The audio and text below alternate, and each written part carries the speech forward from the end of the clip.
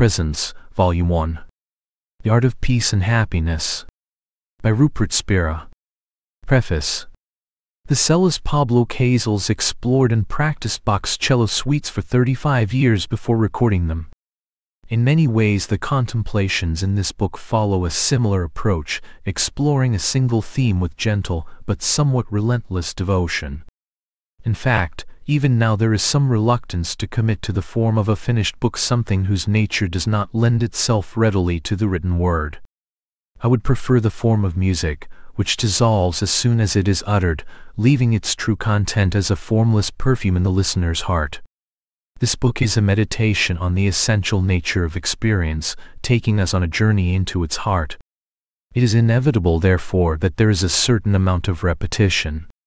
For a mind that seeks new ideas, stimulation, or entertainment, this repetition may seem frustrating at times, but for one who seeks the heart of experience, it will not be experienced as such.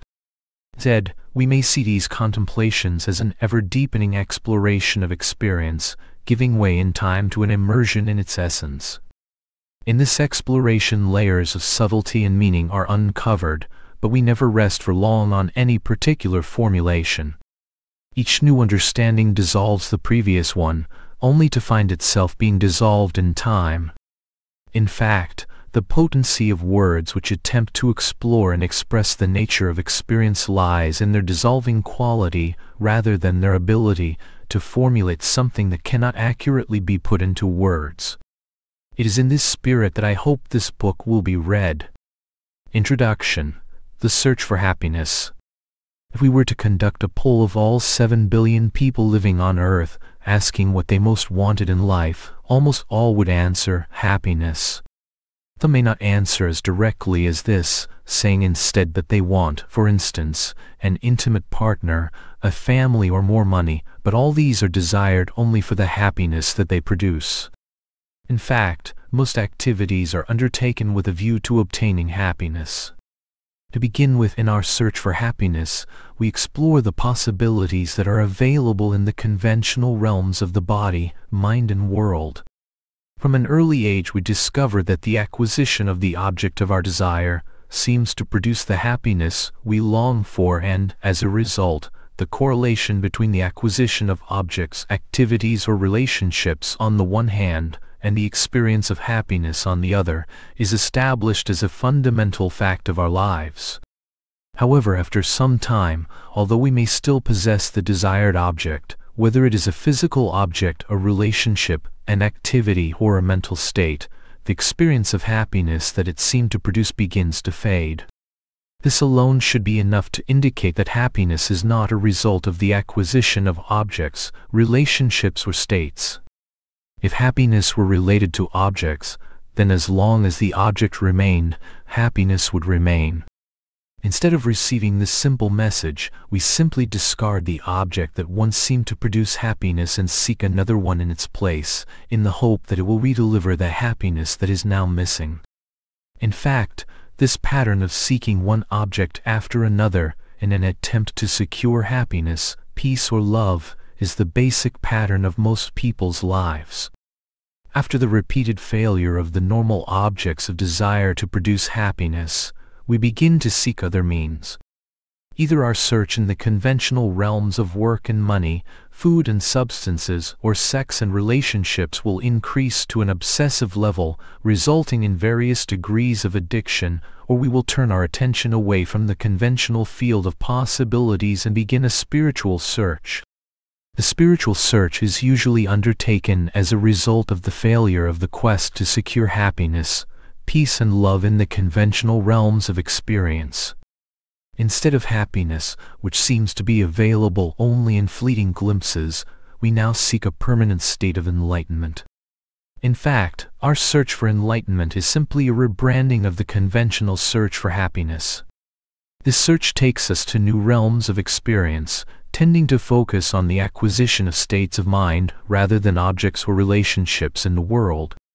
And just as the acquisition of an object or relationship puts a temporary end to the conventional search, giving us a brief taste of happiness, so these newly acquired states of mind bring the spiritual search to a temporary end. We are given a glimpse of that same happiness, which we now call awakening or enlightenment, but just as we previously mistook the acquisition of objects and relationships for the source of happiness, we now confuse these new states of mind for enlightenment. These brief glimpses, like the previous moments of happiness, are soon eclipsed by the old patterns of seeking happiness, peace and love in objects, relationships and states. As a result we are again faced with the failure of our search, only this time there are no more possible realms in which to search. Like the prodigal son, we have ventured into a far-off country seeking happiness, and we have now exhausted all its possibilities. For some this failure is experienced as a time of despair or crisis. There are no further directions in which to turn and yet the search has not been brought to a satisfactory end. Usual means of bringing the search to an end, or at least avoiding the discomfort of it, through substances, activities and relationships or subtler meditative states of mind, may have temporarily numbed it, but in our hearts it is still burning. There is nowhere left to seek, and yet we cannot stop seeking. We do not all have to go to such extremes. In some cases intelligence rather than despair precipitates the understanding that what we truly long for cannot be found in any state of the body, mind or world. In fact, it is always our own innate intelligence that is operating. In some it takes the shape of a crisis that strikes at the heart of our lives. In others it may be more measured. In either case a new doorway may open up, the only one that has yet to be explored. Who is this self that is in almost constant search of happiness, and what is the nature of this happiness? This is the moment when the prodigal son turns around. This book starts with this turning around is a profound exploration of the nature of ourself and the happiness that we seek. Please note, in this book happiness is synonymous with peace, love, beauty and understanding. Object refers to anything that is experienced in the mental, emotional or physical realms, including all thoughts, images, feelings, sensations and perceptions. Main chapter, Our True Nature. Chapter, Who or What Am I? All we know of the mind, body and world is our experience of them, and experience is utterly dependent on the presence of ourself, whatever that may be. Nobody has ever or could ever experience a mind, body or world without their own self first being present. All experience is known by ourself, and therefore our knowledge of the mind, body and world is related to and dependent upon our knowledge of ourself. The poet and painter William Blake said as a man is, so he sees. He meant that the way a person sees or understands him or herself deeply conditions the ways he or she sees and understands objects, others and the world. Let us start with ourself, for everything depends upon this. What do we know about ourself for certain? In order to find this out we have to be willing to lay aside all we have learned about ourselves through others or our culture and to rely only upon our own intimate, direct experience. After all, experience must be the test of reality. The first thing we know for sure is I am. This simple knowing of our own being, so simple and obvious that it is usually overlooked, turns out to be the most precious knowledge that anyone can have. I may not know what I am, but I know that I am. Nobody can legitimately deny their own being, for even to deny oneself, one must first be present. No one asserts I am because they have been told it by their parents or learned it in a book. Our own being is always our direct, familiar and intimate experience. Is self-evident and beyond doubt. So being or presence is an inherent quality of ourself. What else can we say for certain about ourself? Whatever our self actually is, I is the name we give to it. In order to assert with certainty that I am, and this assertion is one of the very few that we can legitimately make, we must know or be aware that I am. In other words, the reason we are sure about our own being is that we know it through direct experience. We do not rely on second-hand information or information that comes from the past to certify our own being. Right now, our being or presence is obvious. What is it that knows or is aware of our being? Is it I, that knows that I am, or is I known by someone or something other than myself? It is obviously I that knows that I am. I that I am is the very same I that knows or is aware that I am. Though awareness or knowing is another inherent quality of ourself, and it is ourself, I, that knows it is both present and aware. Ourself doesn't need to know something special in order to know it is present and aware. It knows itself just by being itself, because it is by nature aware or knowing. Nor does it need to do something special, such as to think, to know that it is present. The knowing of our own being is the simplest and most obvious fact of experience. It is prior to all thinking, feeling, or perceiving. Someone were to ask us, Are you present? We may pause for a moment and then answer yes. In that pause, we refer to our intimate and direct experience of ourself, and from that experience comes the certainty of our answer. In that pause, we do not refer to thinking, feeling, or perceiving, we refer directly to ourself. It refers to itself. Our self knows that it is present and aware by itself, through itself alone. It doesn't need any other agent, such as a mind or a body, let alone an outside source, to confirm its own aware presence. It knows itself directly, though it is clear from our own intimate and direct experience that I am not just present but also aware. It is for this reason that our self is sometimes referred to as awareness, which simply means the presence of that which is aware. The word awareness indicates that the being we intimately know ourself to be, that knows itself to be, is inherently present and aware. In this book our self is also referred to as aware presence or simply presence, or as consciousness or being. Most simply this aware presence is known as I. Whatever we may choose to call it, it is just the intimacy of our own being. Awareness is awareness of itself, which is the most obvious, familiar and direct knowledge that anyone has. Before we know anything else we first know our own being. It knows itself. That is, the aware presence that we intimately and directly know ourself to be knows that it is aware and present. I is the name we give to this simple knowing of our own being. In fact, this knowing of our own being is so simple and obvious, and above all, so apparently insignificant that it is usually overlooked. This forgetting or overlooking of our most intimate being, although apparently such a small thing, in fact initiates almost all of our thoughts, feelings, activities, and relationships and turns out to be the source of all unhappiness. But what is it that could forget or overlook this simple knowing of our own being, awareness's knowing of itself? Our being obviously cannot forget or overlook itself, because the knowing of our own being is not something we do, it is what we are. It is thought that seems to obscure this simple knowing of our own being and makes it seem that our self is something other than the presence of awareness. This obscuring thought is later substantiated with feelings and results in the veiling or loss of the knowing of ourself as it truly is, its knowing of itself as it truly is, and the belief and feeling that we are something other than this aware presence.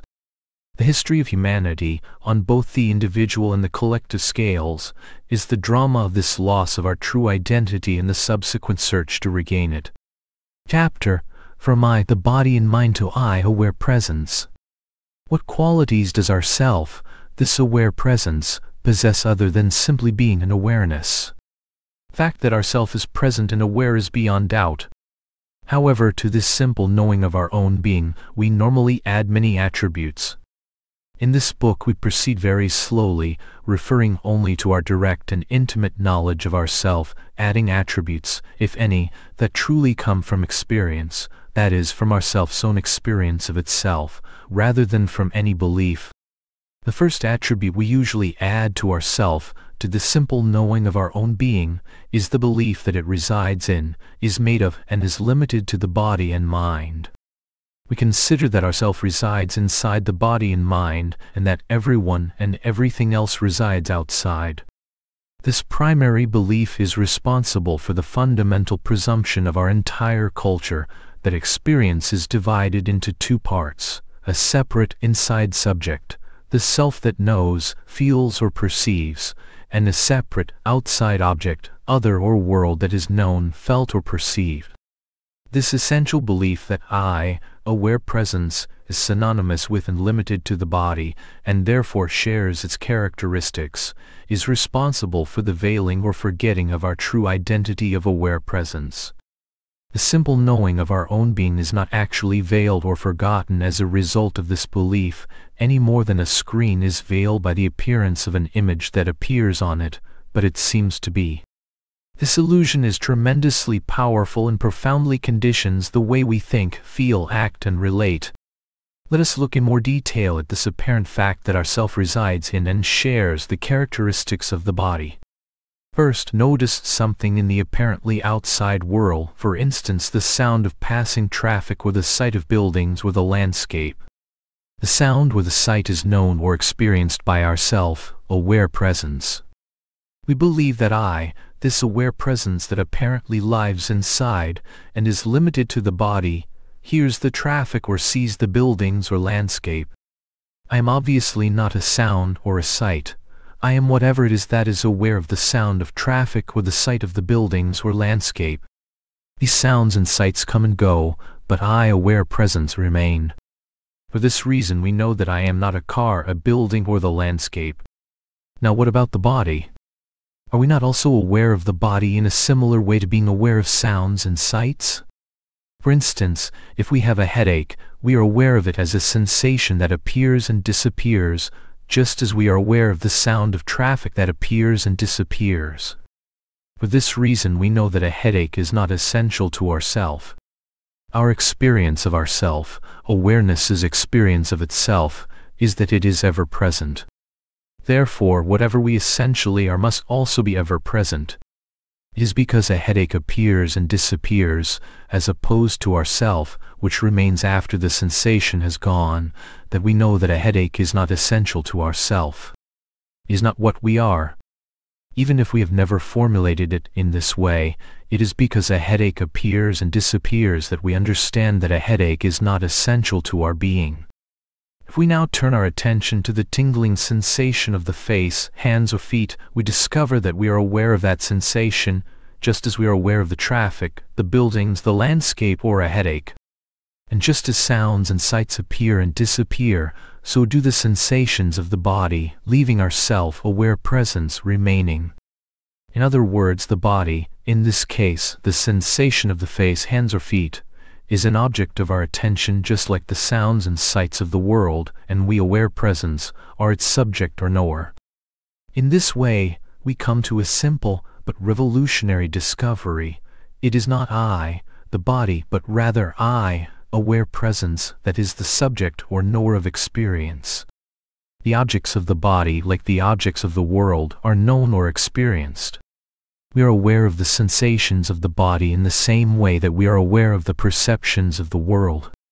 We may object that a headache is not always present and is therefore not inherent in ourself, whereas the body is always present and is therefore legitimately considered to be ourself. However, if we go to any sensation or perception of the body, we find that it is not always present. If we look closely at the actual experience of the body rather than the idea we may have of it, we find that our only experience of it is the current sensation or perception. All sensations and perceptions appear and disappear, but our self-aware presence remains throughout. This ever-present, I cannot therefore be made out of an intermittent object such as a sensation or perception. Now what about the mind, which most of us consider to be identical with ourself? The mind consists of thoughts and images.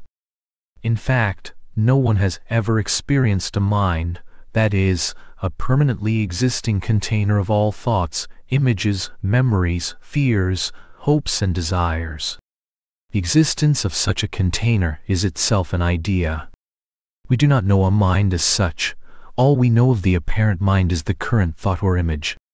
Take any thought such as the thought, what shall we have for dinner tonight? That thought appears as a subtle object, similar to a perception of the world or a sensation in the body. In other words, it is not I, the mind that is the subject or knower of my experience, but rather I, aware presence, that is the subject or knower of the objects of the world, body and mind. Ask yourself if, in your actual experience, the body is the subject or knower of experience. Can a face, hand, or foot know or experience something? Can a face, hand, or foot hear, taste, smell, or, for instance, see these words? Or are the face, hands, and feet known or experienced along with everything else? And what about a thought or an image? Can a thought or an image know or experience something? Can a thought see or an image hear? Can a thought see or understand these words, or are thoughts seen and understood by ourself? If we stay close to experience, using only our actual experience as a test of truth or reality, we will see that the body and mind do not know or experience, they're known or experienced. See clearly that it is not I, the body and mind that is aware of the world, but rather I, this aware presence that is aware of the body, mind, and world. The discovery that our self is not essentially a body or a mind, but is in fact the aware being or presence that knows or witnesses them, has radical and profound implications.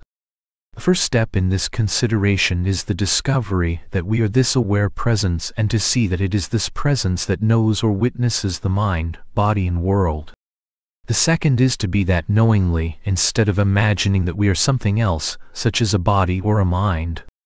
We do not become this witnessing presence as a result of this exploration, rather, we notice that we always only are that and now we abide as that knowingly.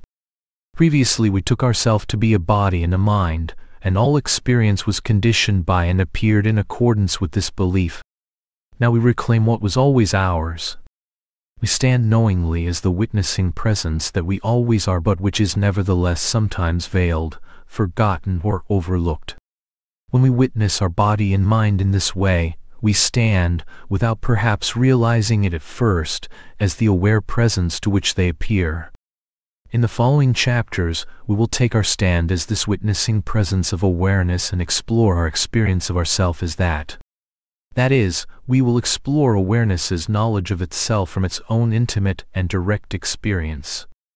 Although the results of this exploration will be formulated by the mind, it is important that the experiment itself not be based on thought, on the ideas we may have about ourself. Rather, the investigation is based on our actual experience of ourself, on the simple knowing of our own being as it actually is in its own experience of itself. Chapter Our self is without location or limit. For a mind that has become accustomed for so many years to knowing only objects, that is, to focusing its attention and interests on the body, mind, and world alone, it is inevitable that the desire to know oneself as some kind of a subtle object will persist. We will search for this aware presence and try to make it an object of our knowledge or experience. However, if we return again and again to the experiential understanding that our self is the knower or witness of all objects, it becomes clear that it cannot itself be an object. His our simple experience that our self is present and aware, but has no objective qualities. As this experiential understanding deepens, so the attempt to search for ourself as an object decreases correspondingly. But the inability to know ourself as an object does not mean that ourself cannot be known. It simply means that it cannot be known in the way that an object is usually known, that is, through the subject-object relationship, our true self is known in a more intimate and direct way, simply through being. In fact, we discover that the only way to know ourself is to be ourself and not to mistake ourself for any kind of an object. If someone were to ask us to turn our attention towards a sensation in the body, a thought or image in the mind, or an object in the world, we would have no difficulty, just as we have no difficulty in turning our attention towards these words. But what if someone were to ask us to turn it towards ourself, towards the aware presence that knows the objects of the body, mind, and world? Try to do that. For instance, try to turn your attention towards whatever it is that is seeing these words. Some of us may be inclined to turn our attention towards a sensation around the eyes or head, but notice that the eyes and the head are themselves sensations of which we are aware. Try again to turn your attention towards whatever it is that is aware of these sensations, and is not itself a sensation. In which direction do we turn? Notice that any direction in which we turn is always towards some kind of an object, more or less subtle. If we take our attention away from that object and try to turn it towards whatever it is that knows or experiences that object, we are always frustrated, Every direction turns out to be the wrong one. Is like standing up and trying to take a step towards one's own body. Every step is in the wrong direction. And yet at the same time no step takes us farther away. Some point there may be a spontaneous collapse of the attempt to find oneself as an object in the body or mind. In this collapse, the seeking mind comes briefly to an end, and in that moment, it is in fact a timeless moment. Our self glimpses or tastes itself as it is, pure aware presence, unconditioned by any of the beliefs or feelings that thought superimposes upon it.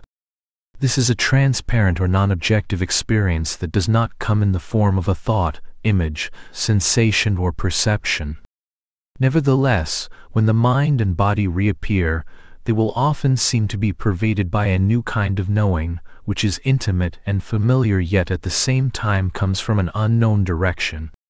The mind and the body are in fact transformed, albeit temporarily, by this transparent experience seen may even be bewildered or even occasionally frightened by it. However, because the mind is not present during this transparent and timeless experience, the experience itself cannot be remembered. There is nothing objective there to remember. As a result, the mind will, in most cases, dismiss this transparent experience as insignificant or even non-existent and get back to its usual business of focusing on objects in some form or other. However, this dissolution into our true nature leaves a residue within us that can never be completely forgotten. It often remains for decades as a sort of nostalgia or longing for something that once existed in our past, often in childhood, and for which, in quiet moments or at a time when the normal flow of our life is interrupted, we deeply long. In fact, it did not exist in our past. It is present in ourself. It is ourself and it is present and available now as it was then in that first brief acquaintance. If we ponder this new but strangely familiar experience and keep returning to it, we come to the extraordinary and profound realization that we cannot find ourself, it cannot find itself, as an object located in space. We discover that we are aware of all objects and places, but that our self is not itself an object, nor does it have any actual experience of itself being located in any particular place. If we stay close to the simple, direct knowing of our being, its knowing of itself, we find that we have no knowledge of ourself being located somewhere. It is only a thought that first identifies our self-aware presence with the body and subsequently imagines that we are located within it. This thought is superimposed upon our true nature of aware presence, but never actually locates it. In identifying ourself as a body, thought presumes that we, aware presence, share the qualities and therefore the limits that the body possesses. Can we find any limit to our self-aware presence? The mind may imagine limits, but do we actually experience any? It is our self-aware presence that knows or experiences whatever is known or experienced. So the question may be rephrased by asking if our self-aware presence has any experience of itself being limited. To begin with, the imagined limits that the mind superimposes upon ourself may seem so obviously true as to eclipse our actual experience.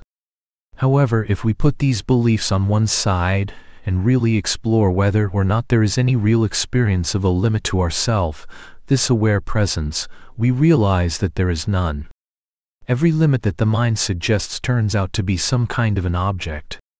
The mind claims that our self is a body and having made this initial presumption, subsequently claims that it has an age, a history, a future, a nationality, a gender, a color, a weight, a shape and a size. However, all these characteristics are qualities of the body, not of ourself. They are known by ourself, but do not belong to ourself. They do not limit ourself any more than an image limits the screen on which it appears. If we return again and again to ourself in this way, looking always for any quality that actually limits it, it becomes clear that ourself has never experienced any limit within itself. Aware presence always experiences itself as being without limits, though this experience is usually eclipsed by the beliefs that the mind superimposes upon it. We have become so accustomed to thinking, and more importantly, to feeling that our own being shares the limits of the body that we now take it for granted. Subsequently, most, if not all, of our thoughts, feelings, activities, and relationships express this fundamental presumption. The discovery of the unlimited nature of ourself, like all understanding when it actually takes place, is always sudden. In fact, it is timeless because the mind is not party to our self's own experience of itself, and without the mind there is no time. However, it may not always be immediate. It may take a period of contemplative and sensitive exploration of our experience to come to this understanding. This realization may have dramatic and immediate effects in our life. The mind may even be quite confused when its own belief systems no longer seem convincing but have not yet been replaced with a new interpretation of experience. However, this experiential understanding may just as well go almost unnoticed for a while, in which case the mind will gradually become accustomed to our newly discovered experience of ourself. Either way, if this experiential understanding is explored and its implications allowed to permeate our lives, it will turn out to be the greatest discovery we can ever make. It is the key to resolving the dilemma that exists at the core of nearly everybody's life, the almost constant search for peace, happiness and love. Chapter, The Forgetting of Our Essential Being having overlooked the simple knowing of our own being as it is and imagined it instead to be located in and as a body and mind, we have come to believe that our self-aware presence shares the qualities of thoughts, feelings, images and sensations. We have forgotten that we are the one that is aware of thoughts, feelings, images and sensations and instead believe and more importantly feel that we actually are those thoughts, feelings, images and sensations. If a feeling of sadness appears, we feel that I am sad. If we look at our face in the mirror and see that it has aged, we think that I am aging. If a thought tells us that we are 40 years old, we think that I am 40 years old.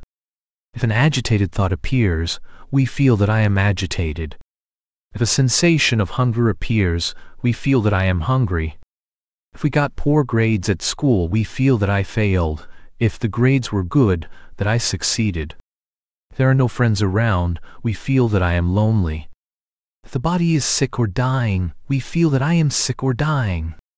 If there is resistance to the current situation and a desire to change it for a better one, we feel that I am unhappy. We could go on almost indefinitely. Suffice it to say that our understanding of ourself is deeply conditioned by our beliefs and feelings. We have invested our being with the limited qualities of the body and mind. Just as the screen seems to be overtaken by the qualities of the film that appears on it, so our essential being seems to be overtaken by the qualities of the body and mind. For instance, the screen seems to become blue when the sky appears in the film, but blueness never becomes an essential quality of the screen. It just seems to color it temporarily. Our being has become colored by the qualities of the mind and body in the same way, to such an extent that it seems to have actually become those qualities. The screen is in fact colorless, and it is precisely this colorlessness that enables it to assume all colors without itself ever actually becoming a color. Likewise, our essential being is objectless, transparent, open, empty, aware presence. It has no objective qualities that pertain to the body or mind, and it is precisely because of this that we are capable of the entire range of thoughts, feelings and perceptions without ever actually becoming a thought, feeling or perception. All thoughts, feelings and perceptions shine primarily with the light of our essential nature by which they are illumined or known, irrespective of their particular characteristic, just as all images shine with the light of the screen. When the film starts we forget the screen and pay attention only to the film. In fact, the screen seems to become an image. This is what happens to our essential being. It seems to have become so taken over by thoughts, feelings and images as to be indistinguishable from them. This inadvertent mixture of ourself with a collection of thoughts, feelings, images and sensations has taken root in us to such an extent, and is so encouraged by our culture and education, that it is now normal to think, and more importantly, to feel ourselves as a sort of collage of such thoughts, feelings, images and sensations. We have forgotten our essential identity of pure aware being and allowed it to become mixed up with the characteristics and qualities that define the body and mind. Most people live almost constantly in this state of amnesia, and their lives are a reflection of that simple forgetting. Who is the one that has forgotten this? Our self is always only itself, prior to and independent of any thought that may or may not be present. Awareness is not a quality that our self turns on and off. Awareness is its nature. It is always present and aware, and therefore, by definition, always aware of itself. This self-awareness, or awareness's knowing of itself, may be eclipsed by the appearance of a thought or feeling but it is never extinguished by it, just as the screen is never truly veiled by the appearance of an image, although it may seem to be. The self that we seem to have become as a result of the forgetting or veiling of our essential being is an imaginary one. It is in fact a thought, not an entity or a self, that has caused this exclusive association of ourself with an object of the body and mind. This thought equates or identifies the characteristics of the body and mind with our essential being and collates them into what seems to become a separate, independent entity or self that resides in the body. This thought takes the awareness that is present in and as our essential being, mixes it together with the limited qualities of the body and mind, and produces, as a result, an imaginary, limited, separate self that lives inside the body and mind.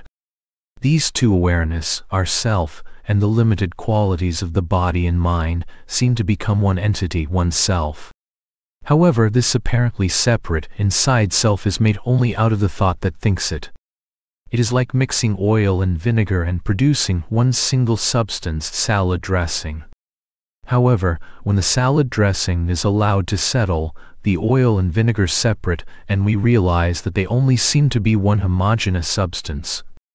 The investigative and contemplative exploration of our experience that we are engaged in here is the settling out of these two qualities, the qualities that are innate in our essential being and those that properly belong to the appearances of the body and mind. Having imagined this I, the separate inside self, thinking then further invests it with numerous other attributes, thereby transforming what is, in fact, just a fragile, ephemeral thought into what seems to be a dense, complex entity. This forgetting of the true nature of our essential self is never an experience of ourself, it is always only a thought. Our self, the true and only self, never forgets itself from its own point of view, which is the only real point of view there is. It is for this reason that all the subsequent thoughts and feelings that depend upon this primary I, the separate inside self thought are only for the separate inside self that thinking imagines us to be, and never for our real self. Later it will be seen that all psychological suffering is born of this I, the separate inside self thought, and therefore all suffering is for the imaginary self, never for the true and only self that we always are. In reality, our true self is never sad, of a certain age agitated, hungry, lonely, sick or dying. Even in the presence of such beliefs and feelings, our self is utterly free of them. Our self is present as the knower or experiencer of such qualities, but is not made out of them. At the same time, whenever such thoughts or feelings appear, they are intimately one with our self, just as the image on a screen is intimately one with the screen. In this way, our self is both the knower of all such thoughts and feelings, hence our inherent independence and freedom, and at the same time, intimately one with them. This intimacy of experience is love.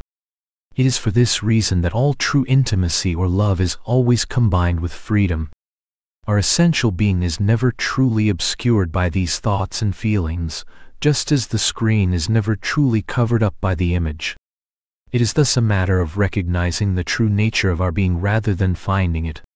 The exclusive mixture of our essential being with the appearances of the body or mind is the single event that dictates most of the thoughts, feelings, activities and relationships of this apparent entity. However, it is not an event that happened long ago and is now cast in stone. It is reenacted moment by moment and can be dropped at any moment, simply by recognizing who we really are. Chapter Our self is birthless and deathless. If we stay close to our own being's experience of itself without referring to thought, we discover that it has no knowledge of itself being born, evolving, growing old, or dying. Only an object, such as a body or a mind, could appear and disappear or be subject to birth, growth, evolution, decay, and death. Our self-aware presence knows these changes but is not itself subject to them. It is only thought, having exclusively associated our essential being with these appearances and changes, that has given rise to the belief and feeling that we share those qualities. This belief and feeling is so deeply ingrained and seems to have become such an integral part of our being that we are barely aware that it is simply a belief and feeling and take it instead to be the absolute and indisputable truth about ourself. This belief and feeling then becomes the basis upon which all subsequent thoughts and feelings and most activities and relationships depend. Notice, however, that you are aware of the current thought, the current sensation, these words, perceptions of the world, and so on. Was it not this same you that was aware of yesterday's thoughts and feelings? And was it not the same you that was aware of last year's thoughts, feelings, sensations, and perceptions, and those of the previous year and ten years ago, twenty, thirty? Was it not the same you that was aware of the very first sensation or perception you ever had, perhaps even in the womb? Were these known by someone else, or were they known by you, this very you that is seeing these words? Are you the same you now that you were then, or are you a different you? If it was a different you that knew or experienced all those things then, how come this present you knows or remembers them now? When we refer to my first school, the my that we refer to is the very same me, the same self to which our current thought belongs. Thoughts, feelings, sensations, images, memories and perceptions change, but the self that knows or experiences them does not. Has our self ever registered any change in itself? And who is the one that would register such a change? That one would be our changeless self. If we think that our self changes, that at one moment it is five years old and at another twenty-five, then the same self must have been present to know both the five and the twenty-five-year-old. In order to legitimately claim the experience of change, we must first stand as the changeless knower of any such change. You are the one that registers the changes of the body, mind, and world, but never register a change in yourself. You are the ever-present, objectless, aware presence that intimately pervades all knowing or experiencing. In fact, you are made out of pure knowing or awareness. You, the light of knowing by which these changes are known, always remain the same just as the screen is always the same screen and never itself undergoes any of the changes that the images appearing on it undergo. Our self is not made out of pure knowing or awareness like bread is made out of flour, our self simply is that. But who is the R in our self? It does not belong to a body or a mind. The self belongs to itself. It is impersonal. Body and mind belong to it, but it does not belong to Tonion or anything. It is the self, not our self. The self of aware presence is intimate, but impersonal. Birth is a series of sensations and perceptions experienced by you. That you is not a sensation or perception, it knows all sensations or perceptions.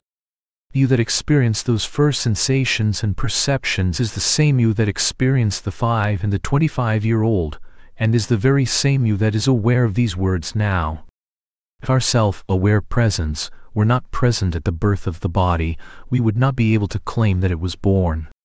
The self that experienced the birth of the body was not born with it. It was already present when the body appeared and hence we are able to say that the body appeared. It is only because thought imagines that our self-aware presence is the body that we think and subsequently feel that we were born when it was born. For the same reason we believe that we will die when the body dies. This belief is responsible for the fear of disappearance that lies at the heart of the separate, inside self that thinking imagines us to be. Is the first emotion to arise as a result of thought's exclusive association of ourself with the body, and is the dominating emotion that rules, more or less consciously, the life of the imaginary separate entity.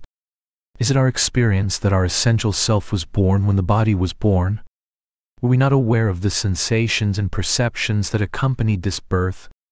Did we ever have the experience of our essential self, aware presence, being inside our mother's womb, or were we aware of all the sensations of the unborn infant in the womb? Are we aware presence, sitting in a room now, or are sensations and perceptions appearing to ourself? It is that self not the very same self that was aware of the appearance of the body, that is aware of its disappearance in sleep every night and will be aware of its final disappearance at death, and is now aware of these words. Have we changed and grown old as the body changes and grows old?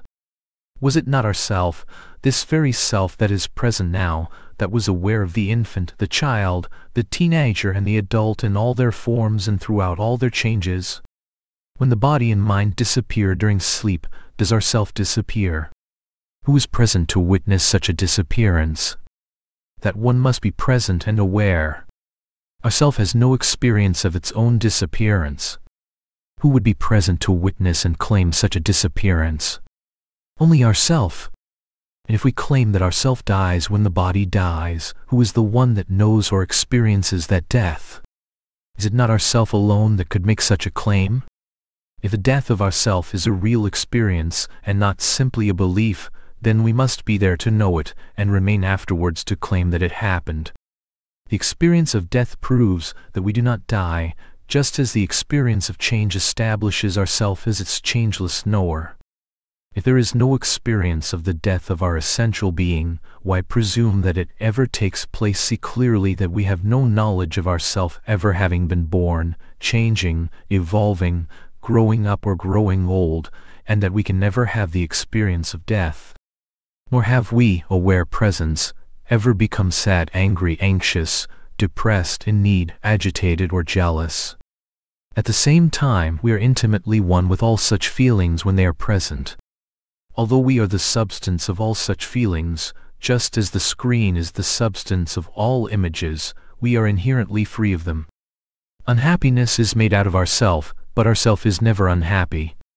The belief that we were born, that we change, evolve, grow old and die, is simply a belief to which the vast majority of humanity subscribe without realizing that they are doing so.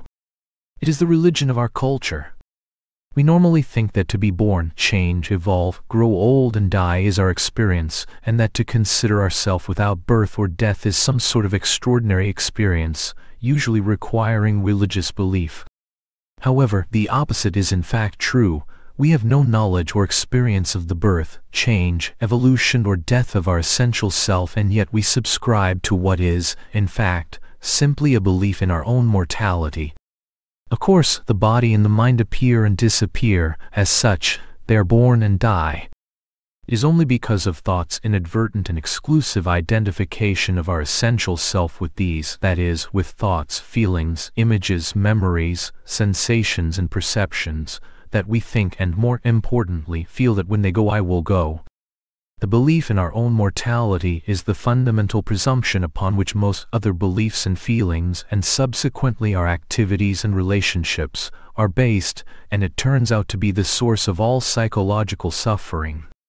The fear of disappearance or death is the primary emotion of the imaginary entity created by the exclusive association of ourself with the body or mind. Most feelings of sadness, anger, anxiety, depression, lack, psychological need, agitation, jealousy, and so on are simply variations of this essential fear of disappearance or death. It is for this reason that when the true nature of our essential being becomes clear, all these feelings are gradually cleared up. The belief upon which they depended has been seen through. Chapter The eternal and infinite nature of our being. The experiential understanding that our self, aware presence, is without limits or location is not a special kind of knowledge that needs training or education. It is obvious, intimate, and well known to everyone, prior to anything that the mind may or may not know is an experiential knowledge that is independent of how intelligent or otherwise the mind may be, or of how old or young, well or sick the body may be.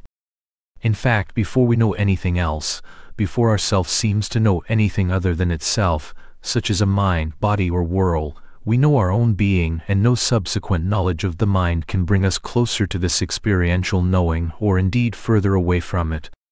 It is thought which is later substantiated at the level of the body with feelings that seems to veil this experiential understanding or to take us away from it.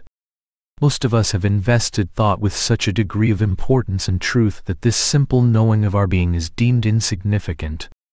However, see clearly that without reference to thought or memory, there is no knowledge of ourself having a limit, contour, shape, border, dimension, color, age, history, future, past, destiny, weight, nationality, or gender. Only an object, such as a thought, feeling, image, sensation, memory, or perception, could have such attributes. You aware presence, are aware of these qualities, but do not yourself possess such qualities. Only an objective quality could limit anything, and ourself, being without such qualities, is inherently without any such limit. For this reason our self is said to be infinite.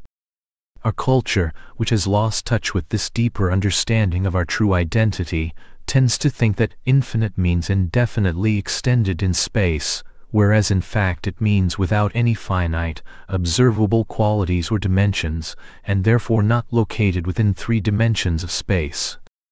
Likewise, notice that our self is always present, not always present in time, but ever present now. Without reference to thought we have no knowledge of time. Time is the duration between two events, and although we may imagine two events, we never actually experience them simultaneously. For instance, when breakfast this morning is present, breakfast yesterday morning is not. 24 hours that separate these two events are made out of thought, not out of experience. In the intimacy of our own being, which is prior to thought, there is no time. In fact, our self is not prior to thought. Without thought, there is no time present during which our self could exist. Even with thought there is no time present, but in this case at least the illusion of time is present. To exist from the Latin ex, meaning from or out of and sistere to stand means to stand out from. For something to exist in time, time must first be present for that thing to exist in, like the space of a room must first be present, relatively speaking, for objects to appear in it. However, we have no experience of anything prior to ourself. Something would have to be present to have such an experience, and that something would have to be both present and aware. It would be ourself. In our actual experience, there is nothing prior to ourself. Ourself is ever present now, and we do not experience a succession of nows. This present now is the only now there is. The now in which the body was born is the very same now in which these words are appearing. It is the only now there ever truly is. For this reason our own being is said to be eternal.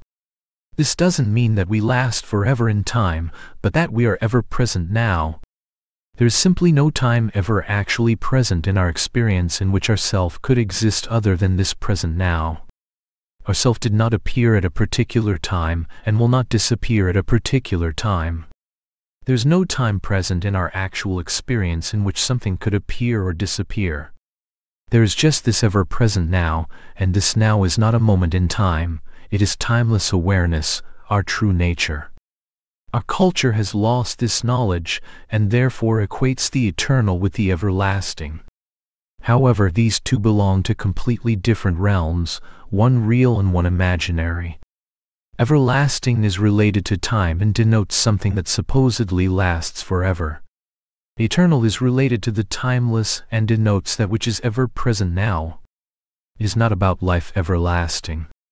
It is about eternal life, Ultimately no word can accurately describe ourself, because words can only describe objective qualities. However, if words truly come from the experiential understanding of our essential nature, they somehow have the power within them to indicate and evoke it. In the end, all words should be forgotten, leaving only the experience to which they refer, the eternally present and unlimited nature of our essential being. Chapter presence is self-luminous. Every object of the mind, body and world is known or experienced by ourself without our self-aware presence, nothing would be known or experienced. All experience is made knowable or illumined by ourself just as, relatively speaking, all objects are rendered visible by the light of the sun. In reality, all experience is rendered knowable by the light of ourself. Ourself illumines all experience with the light of knowing. This knowing is inherent within and inseparable from ourself. It is ourself. All experience is inseparable from the knowing of it, that is, inseparable from the light of ourself. All that is known or experienced shines with the light of ourself, just as all objects shine with the light of the sun. For any experience tells us of its objective qualities, it first announces the light of presence by which it is known. That light is shining in all experience, just as the sun's light shines in all objects. It is the light of ourself that makes all apparent things knowable, but what is it that makes ourself knowable? With what light is the certainty of our own being known? Body, mind, and world are known by the light of ourself, but ourself is not known by any light other than its own. It is our experience that the light by which ourself knows itself is its own light. Our own being shines with its own light. It is not known by anything other than itself. It knows itself by itself, through itself alone. It does not require a body or a mind to be known. It is self-knowing, self-luminous and self-evident. In reality, we don't really know or experience objects as such, we just know our knowing or experiencing of them. The experience of knowing is all we know of objects or the world, and the knowing by which we know the apparent objects or world comes from ourself. It is ourself. It is the light of our own self, aware presence, that shines in the knowing or experiencing of any object. When we look at an apparent object, we seem to see an object, but actually all that is seen is the reflected light of our own aware presence which illumines or knows it. All apparent objects shine with the reflected light of our own being. In fact, we don't know objects, we just know knowing. And what is it that knows knowing? Knowing is not known by something outside or other than itself. Knowing is known by knowing. All that is experienced in the experience of an object, other or world is knowing. This knowing is our self-aware presence. All that is ever experienced is our self-knowing itself, awareness aware of awareness. This experience of awareness knowing itself admits of no otherness, distance or separation. At the same time, it is made out of the pure intimacy of our own being. This utter intimacy and lack of otherness is the experience of love. Everything, all seeming things, are made out of love alone. If we forget about the light of our own being we think that we see a physical object, but as soon as we remember ourself, as soon as ourself is no longer seemingly veiled by the I, the separate, inside self-thought, we realize that it is only a modulation of the light of our being that is really known, that knows its own ever-present self, just as in trees, hills and mountains we see only the modulated light of the sun. It is only an act of thinking that makes it seem that something other than the light of our being is known, just as it is only an act of thinking that makes it seem that something other than the sun's light, such as a tree, a hill or a mountain, is seen. Likewise, it is only an act of thinking that makes it seem as if our self is a body and mind, whereas in fact, the body and mind are modulations of the light of knowing, which is own our aware presence. Normally we think that the mind knows objects, However the mind is known, it does not know. The mind seems to know objects in the same way that the moon seems to illumine objects on a dark night. In fact, the light with which the moon illumines objects at night is the reflected light of the sun. It seems as if the mind knows objects, but the light or the knowing with which the mind seems to know something comes from our own aware being. When we look at an object in nature, such as a tree, a hill or a mountain, all we really see relatively speaking, is a modulation of the sun's light. If we forget about the presence of the sun, we seem to see objects, but as soon as we remember the sun we realize that we really only see a modulation of its light.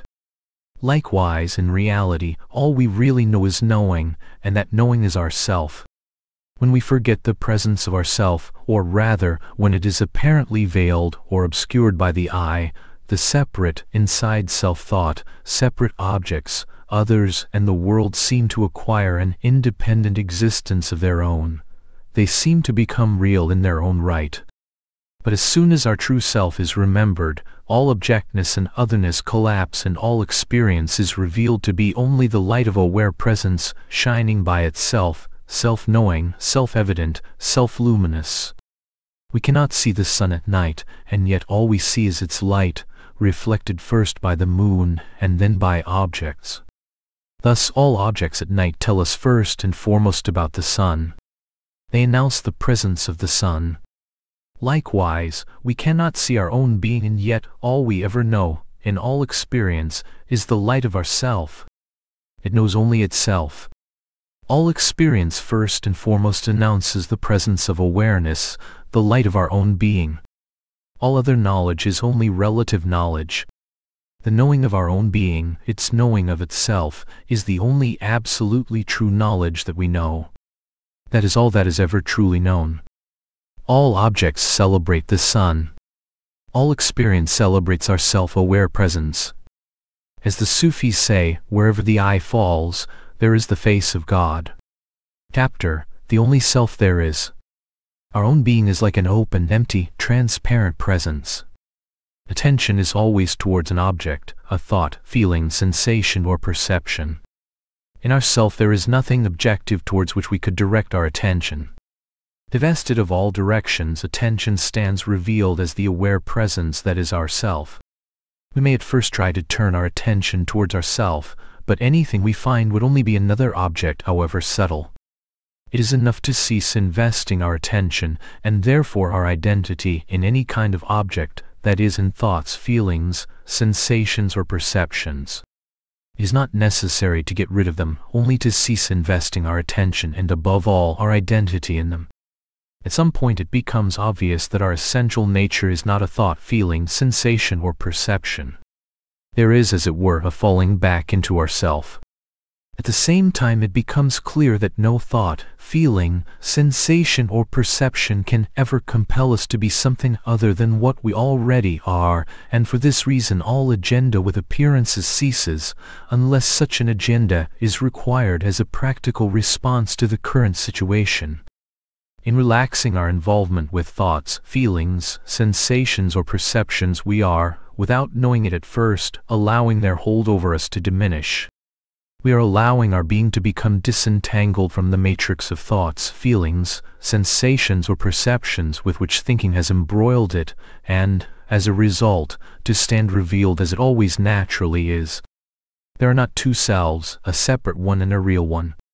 The real self is always the only self there is, although it has become so entangled with thoughts, feelings, sensations and perceptions as to seem as if it were another kind of self, one that is limited, separate, located and inside.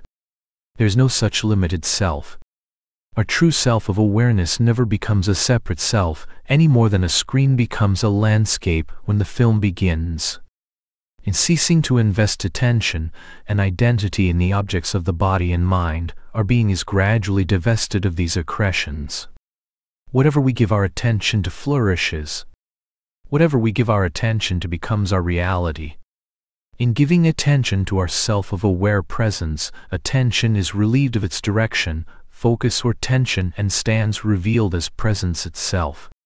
The one that is looked for stands revealed as the one that is looking. This falling back into ourself relieves the body and mind of many of the contractions and tensions that were present as a result of the I, the separate, inside self-thought. This relaxation is not itself the experience of ourself, it is an after effect at the level of the body and mind. Under normal circumstances, the body and mind exist in a state of tension and contraction that is the expression of the I, the separate, inside self-thought. However, we have become so accustomed to this state of contraction that it is no longer registered as such. It just seems normal. Like someone whose fists have been clenched in defense for so long that they are no longer aware of it, and thus feel perfectly relaxed, so our body and mind have been permeated by the tensions that are generated by the I, the separate, inside self-thought, and yet we are not aware of it. With this falling back into ourself, there is a release which sends waves of relaxation through the body and mind, dissolving these tensions and contractions in their wake and giving rise to a lighter, more expanded disposition. This may be very strong in some cases, provoking unusual bodily movements, tears or laughter, in others it may be milder. In either case, as this lighter, more expanded disposition becomes the norm, it will cease to be felt as such. It only felt unusual in contrast to the habitual state of tension and contraction. Now it has just become our normal state. As a result of this disentanglement, our self returns to its natural condition of open, empty, transparent presence, and the peace and happiness that are inherent within it begin to percolate through all appearances of the body, mind, and world. The body and mind begin to express these qualities of openness, emptiness, and transparency, and even the world begins to express the friendliness that is a reflection of the intimacy of our true self. However, although there is an end to the belief in and feeling of being a separate, inside self, there is no end to the implications that this realization has on the appearances of the body, mind, and world. It is a continuous and never-ending journey of revelation. Main chapter, The Nature of Peace, Happiness and Love. Chapter, Our Essential Being is Peace Itself. Our essential self is the ever-present being or aware presence that knows or experiences our thoughts, feelings, images, memories, sensations and perceptions, but is not itself made out of thoughts, feelings, sensations and so on. For this reason, it could be described as being empty, but it is only empty relative to the existence of objects. In reality, it is full of presence and awareness. Our being could be likened to an open, empty space, such as the space of the room in which your body is presently sitting. Such a space offers no resistance to the objects or activities that appear in it. In fact, the space has no mechanism within it with which it could resist or deny any appearance. Out of what could such a resistance be made? It would have to be made out of an object, not out of empty space. The space of the room seems to be defined and limited by the walls that surround it, but before the walls were erected the space of the room was exactly as it is now, and after they are dismantled it will remain just the same. The apparent shape and qualities of the space are superimposed upon it by the quality of the walls, furniture and activities that take place within it, but at no time does the space ever actually take on these qualities, it just seems to. Our being is like that. It seems to have taken on the qualities of the body and mind, but in reality it has not. For the appearance of the body and the mind ourself was exactly as it is now, and as it will be when the body and mind die. The was in the will be are this very now, the only now there is. Ourself is like an open empty space, but a knowing or aware space that, like the space of the room, is inherently free of resistance. In fact, our self doesn't know the meaning of the word resistance. It is a wide open yes to all appearances, like the empty space of the room, our self is inherently free from any of the objects or activities that appear within it. Thoughts, feelings, sensations and perceptions, and yet at the same time allows them all without preference or discrimination. Thoughts, sensations and perceptions may be agitated or calm, but we, the aware presence that knows or experiences them, do not share their qualities. We are the empty, aware space that cannot be agitated by any appearance of the mind, body or world, just as the space of the room cannot be agitated by anything that may or may not take place within it. Our self witnesses all agitation, but cannot itself be agitated. This absence of resistance or agitation is known simply as the experience of peace. Our self is inherently peaceful, our inherent peace does not depend upon the nature or condition of appearances. Peace is not a quality or attribute of self. It is ourself. It can never be parted from ourself, just as the inherently peaceful quality of space cannot be parted from it. We are peace itself.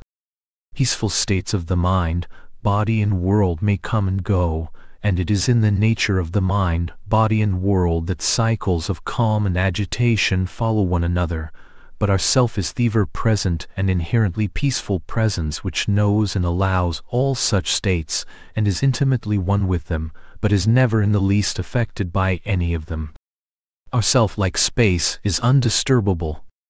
This peace is ever present, sitting quietly behind and within every thought, feeling, sensation, or perception, open and available at every moment, simply waiting to be recognized. Whenever we long for peace, it is in fact the peace of our true nature that we are longing for, although sometimes we mistake the peace of our true nature for a peaceful state of the mind, body, or world. We all know that peaceful states of the mind, body, and world do not last and do not deliver the depth of peace that we truly desire. Only the peace that is inherent in our true nature can put an end to the longing that initiates and sustains so many of our activities and relationships. The longing for peace is itself the peace of our true nature, thinly veiled by the I, the separate, inside self thought and feeling. When this longing is divested of time, that is, divested of the past and future into which it projects an imaginary self, it stands revealed as the peace that is ever present within our own being, quietly shining at the heart of all experience, simply waiting to be recognized. To mistake the peace of our true nature for a peaceful state of the mind or body simply postpones the realization of the peace that is inherent in the simple knowing of our own being as it truly is. And yet when we have accessed the peace that is ever present in ourself under all circumstances, the body, mind and world are profoundly affected and in time become increasingly permeated by it. They begin to shine with the peace of our true nature. Chapter Happiness is inherent in our being. It is our self that knows or experiences the sense of lack or dissatisfaction the subtle or not so subtle sense of unease or the desire to change the current situation that characterizes much of our thinking, feeling, and acting. This sense of lack is known as unhappiness or suffering. It may be acute or just a vague sense of dissatisfaction that subtly pervades our experience and expresses itself as an almost constant urge to replace the current situation with a better alternative in the future. We are aware of the thoughts that seek to change the current situation for one we deem more desirable, but we are not those thoughts, nor the feelings that they seek to avoid. The sense of lack is for thought, not for ourself. Happiness is not a state of the mind or body, although it is often mistaken for such. Of course, pleasant experiences of the mind and body come and go, but happiness itself has nothing to do with pleasant experiences nor is happiness a quality that we have or an experience that comes and goes. It is the innate lack of resistance or dissatisfaction that is the natural state of ourself. It is not something that can be separated from ourself. It is what we are. Without the arising of thought, our true self of aware presence knows no resistance to the current situation. It is utterly intimately one with it. Aware presence says yes to all appearances. The fact that anything is appearing means that presence has already said yes to it. That yes is happiness. It knows no resistance or seeking, no desire to change the current situation for a better one. This happiness is present under all circumstances. It is the natural condition of all experience prior to the arising of the resisting seeking thought and even during its appearance, although seemingly veiled by it. Happiness, like peace, is inherent in ourself. It is ourself. Just as ourself is ever present, quietly observing all the changing appearances of the mind, body and world, and yet intimately one with them, so the happiness that is inherent in ourself is also ever present. Although it is sometimes seemingly veiled, this happiness rests at the heart of all experience, waiting to be recognized. The reason we so often fail to notice it is that we turn away from the current experience and try to replace it with a better one. We seek happiness in a future object or situation, whereas it is, in fact, sitting quietly at the heart of all experience now, no matter what the particular characteristics of that experience. It is only our turning away, our rejection of the current situation, that makes it seem as if happiness is not present now and therefore to be found in the future. The longing for happiness that characterizes most of our activities is only a longing to taste the happiness that is inherent and ever present in our true nature and that has been temporarily eclipsed by our rejection of the current situation, our rejection of this now.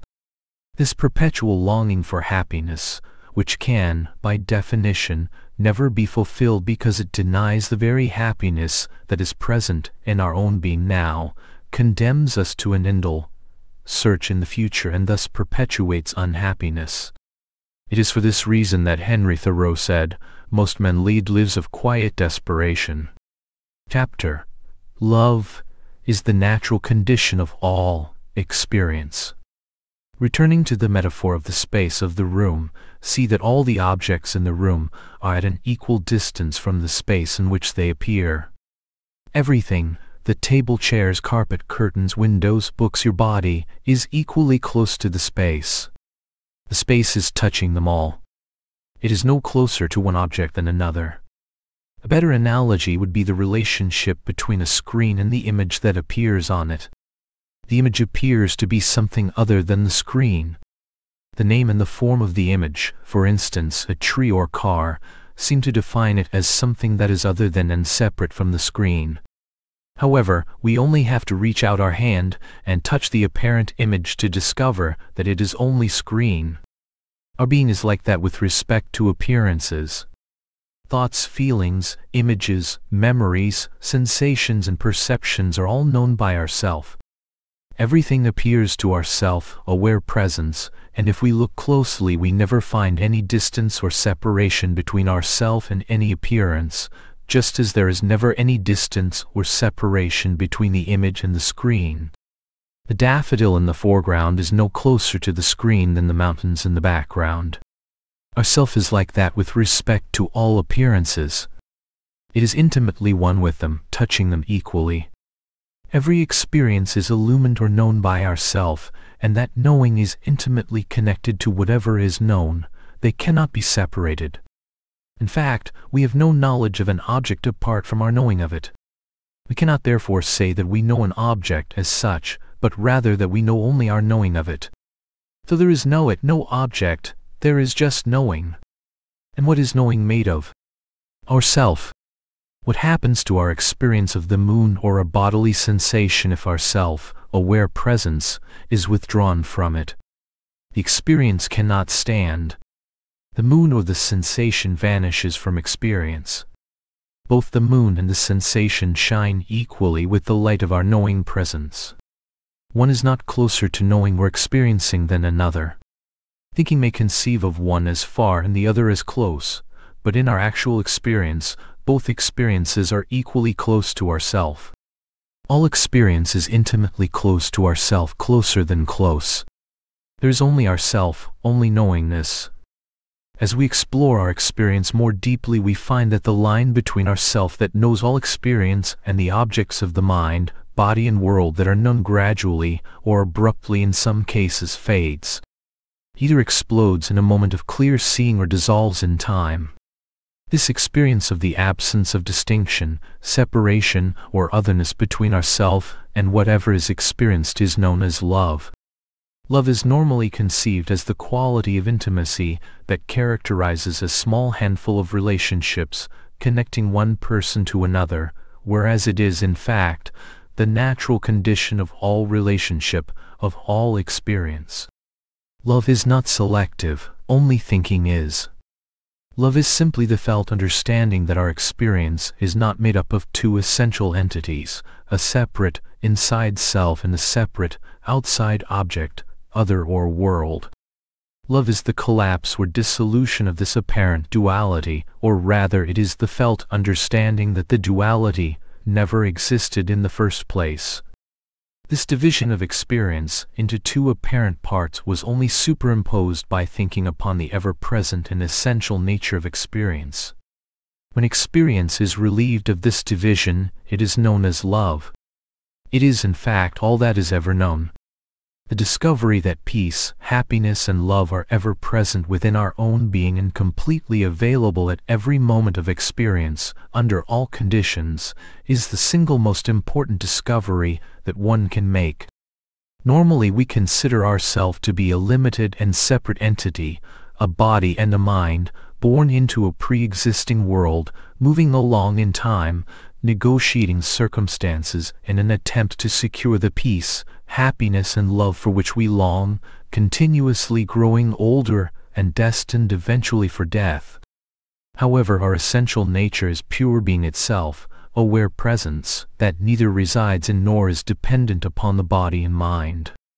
It doesn't come or go, it was not born and does not die, it is eternally present now in peace, happiness and love are its very nature. In peace and happiness we know ourselves as utterly independent of all appearances of the body, mind and world. That is our innate freedom. In love we know ourselves as intimately one with all such appearances. Freedom from appearances, love within appearances. And who is it that has made this discovery about ourself? It has not been made by someone other than ourself. This discovery comes from our own intimate experience of ourself, its intimate knowing of itself. The simple knowing of our own being as it is, is a self-evident truth that requires no confirmation from any other source. Of course it is thought that is formulating this discovery, but the discovery itself does not come from thought. The implications of this discovery are simple yet profound. It means that in each one of us, the peace, happiness and love that is our essential nature is ever present and always available. What we truly long for in life is available at every moment, under all conditions, in the simple knowing of our being as it truly is. If we look closely and honestly at the vast majority of our thoughts and activities, we find that they are orientated towards securing peace, happiness and love through the manipulation of circumstances or the acquisition of objects and relationships in the future. This projection of peace, happiness and love into an imaginary future veils the peace, happiness and love that lie at the heart of all experience. The imaginary inside self is created by this veiling of peace, happiness and love, and once created or imagined, is condemned to an endless search in a non-existent future for something that cannot, by definition, be found there. This is the tragedy and comedy of the human situation. Chapter The Eternal Now All experience takes place now. Now is normally conceived of as a fraction of time sandwiched between the two endless expanses of the past and future. The now is considered to be a moment of minute duration, hence the phrase, the present moment, moving along the line of time. The now is undoubtedly known or experienced. But what about time? Time is the duration between two events. For instance, there is apparently a duration of 24 hours between breakfast this morning and breakfast tomorrow morning. But what is our actual experience of this duration? What is our experience of breakfast this morning at this moment? It is only a thought or an image. And breakfast tomorrow morning is likewise only a thought or an image. All thoughts and images take place now, never in a past or future. Right now we have no actual experience of breakfast this morning or breakfast tomorrow morning. We experience thoughts or images of breakfast, but these take place now. The time at which breakfast this morning is believed to have taken place, and the time at which it is believed breakfast tomorrow morning will take place are both imagined. They are never experienced. When the actual experience of breakfast takes place, it is now, and when the thought about breakfast takes place it is also now. We truly only know now, we never actually know a past or future. If we don't actually know a past or future, how can we know time? We cannot.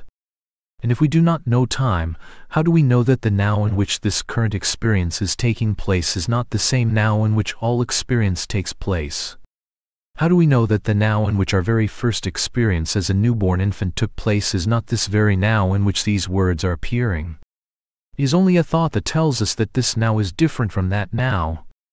And that thought is arising now. We simply cannot escape the now nor is there any time present in which another now could exist. Try to step out of the now. Try to take a step out of the now into the past by one second. Can you do it?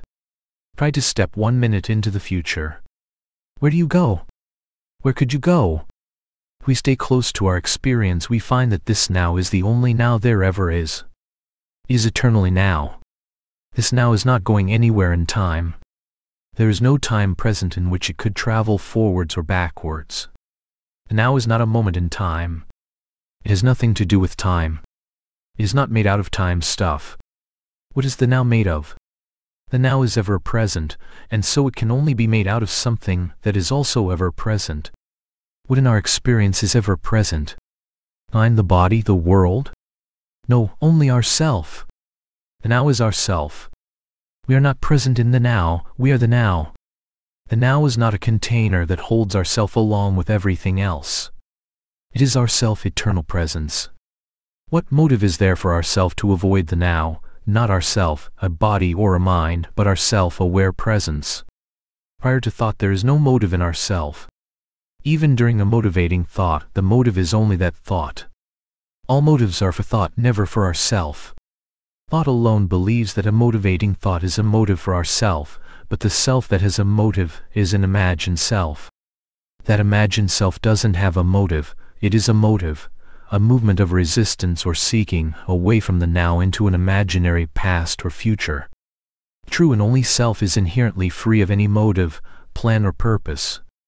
It is that for and out of which all motives, plans and purposes are ultimately made.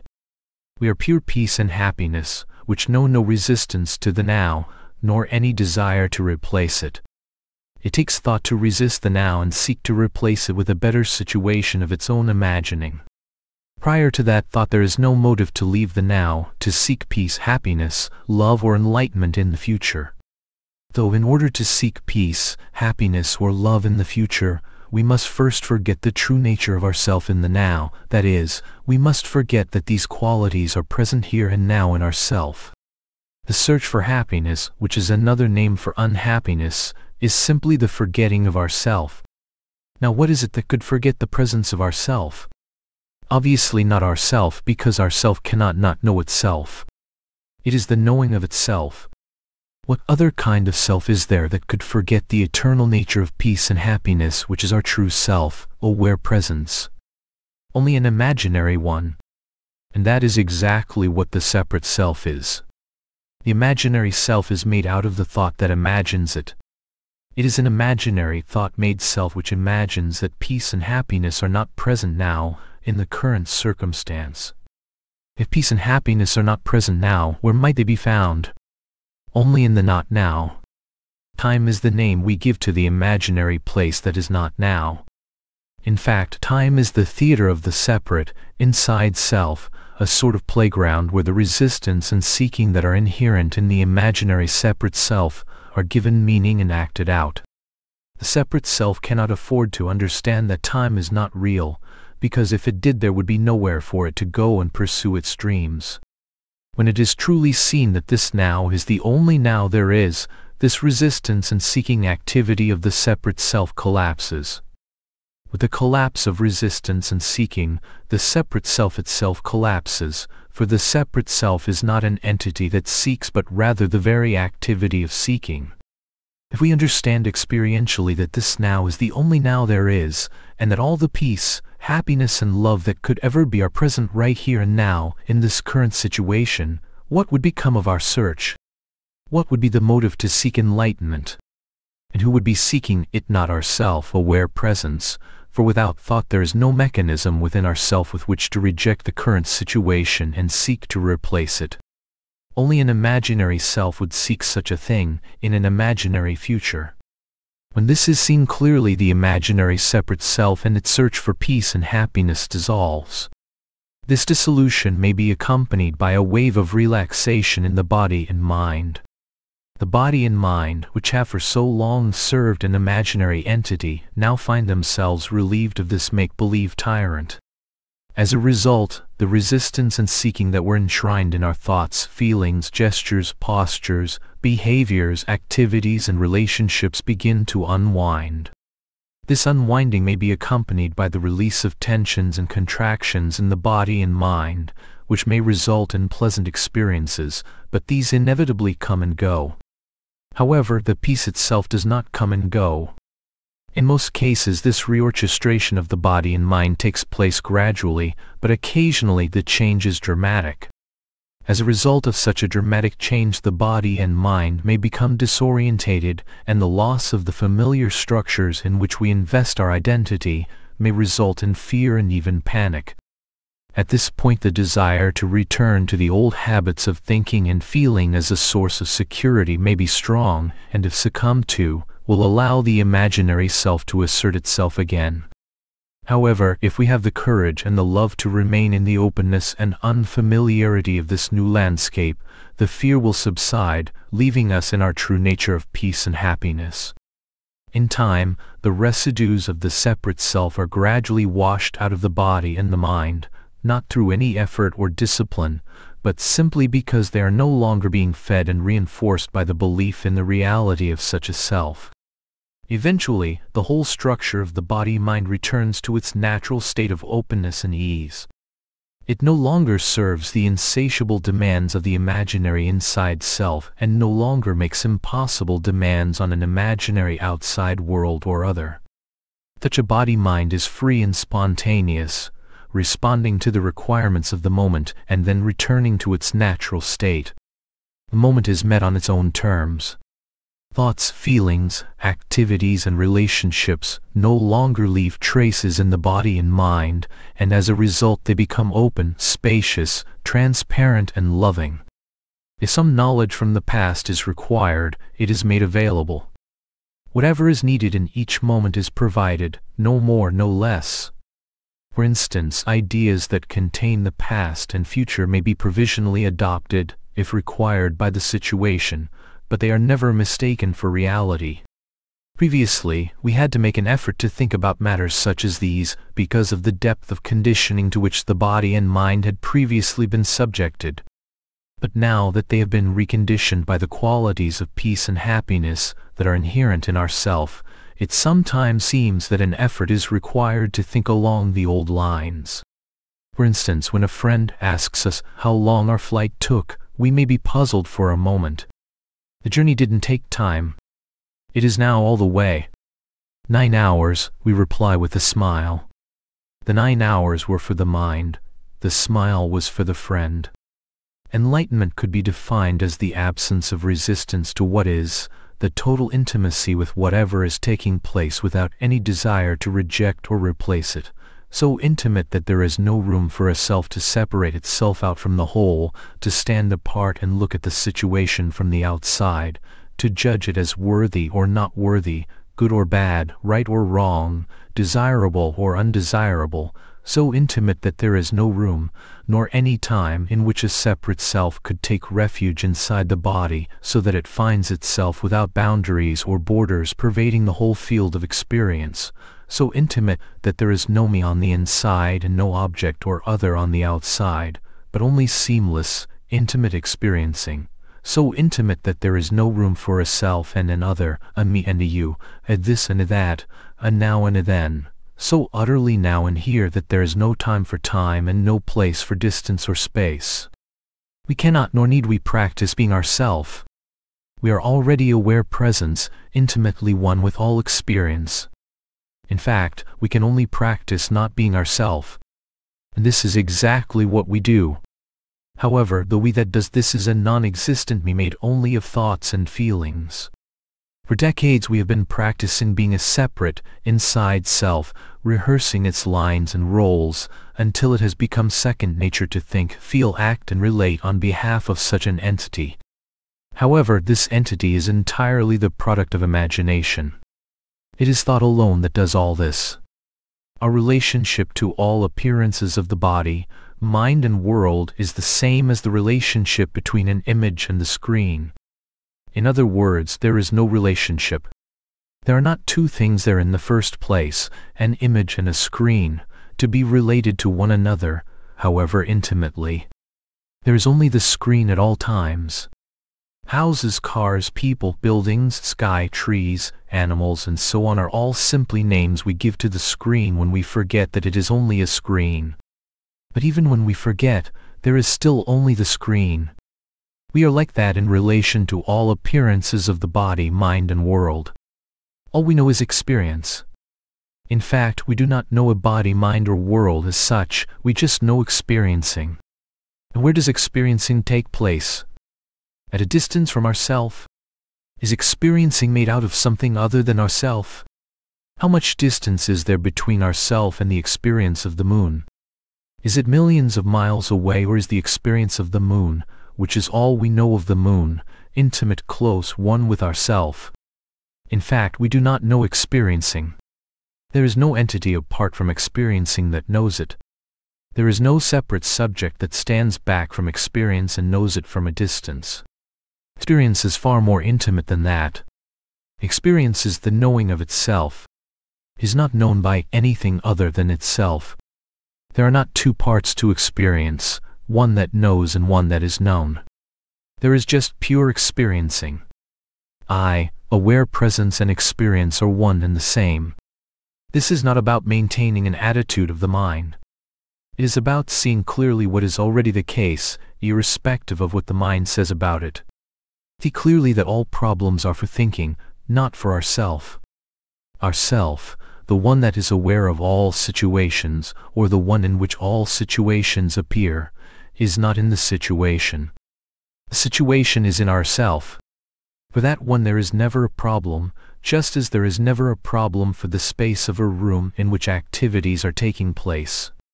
The space is inherently free of the activities and their outcome. Nor is there ever a problem in the situation itself. Problems are always for the separate, inside self that thinking has imagined. Thinking has divided experience into two parts, a me part and a not me part, and the problem is always for the imaginary me part.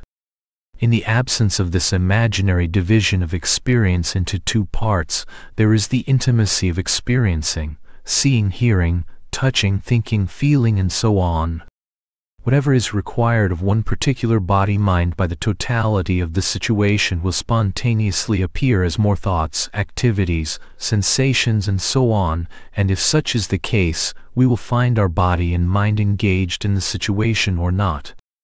In neither case is there ever a separate, inside self-experiencing or orchestrating the activity. In fact, for ourself, there is not really even any activity, there is just thinking, feeling, sensing, perceiving in the now. These are not going anywhere. They are not appearing for any particular reason, they are not destined for any particular outcome, and they leave no psychological trace behind. All reasons, destinies, purposes, plans, and outcomes are for the thought made self, not for the true and only self. The ultimate purpose of the body mind's activity is to find happiness, or if we are spiritual seekers, to find enlightenment, which is the same thing. But our self is already that for which the mind is in search. Happiness, which is the simple knowing of our own being as it is, is not dependent on the conditions of the body, mind, or world. It is our ever-present nature. It lies shining quietly in the background of all experience, and when it is recognized it overflows into the foreground, pervading experience with its qualities. That is freedom, not a freedom that is aloof or removed from experience, not a freedom that is an intellectual refuge, but one that is present at the heart of all experience. Main chapter The Origin of the Separate Self. Chapter The Essential Form of the Separate Self. The essential form of the separate self is a thought that imagines that our self, aware presence, does not pervade all experience intimately and equally but rather just pervades one little part of it, this cluster of thoughts and feelings here called me, the body-mind. Is like imagining that the screen does not pervade all the documents and images that are open on it, but just pervades one of them. In fact, even that is not quite true because the documents and images are not pervaded by the screen. They have no existence apart from the screen. There is no such thing as a document or image with its own independent existence. There is really only the screen. Document and image are just the names that are given to the screen and the forms that it appears to assume. From the point of view of the screen itself there is no real, independent document or image as such. There is just itself. Documents and images are only considered real in their own right when their reality, the screen, has been overlooked. In other words, documents and images are only considered real from the imaginary point of view of a document or image. As soon as the screen is forgotten, the documents and images seem to assume their own independent reality. They seem to become real, separate, independent objects made out of something other than the screen, such as words, colors, shapes, objects and so on. However, from the real and only point of view of the screen, there is only the screen. In reality, there are not two things, one the screen and two the document or image. There is just the screen. Two things or a multiplicity and diversity of things only come into apparent existence when their true reality, the screen, is overlooked. Experience is like that. All we know is experience, but there is no independent we or I that knows experience. There is just experience, or experiencing, and experiencing is not inherently divided into one part that experiences and another part that is experienced. From the point of view of experience, which is the only real point of view, experiencing is too intimately one with itself to know itself as something, such as a body, mind, or world. To know itself as something, experiencing would have to be divided in two. Would have to forget its true nature of pure, seamless, intimate experiencing and imagine instead that it was just one little part of experience. And this is just what experience does. It takes the shape of a thought that seems to divide itself in two. Having divided experience in two in this way, thought can then imagine that ourself is one part of experience, the knower, and the rest of experience can then become the known. From the imaginary point of view of this now separate knower, known objects seem to come into existence and acquire a reality of their own. However, this apparently separate existence of known objects depends upon thought first imagining that ourself is a separate, inside subject, the knower. In other words, the belief that objects such as the body, mind and world are real and substantial in their own right depends upon the belief that our self, aware presence, is located in, and as the body, becoming as a result the separate, inside self. In reality, which means in our actual experience, all experience is one seamless substance. The duality between the inside self and the outside object, world or other, is never actually experienced. It is always imagined. What we call this one substance doesn't matter, for there is no longer anything else to contrast it with. However, whatever the substance of experience is, it is made out of ourself, and hence awareness and presence are good names for it. This intimacy and lack of separation or otherness is also known as love. It is the natural condition of all experience. Sometimes experiencing takes the shape of a particular thought, a thought that imagines that experience is not one seamless substance, but is instead divided into two essential parts, a subject that knows or experiences and an object, other or world, that is known or experienced. The subject is known as me and the object, other or world is not me. This thought seems to divide experience into two separate parts that are related to one another through an act of knowing, feeling or perceiving. This division of experience into two essential parts is the birth of the imaginary inside self and its corollary, the outside object, other or world. With this belief the seamless intimacy of experience is veiled, and along with it, the love that is the natural condition of all experience. At this moment, something other than awareness seems to come into existence. Instead of feeling that our self pervades all experience equally, we now feel that our self just pervades this little fragment of experience, the body and mind. In this way our self-awareness apparently contracts inside the body and mind and the world and all others seem to be projected outside. This is the primary division of experience into two apparent entities, the self and the world, that veils the natural condition of all experience, love. For this reason, the imaginary inside self is always on a mission to secure love in the imaginary outside world. The apparent separation of experience into two essential parts is similar to imagining that a screen is divided in two when two images appear on it side by side. Thinking imagines that the screen is only contained in only one of the images, then thinking will also have to imagine a substance that is not the screen out of which the second image is made. This is exactly how the me and the not me are imagined by thought and superimposed upon the seamless intimacy of experience. Thinking imagines that our self-aware presence does not pervade or is not intimate with all experience equally, but rather that it pervades or is intimate with only one little part of it. That little part, the body-mind, becomes me. Everything that is not pervaded by or intimate with ourself is now considered to be made out of something other than ourself, other than awareness. This other than awareness, the not me, is known as matter. It is a substance that is conceived by thinking, but never actually experienced. In fact, although the Greeks invented the idea of matter two and a half thousand years ago, scientists have still never found it. The belief in the reality of an independent outside world, distinct from awareness, is a natural corollary to the belief in the reality of an inside self. These two always go together. When the separate inside self collapses, the separate outside world collapses with it, leaving only the intimacy of love, in which there is no room for distinction, separation, or division. In this way, our experience of the world always reflects and confirms our understanding. If we think we are limited, located inside self, then the world and others will seem to reflect that belief back to us. They will seem separate, distant, and other.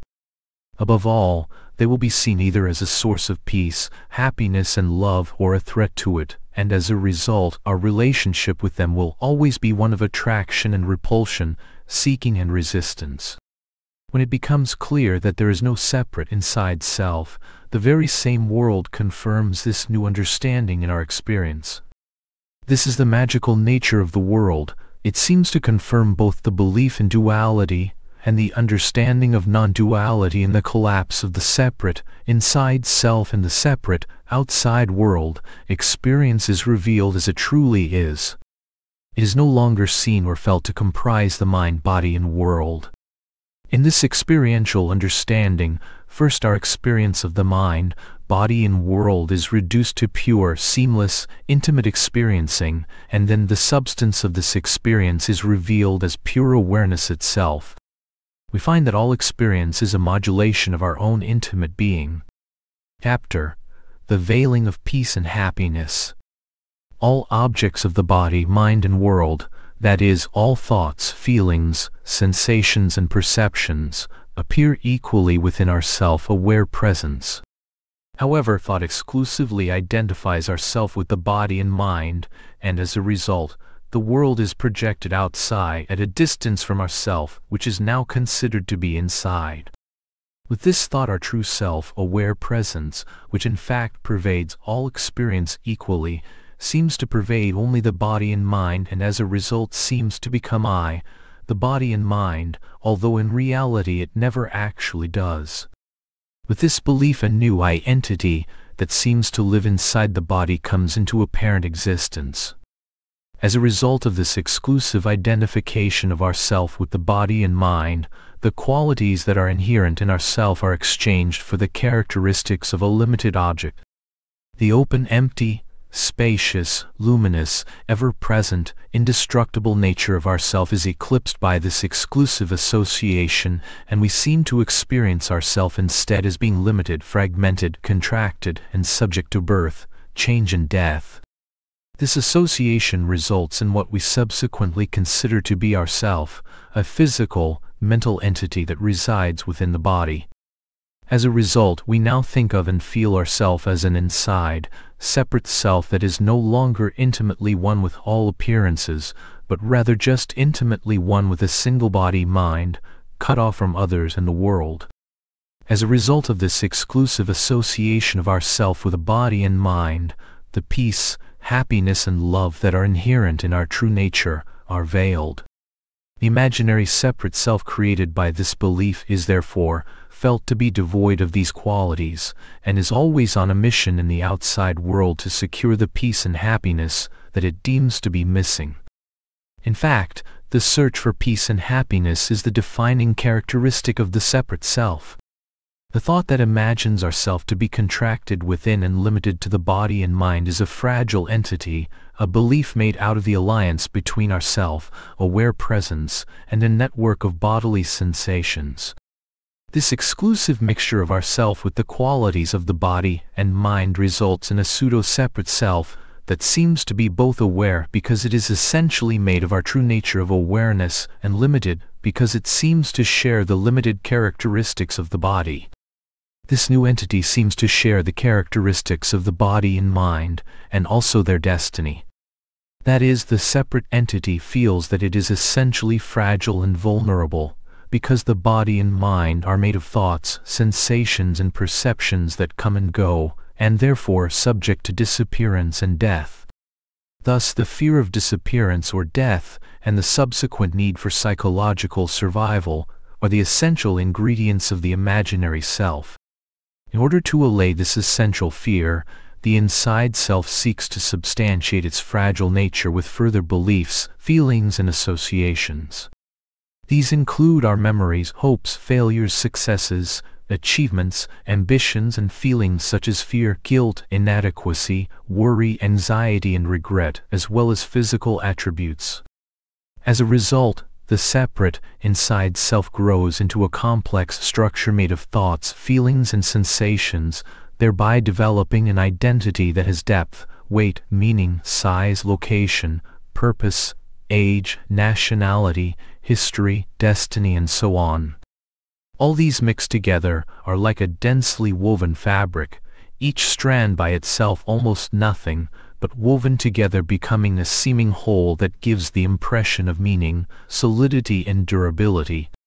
This colorful woven fabric becomes our identity. However, this identity is a fake, made of nothing but little colored threads of thought, feeling and sensation, all interacting with one another, interweaving around an empty center. When we look inside, we find only emptiness, space, transparency, ourself. And what is it that sees ourself, that recognizes this transparent presence? Our self-aware presence is the only one that is aware and present that could see or recognize this empty, transparent presence. When we look inside, towards this apparently separate self, a moment comes, and it is always a timeless moment when our self recognizes itself. As we become accustomed to taking our stand as this empty, transparent presence of awareness, we cease adding new threads to the dense, colorful fabric of the pseudo-self and it begins to become old and worn out, more and more threadbare, falling apart at the seams. The seeming solidity and durability of the separate, inside self is just like this garment, made of a collection of thoughts and feelings that are in themselves almost nothing, what substance does a single thought or feeling have? But when clustered together give the impression of being substantial. Feelings are the most deeply rooted of these, taking our sense of identity deep into the body, and it is for this reason that the sense of separation, and the unhappiness that attends it, usually remains long after an intellectual understanding of the nature of the separate self has occurred. Chapter Peace and happiness are not states of the body or mind. Peace and happiness are not states of the body or mind. All states of the body and mind, however pleasant, appear and disappear in awareness. Peace may be thought of as an absence of a sense of agitation or resistance, and happiness as the absence of a sense of lack. This absence of the sense of agitation, resistance and lack is our natural condition. It is inherent in our true nature of aware presence. The arising of the sense of resistance and lack eclipses the peace and happiness that are naturally present within us, and it is responsible for the contraction of ourself into an apparently separate entity. This imaginary entity is defined by its rejection of the now, the rejection of the current situation, and its subsequent search for peace and happiness in the future. In fact, the separate self is not an entity. It is an activity of avoiding and seeking. This sense of resistance and lack is the essential ingredient of the imaginary inside self. In resistance we are pulled towards a past, in the sense of lack we seek something other than the current situation, and this propels us towards a future. Resistance and seeking are the two essential forms of the separate self and are responsible for the avoidance of the now. In order to avoid the now, we have to imagine the not now, which is time. Thus, the separate inside self is the mother of time. If we think of peace and happiness in this way, as an absence of agitation and lack, rather than a positive state of the body or mind, they never become objectified. They never become an object that can be sought in the realm of the mind, body and world, but always remain synonymous with the simple knowing of our own ever-present being as it is, independent of the conditions of the mind, body or world. When our natural condition of peace and happiness is eclipsed by the resisting seeking activity of thought, the body is profoundly impacted. In fact, the body becomes a reflection of the mind's activities. This takes the form of a network of tensions in the body that seems to house the sense of separation and indeed impersonates a separate, inside self. Over the years this tension becomes chronic and is enshrined at all levels of the body, expressing itself in our postures, gestures, movements, activities and relationships. When the resisting seeking activity of thought is temporarily relieved by the acquisition of a particular situation, object or relationship, the separate, inside self dissolves. In that timeless moment, our true nature of peace and happiness, which has been sitting unnoticed in the background all along, is revealed. As a result of this dissolution, the tensions in the body and mind that were previously engaged in expressing the resisting seeking activity of the separate, inside self are momentarily relieved and the body and mind are flooded with this sense of relief and relaxation. This is simply the after effect of the cessation of the chronic resisting seeking activity, but this after effect is usually mistaken for peace and happiness itself. In this way our true nature of unconditional peace and happiness is made into an object of the body and mind. All objects of the body and mind are temporary, and yet everyone seeks permanent peace and happiness. Hence the vast majority of humanity is seeking for permanent peace and happiness in a temporary object, a state of the body and mind, and hence the search for peace and happiness, of which the spiritual search is simply a refinement, is destined to fail. Most of humanity is in a perpetual state of dissatisfaction, seeking something that cannot be found in the form in which it is conceived, and thus trapped in a cycle of dissatisfaction, punctuated by brief moments of respite because this respite is misinterpreted as a state of the body and mind, the cycle is perpetuated ad infinitum. As a result, most people live in a more or less subtle state of conflict that plays itself out in friendships and intimate relationships, in addictions to substances and activities, and on a larger scale, in activities that threaten our species and the planet itself. Chapter The separate self is an activity, not an entity. The process of resisting and seeking which constitutes the experience of unhappiness or suffering is an activity of thinking and feeling. The separate self is not an entity, it is this very activity of resisting and seeking. When this resisting, seeking activity comes to an end, the apparently separate, inside self comes to an end because this activity is an appearance within ourself, aware presence, when it comes to an end all that remains is ourself. We aware presence no longer know the activity of thinking and feeling, but just remain, open and empty, simply knowing ourself. This simple knowing of ourself, this simple knowing of our own being, is the experience of peace and happiness. This experience is timeless, for when there is no thought there is no time. In fact, the timelessness of peace, happiness, beauty and love is a familiar and common experience. When we say the beauty took my breath away, we really mean that we were brought to a moment of utter stillness in which there was no room for the movement of thought. Without thought, there is no resistance or seeking and therefore no imaginary inside self. With no inside self, there is no outside object, world or other, for these are two aspects of the same erroneous belief. All that remains is the indescribable intimacy of pure being, which is peace, happiness and love itself. Peace and happiness are synonymous with the dissolution of the imaginary self. It is for this reason that the imaginary self can never find the peace and happiness that it seeks. Its very activity of seeking prevents the peace, happiness, and love that are ever present just behind the seeking thought from being known or experienced. However, nor can the imaginary inside self cease seeking. The separate self is unhappiness itself. He's happiness, and love, the simple knowing of our own being, or awareness's knowing of itself, is the dissolution of the activity that is the separate inside self. That is why the separate self can never experience happiness. The separate self is like a moth that seeks a flame, longing to unite with it. The moment it touches the flame, the moth dies. The death of the moth is its union with the flame. It becomes flame. That is its only way of knowing it. The separate self cannot experience peace, happiness, and love. and only die in it.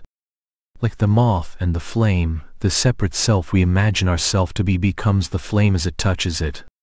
At that timeless moment, seeking resistance comes to an end, and with it the imaginary inside self. All that remains is the flame in which the imaginary self has been consumed. All that remains is our essential being. In fact, we don't become anything.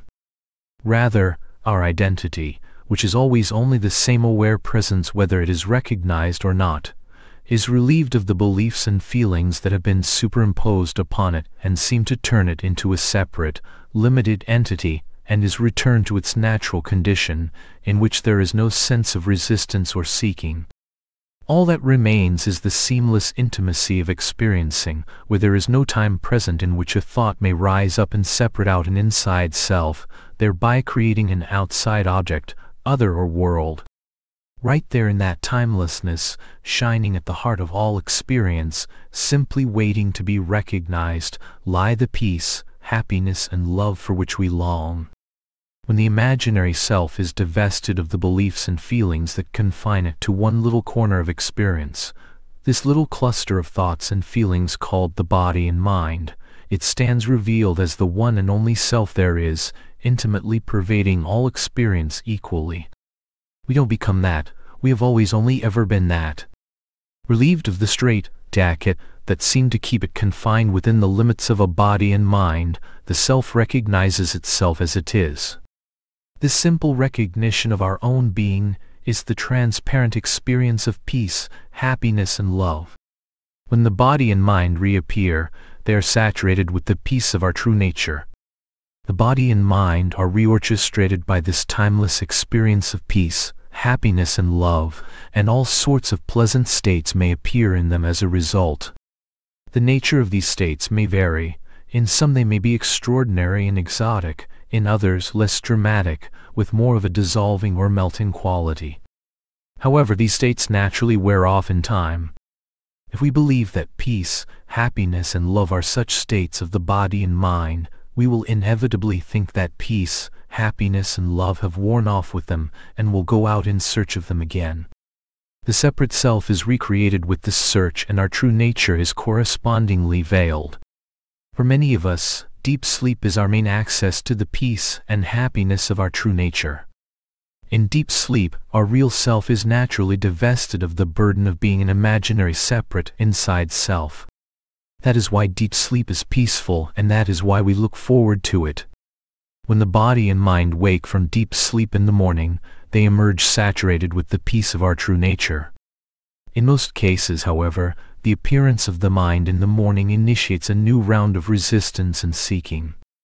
The imaginary inside self is created anew with this rejection of the now, and again ventures out into the far off country, the imaginary world that is outside, separate and at a distance from itself, seeking the peace that was present in sleep and is now veiled by the very desire for it. Such is the destiny of the separate self. It is defined by its insatiable longing for peace, happiness and love, and lives in what is traditionally known as hell. However, hell is not a place. It is a state, a state of believing oneself to be a separate, inside self, cut off from others and the world, endlessly seeking peace, happiness and love in a non-existent future, consumed and sustained by its own activity, resisting and desiring in equal measure one thing alone, its own death, its own dissolution, thereby perpetuating itself endlessly. Some so-called spiritual traditions institutionalize this longing in a more refined form and perpetuate it with subtler forms of seeking and practice, thereby perpetuating the imaginary self and the unhappiness that is inherent within it. Sooner or later, through an excess of suffering, through intelligence, or for no apparent reason at all, it becomes clear that what we long for is veiled only by the longing for it. Some people explore their experience and come to this conclusion. Others come to this conclusion and then explore their experience. It doesn't matter which way it happens. What truly counts is to see clearly that the separate self we imagined ourself to be is and has always been utterly non-existent. When the separate self collapses, the true self shines. However, this true self is not any kind of an entity or object, such as a body or mind, nor does it find itself born into a world, growing old and destined for death. We drop out of experience as a separate knower, feeler, lover or perceiver, as a center or location at which or from which all experience is believed and felt to be taking place, and instead find ourself unlimited and unlocated, present everywhere and in everything, intimately one with all appearances, but not made out of anything that appears, no longer able to confine ourselves to one little corner of experience, but spread out over the face of the earth, touching all apparent things equally. This is not a new or strange feeling. On the contrary, it is familiar, we have always known it. It is more like recognition. It feels like home. Chapter Happiness is never absent. I am often aware that I am unhappy, but do not always feel that I am searching. The absence of peace and happiness is the experience we know as suffering or unhappiness and is always accompanied by a search to recover them. It is not possible to be suffering and not to be in search of peace and happiness. We, aware presence, have no resistance to anything, nor do we lack anything. Awareness simply does not know lack or resistance. It is very easy to check that this is true in our experience. In order to experience anything, that apparent thing must first appear in awareness, and for it to appear in awareness, awareness must already have said yes to it. We could liken awareness to the empty space of the room in which our body is sitting. The space of the room is inherently open and empty, it has no ability to resist what appears in it. Whatever appears in the room has already been accepted by the space. This openness or allowing of whatever takes place within, it is not a quality that the space turns on and off at will. It is inherent in its nature. Our self-aware presence is similar. This open empty allowing, this absolute yes to all seeming things, is what our self is, not what it does. Awareness only knows yes, Without the arising of thought within it, there is nothing present that could say no or resist the current appearance or situation. Prior to the arising of thought, there is no seeking, no rejection of the current situation or wanting it to be other than it is. In fact, without the arising of thought, experience is too intimate even to be known as something such as a body, mind, world, or situation. There's only the indescribable pure, seamless intimacy of experiencing. In this intimacy there is no room for any sense of lack, and therefore it is known as happiness. There is no room for resistance, and therefore it is known as peace. There is no room for separation or otherness, and therefore it is known as love. For this reason peace, happiness and love are said to be qualities that are inherent in our self-awareness. In fact, they are not qualities, peace, happiness and love are just other names for awareness, other names for ourself. If peace and happiness are inherent in our true nature, why are they not always experienced? How is it possible for peace, happiness and love to be both ever present and yet not experienced? It is due to a single thought that appears in aware presence. This thought states that we are not the aware presence that knows our thoughts, feelings, sensations, and perceptions, but rather that we are a thought, feeling, sensation, or perception. With the arising of this thought, we seem to cease being and knowing ourself as aware presence, and seem instead to become a limited, located entity, a body and mind. It is as a result of this thought that the inherent qualities of aware presence, peace, happiness, and love, are veiled. We never actually cease to be this aware presence, nor do the qualities that are inherent within us truly disappear. But instead of knowing ourself as the peace and happiness that prevail in the background and at the heart of all experience, we seem to know ourself as a limited, located object of the body and mind. Our self is downgraded from the open, empty space of aware presence to a limited object, and our essential nature foregoes its inherent qualities of peace, happiness, and love. It seems instead to take on the qualities of objects, limited, subject to disappearance and change, and ultimately destined to die. However, peace, happiness, and love never truly disappear, they are always available at the heart of every experience. They make themselves known when the seeking and resisting activity that characterizes the separate, inside self dissolves. That moment, which is timeless, the ever present peace and happiness of our true nature is experienced. Experiences itself. There is only peace, happiness, and love, or the veiling of them, but never their absence. I often feel happy when I acquire something, and, in particular, often feel love in relationship to a person. It seems reasonable, therefore, to conclude that the objects and people are responsible for happiness and love. Once the I, the separate, inside self-thought has arisen and our self-aware presence has apparently contracted inside the body, the happiness and love that are inherent in the simple knowing of our own being is, by definition, veiled. It is for this reason that the imaginary inside self, which results from this exclusive conjunction of ourself with a fragment, is inherently unhappy and thus always on a search in the imaginary outside world for the happiness and love that have been lost. The search has an impact on both the body and the mind, winding them up, as it were, into a state of tension, agitation, and unease that seeks to be relieved by the acquisition of an object or relationship. In many cases this state of agitation and tension becomes the defining characteristic of the person, whose whole life is more or less subtly orientated towards relieving this state of tension through activities, substances and relationships.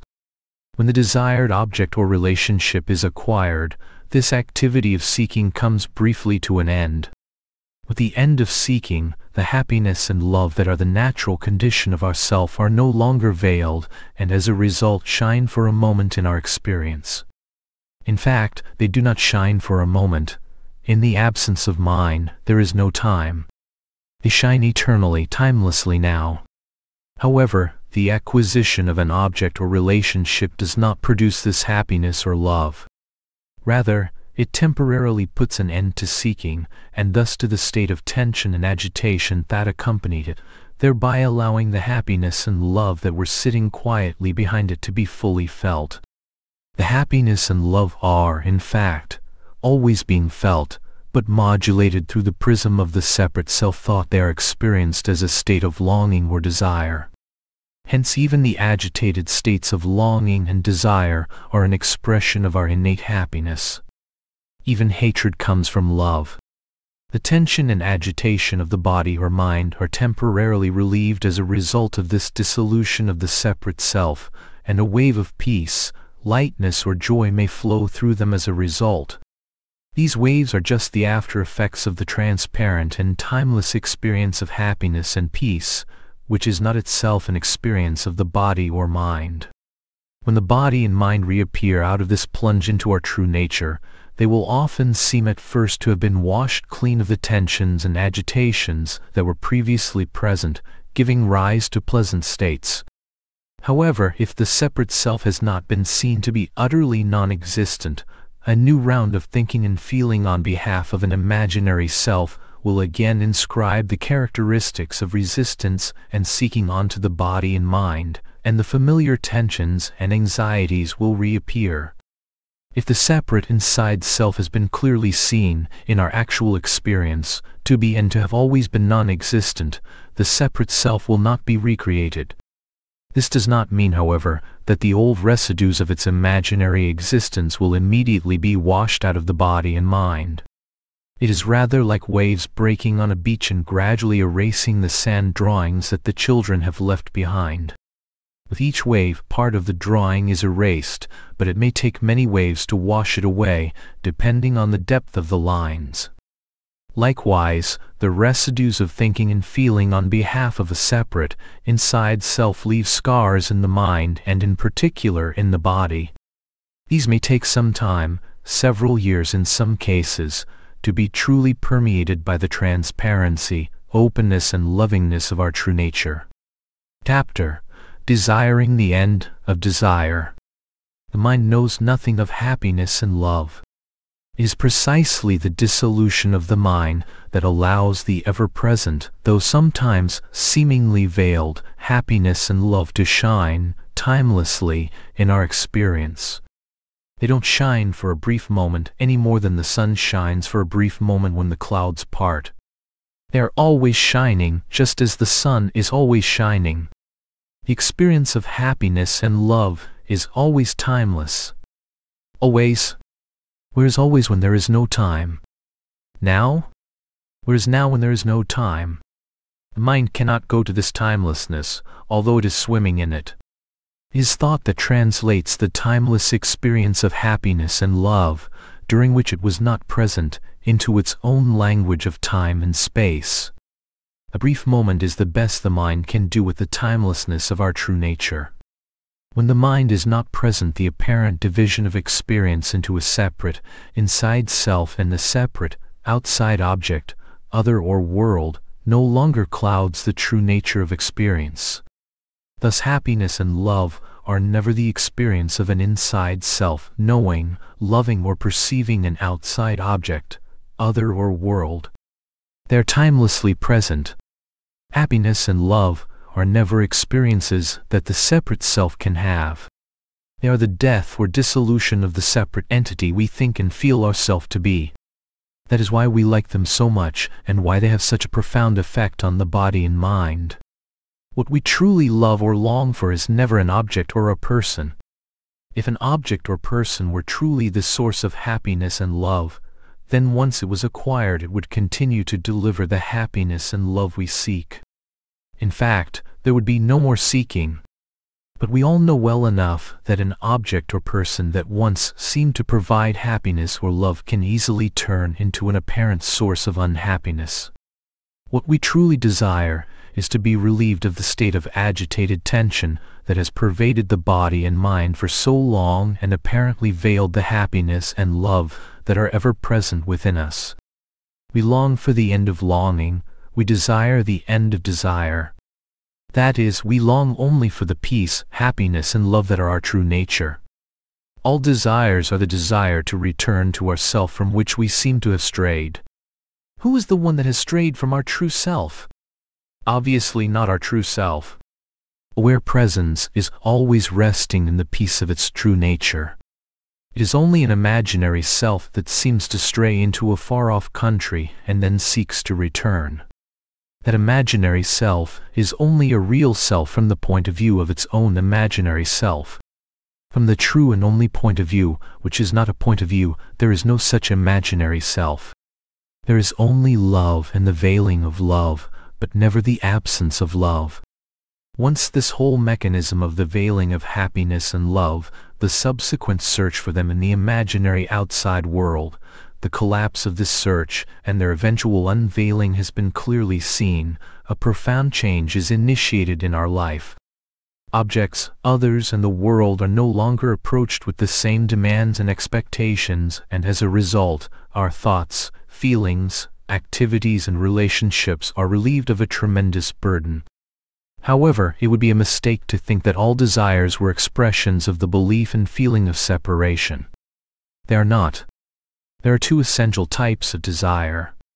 One is initiated by the I, the separate, inside self-thought, and always seeks to acquire happiness and love through an object, situation or person.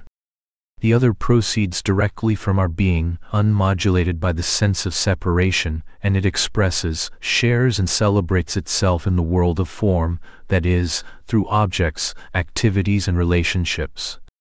The first kind of desire goes towards happiness and love, the second comes from it. Ultimately, all desires are an expression of the peace, happiness and love that is ourself, but if this is not clearly understood, happiness and love will always seem to be the goal of our activities and relationships rather than their source. Chapter The Failure of the Search Contraction of ourself into a limited, located entity is the cause of all psychological unhappiness. Although we never actually become a limited, located entity, the illusion is so strong that most of us spend our whole lives thinking, feeling, acting and relating on behalf of the separate entity that thinking imagines ourself to be. The peace and happiness that reside in ourself are derived from the innate knowing of our being as it is, its intimate knowing of itself.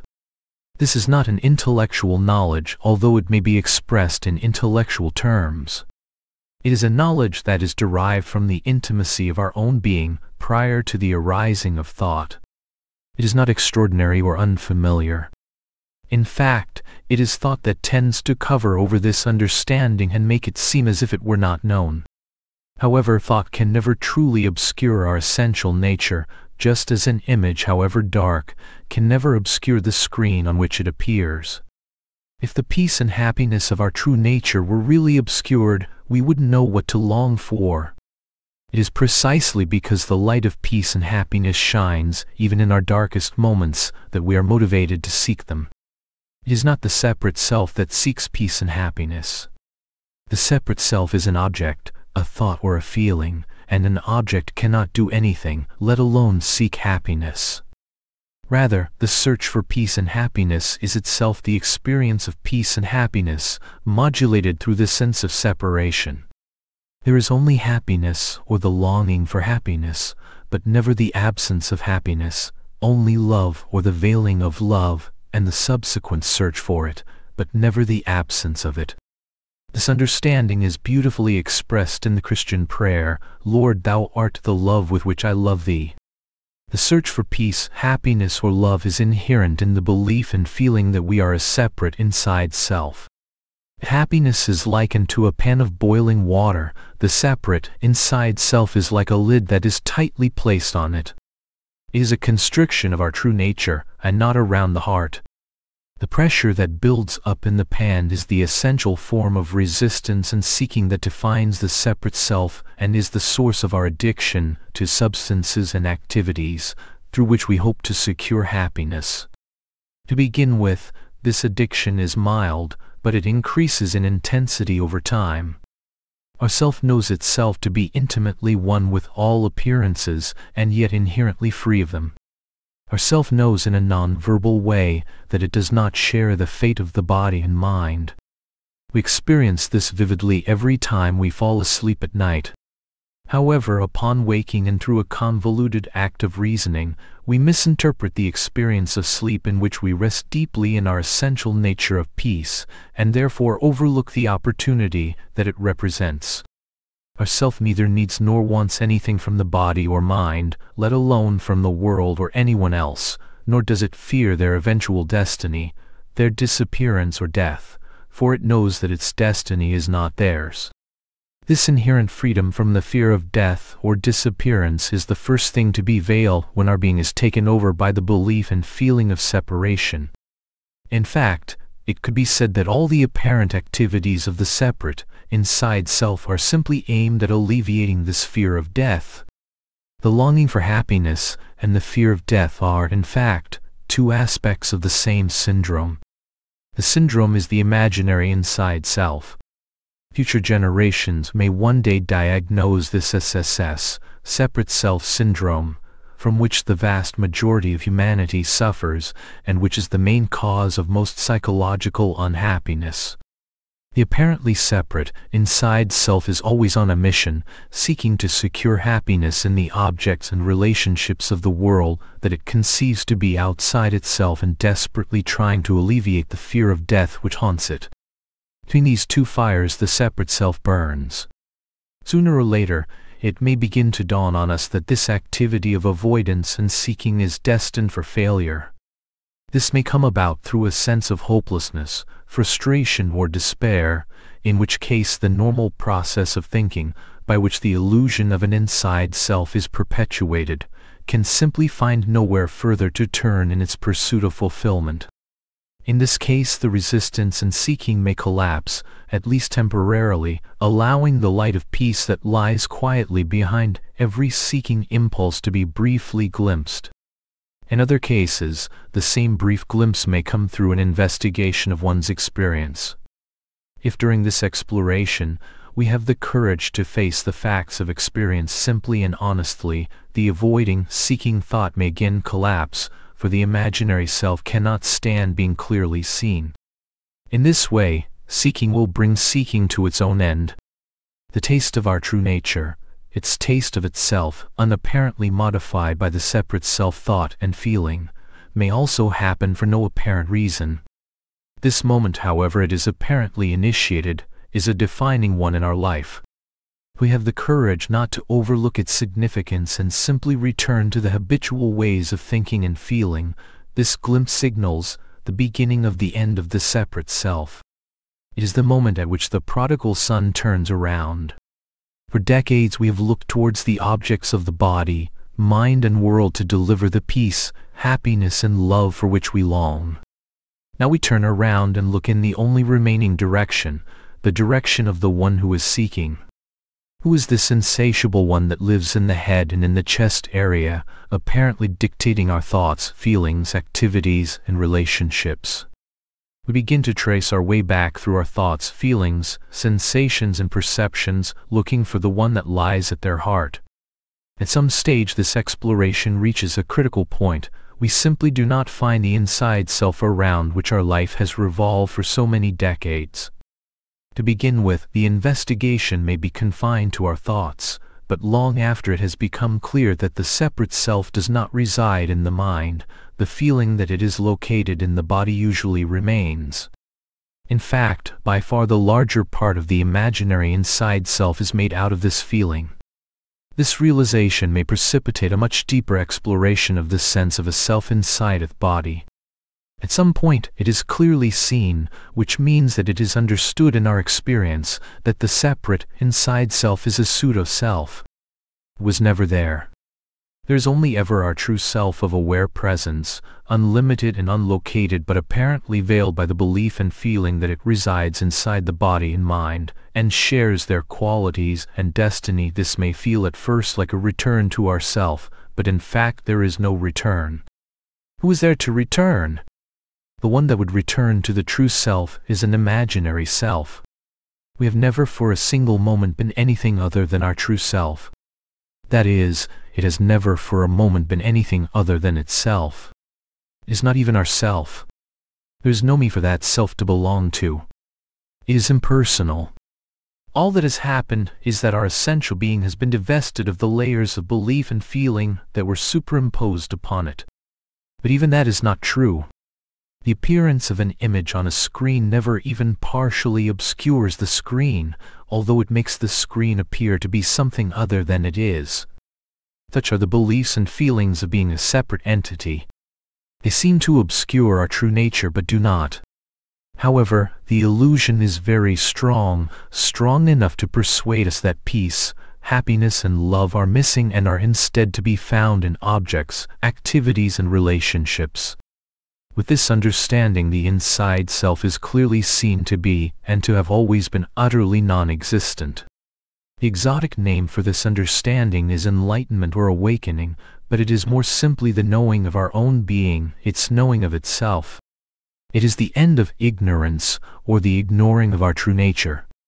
Because this understanding was, until recently, more fully explored and explained in foreign cultures, it is often associated with the cultural conditioning through which it was expressed. This inevitably led to many misunderstandings when the cultural conditioning was not clearly distinguished from the universal nature of the truth that was being pointed at. One of the main misunderstandings is the belief that when it becomes clear there is no separate inside self, the expressions of ignorance that dominated the body and mind for so long immediately come to an end. This is not so. The body and mind are very good servants, they do what they are trained to do. For decades they have been trained to serve an imaginary inside self, and the vast majority of most people's thoughts, feelings, activities and relationships are devoted to fulfilling the voracious demands of this imaginary self. When it becomes clear that there is no such self, the belief in it is no longer fueled, but the old habits of thinking, feeling, acting and relating on its behalf will inevitably continue for some time. So, although the experiential understanding that there is no separate, inside self brings one chapter to an end, another chapter begins. The colonization of the body, the mind and even the world by this experiential understanding. Belief in separation, and the numerous ways this belief has manifested in our thoughts, succumb relatively quickly in most cases to our new experiential understanding, but the way we feel the body and perceive the world usually takes much longer. The sense of a separate self has been laid down over many years, in most cases, as layer upon layer of feelings in the body. It takes time, courage and sensitivity for these layers to be exposed to the light of understanding and for their density and meanness to be dissolved. Likewise, it takes time for the world, with its apparent solidity and otherness, to yield its sense of not me-ness and stand revealed as a modulation of the light of our own intimate being. For so long our being has assumed the characteristics that properly belong to the body and mind, local, temporal, limited, solid, subject to birth and destined for death. Now that this exclusive association has been abandoned, the body and mind and even the world begin to be permeated by the qualities that are inherent in ourself. They become progressively more luminous, open, empty, transparent and peaceful in a never-ending dissolution of all form into presence. Everything begins to shine with the light of our own being. This is the meaning of the transfiguration in the Christian tradition. Main chapter, the body. Chapter, the sense of separation in the body. The sense of separation starts with a thought that exclusively identifies ourself with the body from the moment this thought arises, and it always arises now. Our true nature of transparent presence seems to become a dense, solid, material self, that is, it seems to become a body we don't just think we are a limited, located self.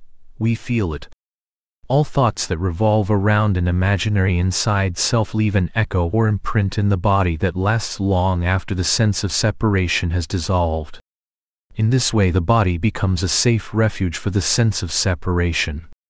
We may talk endlessly about the unlimited nature of awareness, but all the time the separate, inside self is sitting comfortably in the body.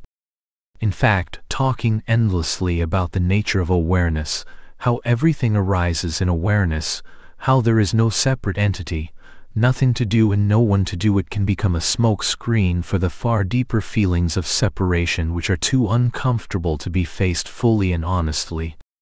In many cases the understanding everything is awareness, there is nobody here, there is nothing to do has been appropriated by the inside self and laid like a thin veneer over our much deeper feelings of separation and unhappiness hence the new religion of non-duality. To account for the feelings of irritation, sadness, lack, agitation, loneliness and so on that still persist, and to reconcile them with its new enlightened status, the imaginary self, through a convoluted act of reasoning, persuades itself that all these feelings simply arise in awareness and are made out of it. Happiness and unhappiness are considered equally to be appearances in awareness with nothing to choose between them. This allows the separate inside self to remain intact, hidden in the body, subliminally dictating our thoughts, feelings, activities, and relationships. But sooner or later the veneer begins to crack and expose the separate self that lies beneath it. At this point we may be moved to investigate the sense of separation at the deeper level of the body, this involves an exploration of all the sensations that impersonate a separate inside self. To begin with, these seem to be in the main areas of the head and chest, where I, the thinker and I, the feeler or lover are felt to reside. As we become more sensitive to the sense of me in the body, deeper layers of feeling are exposed, and in time all of these layers are brought up into the light of awareness. The separate self thrives on inadvertence, and these deep, dark layers of feeling in the body are an ideal hiding place for it. The separate inside self is, in fact, just a bodily sensation with a me story attached to it. Divested of the story, the sensation itself is no more me or not me than the sound of traffic or the sight of the sky. However, as long as this is not clearly seen, the me-ness of the body endures. Clear seeing is the one thing that the separate me feeling cannot stand. As these feelings are exposed to the light of our being, they lose their me-ness and are seen for what they are, pure sensation. In time, these sensations are experienced as being suspended in our aware presence like clouds floating in the sky. They begin to lose their definition, density and objectness, and become so permeated with the light of our own being as to be indistinguishable from it. The body becomes progressively pervaded by the transparency, light and love of our being. Chapter The Perception of the Body our actual experience of the body comes in the form of a sensation or a perception. Body as it is normally conceived, a well-defined solid entity housing internal organs having existed for a number of decades, is never actually experienced. There are ideas and images of such a body, but the body is obviously not an idea or an image. Our actual experience of the body does not correspond to the ideas we have of it, They'll put these ideas and images aside and go directly to the actual experience. Let us start with the visual perception of the body. At any given moment, this does not correspond to the conventional image of the body. At any one time we see only a fragment of the body as it is normally conceived. The conventional image of the body is a collection of such fragments, fleeting perceptions drawn from memory, that are collated in such a way as to represent a cohesive, solid body. Such a body is a collage, based on memory, arranged in such a way as to give the impression of solidity, durability, permanence and reality. We have never actually experienced the body that this conventional image represents. It is undoubtedly a valuable image, but not one that corresponds to the reality of our experience nor do we experience the body as the fragment or fleeting image that we perceive. Our experience of the body is that it is real and whole. From where does the reality and wholeness of the body come? It cannot come from an image, idea, memory, or perception. How could wholeness come from a fragment? To account for our actual experience of the wholeness of the body, thought collates a series of perceptions, relying on memory, and constructs an image of the body that represents this reality.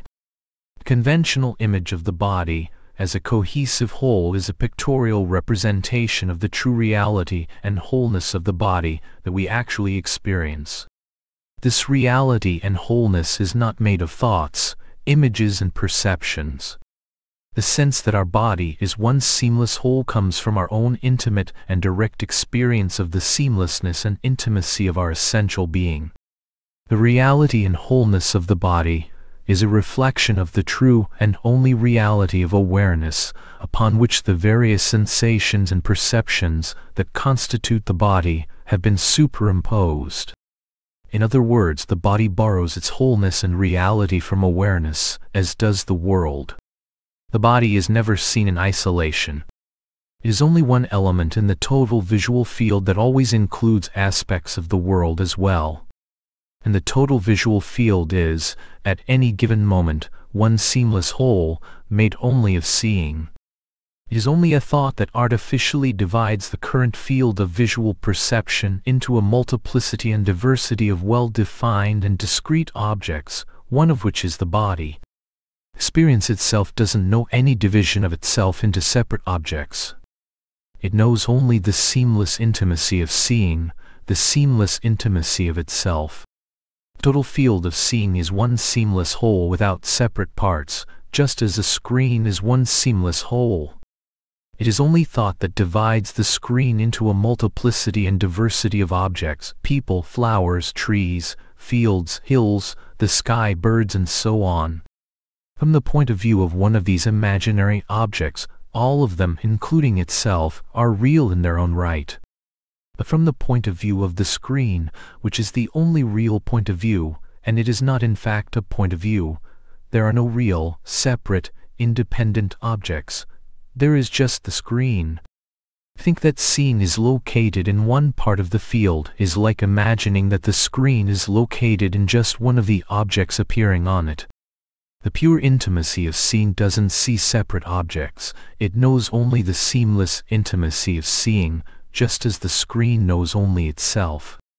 The body and the world are only a body and a world from the imaginary point of view of a separate self once it is seen that there is no body or world, as they are normally conceived, this imaginary point of view dissolves and the seamlessness of experience is restored, that is, love is restored. This does not mean that experience is not real. Experience is absolutely real, that is undeniable. All that is denied is the interpretation that thinking superimposes upon experience, which then profoundly conditions the way it appears. In order for the collapse of a separate self into a separate body to take place, thought must first arise and claim that our self, aware presence, does not permeate the entire field of seeing equally but only one little fragment of it, one corner of the universe called the body. With this thought, the seamlessness of pure seeing that is intimately pervaded by our own being is separated into two essential elements, one part that is pervaded by our self, aware presence, and another part that is not. This is the primary division of the seamless intimacy of pure experiencing. At this moment our self, aware presence, seems to become a body and everything else, others, objects in the world, seems to become everything that our self is not. Once thought has divided the seamless intimacy of experience into a body and a world, the ways pave for a further division of experience into a multiplicity and diversity of objects, giving rise to 10,000 things. It is the loss of the seamless intimacy, or love, that gives birth to the body and the world as we normally conceive them as separate, independent, solid, permanent, physical objects. Once this belief has taken hold, all experience will appear in conformity with it and will seem to validate and substantiate it. This essential belief infiltrates the body and in time multiplies into a network of feelings that are, in turn, expressed in our activities and relationships. As a result, our own body, the world in which we act, and others with whom we relate all perfectly mirror this essential loss of intimacy or love. The world as it is normally conceived is, like the body, an abstraction made of a series of fleeting perceptions. However, we cannot deny the reality of our experience of such a world. Where does this reality come from? Something that is real in itself cannot disappear, for whatever it disappeared into would be more real than itself. For instance, bread is more real than toast in the sense that toast is just one of the possible names and forms of bread. We could say that bread is the reality of toast. However, flour is more real than bread, which is simply one of the possible names and forms of the flour. Flour is the real substance of bread. However, wheat, we could go back and back. But at some point we come to an end. Where do we end? What is the ultimate reality of the world, of which all objects are simply names and forms? Our only knowledge of objects or the world is perception. Our only knowledge of perception is the experience of perceiving, and the only substance present in perceiving is our own being, awareness. Awareness is the knowing element in all experience, and all we know of the world is our knowing of it. In fact, we do not know a world as such. We just know knowing. And what is it that knows knowing? Knowing is not known by something outside or other than itself. It knows itself. Knowing knows knowing. Experiencing experiences experiencing. Therefore, in our experience of the world, awareness is, ultimately, only knowing itself. That is all that is ever known or experienced. Chapter The Sensation of the Body. Having explored the visual perception of the body, let us explore the actual sensation of it, for this is the form in which the body seems most real and most myself. Let us close our eyes to ensure that we are relating only to the pure sensation of the body, rather than to the thought, image or memory of it. Without reference to thought or memory, what is the nature of this sensation? If our eyes are closed, the only knowledge we have of the body is a physical sensation. In fact, without reference to thought or memory, we don't even have any knowledge of a body as such. We just know the current sensation. It is only thought that labels the sensation a body, without that thought it is just a sensation. And even that is too much. Without thought we cannot even know the current experience as a sensation, it is just raw, intimate, nameless experiencing. Put this book down, close your eyes and experience the sensation that is referred to as my body as if it were the first experience you have ever had. If we were to make a drawing of this sensation, what would it look like? Would it have well-defined edges? Would it be solid and dense? Is this current sensation 30, 50, 70 years old, or is it just appearing now? Is the current sensation male or female? Does it have a nationality? How much does the current sensation weigh? In fact, do we have any experience of weight? Is not weight itself simply a sensation? That sensation does not weigh anything. Does the current sensation come with a me label attached to it? Apart from the me that thinking attaches to the sensation, where is the actual me? What is it that defines the sensation as me? It is simply a thought. And from where does this thought get its authority? Obviously not from experience. Experience tells a very different story. Go to the current experience of your body sitting on a chair. Our only knowledge of the apparent body sitting on an apparent chair is the current sensation. Go to that sensation. Do we not feel both the body and the chair present in that one sensation? As chair, that sensation is considered to be not me. As body, it is considered to be me. Which is it? It cannot be both. It cannot be two things, body and chair, because in our experience it is one sensation and if it cannot be both body and chair, it can be neither body nor chair, because one only has meaning in reference to the other. See clearly in your direct experience that it is neither body nor chair. There simply is no body or chair present there in actual experience for the sensation to be. Body and chair are abstract concepts that are superimposed onto experience by thinking. Prior to this superimposition, and in fact during it, what is the actual experience itself? As soon as thought tries to name it, we go into abstraction again. Thought cannot go to the heart of the experience and know it as something. Experience itself is too intimate, too close. We cannot get away from experience to stand back, look at it from a distance and see or know it as a body, a chair, a thing or an object. Only an imaginary self could do such a thing, and it could only do such a thing in its own imagination. In reality, it is just raw, nameless, intimate experiencing, made only of knowing or experiencing, that is, made only of our self-aware presence. All experience is like that, not just the chair but the fields, streets, stars, people, houses, traffic, everything. It is only thought that divides the seamless intimacy of experiencing into two parts, a me and a not me, one part that knows or sees and another that is known or seen. This apparent division veils the true intimacy of all experience, the absolute lack of distance, separation, or otherness that is the natural condition of all experience, and makes it seem as if experience comprises a me that knows, feels, or perceives and an object, other or world that is known, felt or perceived. Return to your drawing of the raw sensation called the body.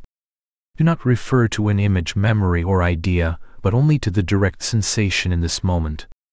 Your drawing might look a little like the Milky Way, an amorphous cluster of dots floating in empty space. In fact, it is mostly empty space. Allow the empty space of your own presence to infiltrate the sensation, percolating deeply into its fabric. Take time to allow it to pervade even those areas that may offer some resistance, that may seem to cling to their objectness, their density, their me-ness.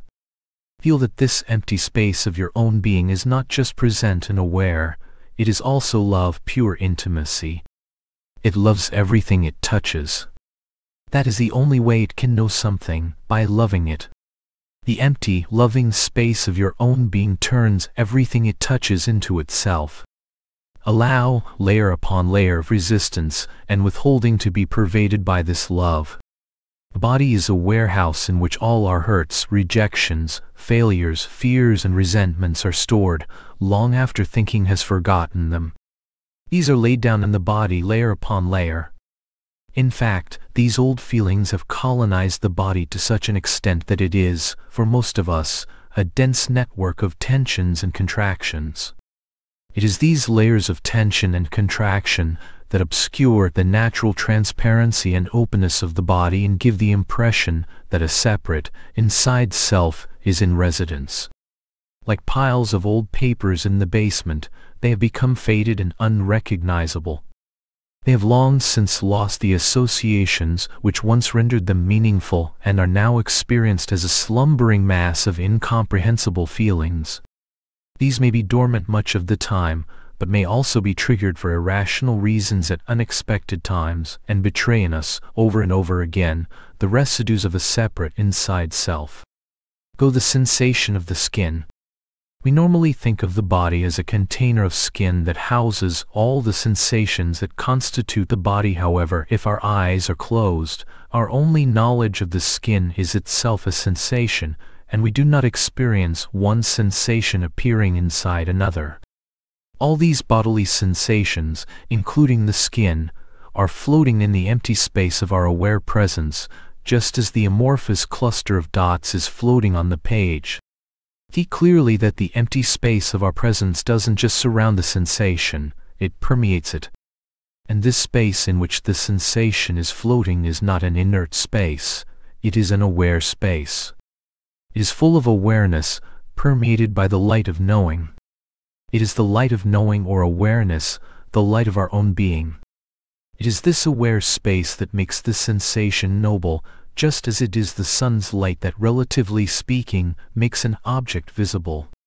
And it is the knowing quality of the space that is the known element in the experience of the sensation, just as the sun's light is all that is actually seen in an object. Our only knowledge of the sensation is the knowing of it, and that knowing belongs to the empty space of our aware presence.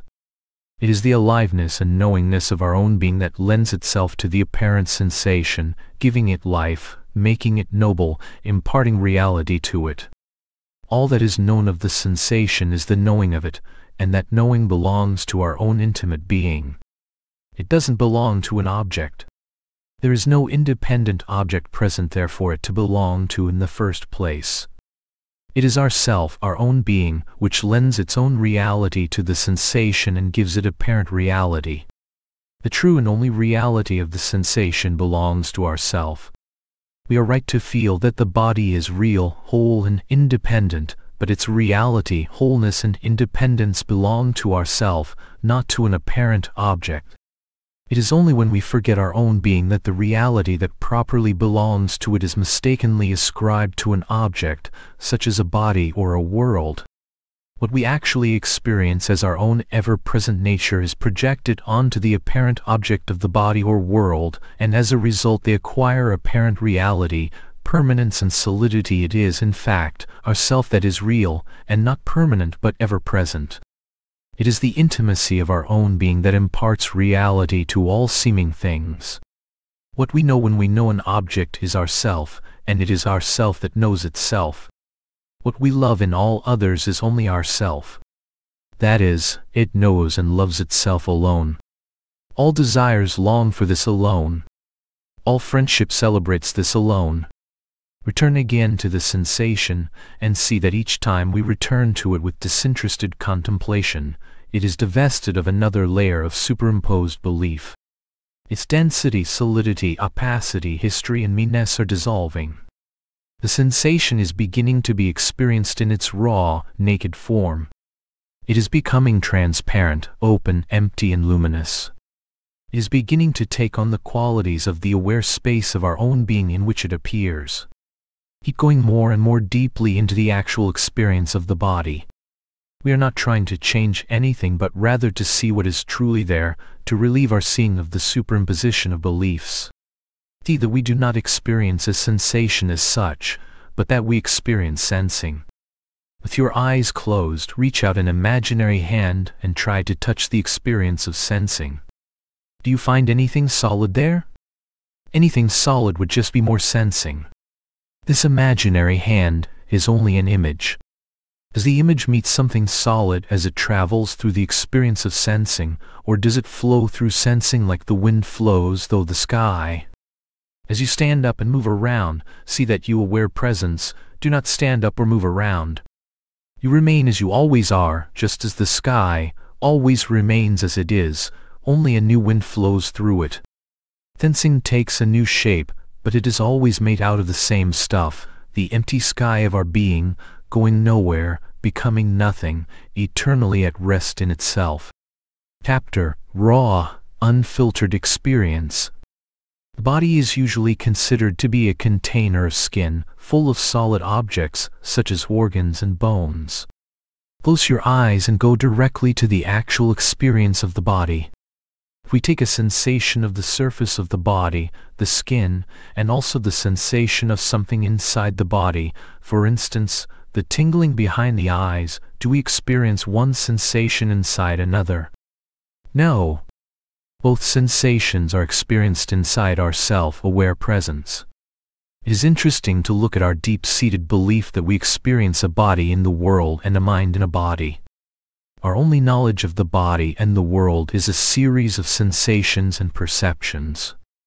Look closely at your experience and see if you ever actually experience a perception inside another perception, a sensation inside another sensation, a sensation inside a perception, or a perception inside a sensation. See clearly that you do not, nor would it ever be possible, no one has ever experienced a body or an object in a world. Body, world, and object are all concepts superimposed onto the reality of our experience. Likewise, look clearly at your experience and ask yourself if you have ever or could ever experience a thought inside a perception or sensation. No. It is our experience that we never experience a thought, that is, the mind, inside the body or inside the world.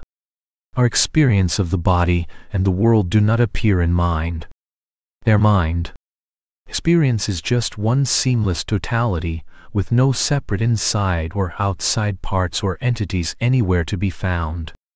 See clearly that, in our actual experience, it is not that the skin houses various parts of the body but rather that awareness houses all the sensations we call the body.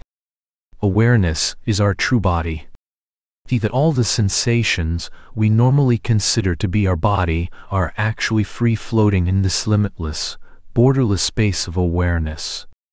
Awareness is the true body, the true container of all things, and everything is made out of its own transparent, luminous substance. But then are these objects, such as the body, that are apparently contained within awareness. If we go deeply into the sensation of the weight of the apparent body, we find only the experience of sensing there. How heavy is sensing? Don't think about this, this is not theory. Go to the actual experience, divested of all interpretation. Sensing has no weight. Therefore, it is our direct and intimate experience that the body is weightless. Weight is a concept superimposed onto our actual experience by thinking. Now touch something that seems to be solid, and all you will find there is touching, sensing.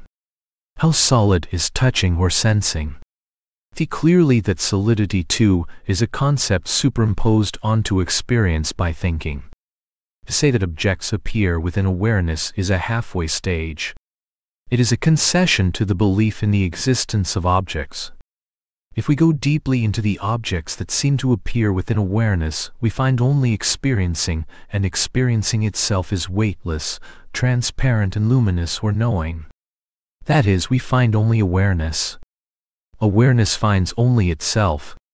See that this space of presence is wide open. It is openness itself. It says yes to everything. It welcomes everything. It is pure welcoming allowing. In fact, it is more than that. It is intimately, utterly one with all seeming things, that is, it is loving. A true body is a body of love and intimacy. Everything is held unconditionally within it. In time, even the everything and the within dissolve and all that remains is the intimate, loving nature of experiencing, too close to itself, too utterly, intimately one with itself to admit an inside or an outside, a close or a far, a me or a you, a lover or a loved, just pure experiencing. All that is needed is to start with direct experience and to remain there, not with a concept, an image or a memory of the body or the world but simply raw, unfiltered experience. Close your eyes and just go in a childlike way to the raw experience of the body. Simply contemplate your actual experience and divested of superimposition and interpretation, its nature will reveal itself to itself.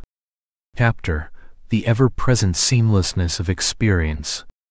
You have used the analogy of the hand and the fan, where the feeling of the hand and the sound of the fan are experienced in the same place in awareness. However, once I leave the area, I will no longer experience the fan and yet I will still experience the hand, because the hand is always with me, following me around wherever I go. This seems to imply that the fan but not the hand is separate from me.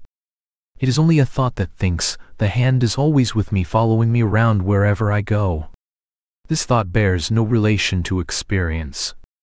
Our only knowledge of the hand is either a perception or a sensation, and our only knowledge of the fan is a perception. All perceptions and sensations are intermittent. Thus the hand, like the fan, is an intermittent experience, it is not always with you. Our self-awareness is not intermittent. It is ever present. Check to see that this is true in your experience. Are there not many moments during the day when neither the hand nor the fan is present as an actual experience and yet you, awareness, are present? Only that which is always with you can be said to be yourself, and if you look closely and simply at experience, only awareness is always with you. Experience is the proof of existence, so if something is not experienced we cannot be sure it exists. There's no evidence for the existence of an object other or world outside of experience, and if we look closely at our experience, there is no evidence of an object other or world within experience either. When the fan, the hand or indeed anything else is experienced, its apparent existence is not separate from awareness. All experiences are equally close to, equally one with awareness. When the apparent object disappears, awareness remains as it is. The only substance present in the experience of any apparent object is awareness. The idea of an object is superimposed by thinking onto the reality of experience itself. This does not mean that there is no reality to the appearance of objects. It means that objects as such are never experienced. Experience itself is undeniably real, but that reality belongs to awareness. What are normally conceived of as objects are, in reality, the changing names and forms that are superimposed by the mind and the senses onto the ever-present, underlying reality of awareness. To say that awareness is underlying is a half-truth spoken to one who deeply believes in the separate existence of objects. In fact, awareness is not just underlying, it is also on the surface. That is, it is not just the witnessing background, but also the substantial foreground of all seeming things. You say that awareness is not only the background on which objects appear, but also their substance. I have trouble seeing that awareness and those objects that appear to it are one and the same.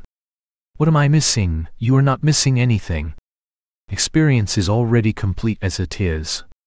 Rather, you are adding something, a concept on top of your experience, and you believe and subsequently feel that the concept rather than your experience is true. All that is necessary is to cease superimposing concepts on top of raw experience. Experience then shines as it is, pure awareness alone. If this is not clear, go deeply into any experience. Take for instance the feeling of your hand on the table. Refuse the abstract labels hand and table and just go directly to the raw experience itself. Imagine that this is the first experience you have ever had and that you have no references or memories with which to compare or contextualize it. After all, references and memories are thoughts, and the experience of the hand on the table is not a thought. It is raw sensation. There is no need to destroy the interpretation of thought, just put it, as it were, on one side for the time being and don't refer to it. Take as much time as is needed to allow the raw sensation to be fully felt without any of thought's customary labels. Is the raw experience itself not an amorphous, tingling vibration? In fact, even to say that is too much. Does the sensation have a contour, shape, density, weight, location, size, color, history, age, value, function, or cost? Does it come with a label hand or table attached to it? Does it come with a me or not me label attached to it? Is it one sensation or two? See clearly that all these are labels attached by thinking as an afterthought onto the raw experience itself. I am not suggesting that these labels may not have their practical purposes, just that the labels hand and table are not inherent in the raw experience itself, and by implication, that the labels body, world, me, not me and so on are also simply superimposed by thinking as an afterthought onto the reality of experience. We never actually experience a hand, table, body, mind, world, other, object, me or not me. If we strip away all these labels that thinking superimposes onto experience, all that remains is awareness, which is another name for the seamless totality of experience. Now go again deeply into the experience of the hand and the table, or indeed any experience of the body or world. Is it not permeated by and saturated with awareness? Is there any part of the experience that is not one with awareness? Is there any substance present other than awareness in the experience itself? Take any experience, a thought, image, sensation, or perception, and explore it in this way. Take something that is supposedly hard, soft, loud, quiet, near, far, pleasant, unpleasant, something that seems to be me, something that seems to be not me, something internal, external, beautiful, ugly, and so on, and explore it in this way. As we explore our experience, it becomes more and more obvious that all experience, no matter how apparently near or far, no matter how apparently me or not me, is in fact intimately one with awareness.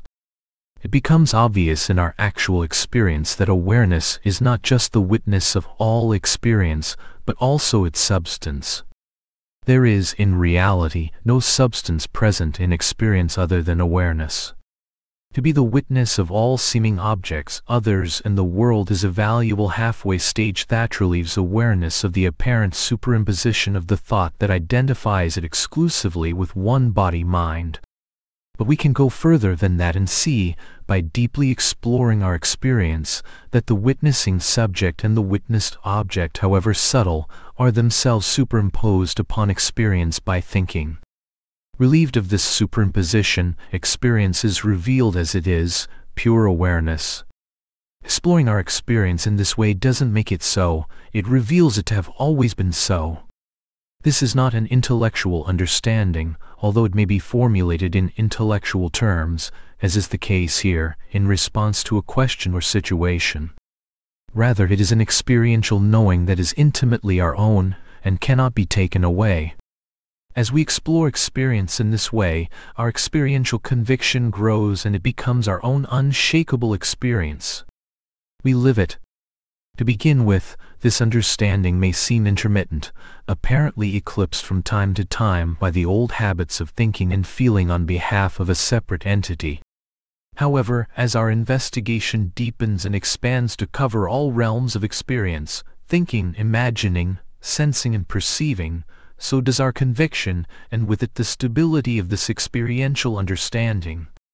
There comes a time when this is no longer an extraordinary realization or understanding that is at odds with our previous conventional, person-centered view of experience. It becomes natural, effortless, and ordinary. In fact, it would require an effort not to be this openness, this experiential knowing, this aware presence. The effort we make that gives rise to the feeling that we are something other than presence is what defines the apparent separate entity. It is simply the process of dualizing thinking, by which the ever-present seamlessness of experience is divided up into an apparent multiplicity of objects and entities, one of which is deemed to be me and all the rest not me. As we abide knowingly as this aware presence, it reveals itself to be not simply the neutral background and substance of experience, but one that is synonymous with peace, love and happiness. Main chapter, The World. Chapter, Our world is made out of perceiving. Our only knowledge of the world is seeing, hearing, touching, tasting and smelling. Let us call these perceiving, our experience of the world, and all we know of the world is our experience of it, is made out of perceiving. Perceiving is made of mind, and mind is made of our self-aware presence. Aware presence has no color of its own, and because the world as we know it that is, perceiving is made out of only this colorless presence, it is referred to as being transparent. Aware presence is the light that illumines all experience, that makes experience noble. Because there is no substance to our experience of the world other than the knowing of it, the world is said to be luminous, made out of the light of awareness or knowing. Aware presence illumines the apparent world and its light is also the substance of the world that it illumines and knows. The knowing of the world and the existence of the world are made out of the same transparent, luminous substance. I'm fascinated by the discovery that in my direct experience everything is made out of sensing and perceiving, that there aren't any actual objects, as such, only experience. Yes, our only knowledge of the mind is thinking, our only knowledge of the body is sensing and our only knowledge of the world is perceiving, that is, seeing, hearing, touching, tasting and smelling. Or we could say more simply that all we know is experiencing, and experiencing is made out of our self-aware presence. Now take the world, which is normally considered to be at a distance from and made out of something other than ourself. For instance, take an object in the world such as a distant mountain. How far is that mountain from experiencing? Obviously, no distance at all. Now ask how far experiencing is from yourself, that is from aware presence. Obviously no distance at all. If it has been seen clearly that the mountain is no distance from experiencing, and experiencing is no distance from awareness, then it is clear in our actual experience that the mountain is at no distance from ourself. Now start again and ask what substance is present in the mountain other than experiencing. Obviously none, for we have no knowledge of a world outside the experience of it. Now ask what substance is present in experiencing other than our self-awareness. Obviously none. Therefore it is our direct and intimate experience that the mountain and everything else takes place in and is made out of our self-awareness. However we can now ask, what is this mountain? We have already discovered that it is only our self-awareness. Why then speak of a mountain? Mountain is just one of the names and forms of ourself. There's only ourself. Not ourself as a mountain, but just ourself period. This is very easy to experience when focusing on hearing, touching, smelling and so on, but it's very hard for me when I'm seeing. Yes, the visual realm is the realm in which the illusion of duality, separation and otherness is at its most convincing. However, if it is obvious that all hearing, touching, smelling and so on take place in and are made out of nothing other than ourself, then we have the key. We need only to transpose that feeling understanding to the realm of seeing. Here is a practical suggestion. Start with your eyes closed and establish, for instance, that the tingling vibration called the sound of the traffic in the distance is made only of hearing, and that this hearing is one with and made out of yourself. See with your eyes still closed, that the dark reddish-brown visual image that is appearing is made only of seeing, and that this seeing is made out of the same substance and appears in the same place as hearing. Now open your eyes slowly and see that your knowledge of the gray floor or whatever appears is made of the same substance as the dark reddish-brown image, that is, is made of seeing, and appears in the same place. If the world seems to jump outside, when you try this, just close your eyes again and establish experientially that everything is appearing within and is made out of yourself. Then open your eyes and try again. As you experiment in this way, it becomes more and more obvious that our only knowledge of the visual world is made of experiencing, that is, is made of our self-aware presence. As you get the taste of this, there is no need to confine this experiment to a meditative type of environment. Try it while walking down the street, doing the dishes, talking with your friends. As time goes on it will become more and more ordinary, effortless and natural to experience the world in and as yourself. The feeling that the world is outside, and not me is the inevitable counterpart to the feeling that I is inside the body as me. The exploration of the world outlined above is the exploration of that part of ignorance that considers the world to be outside, separate and other.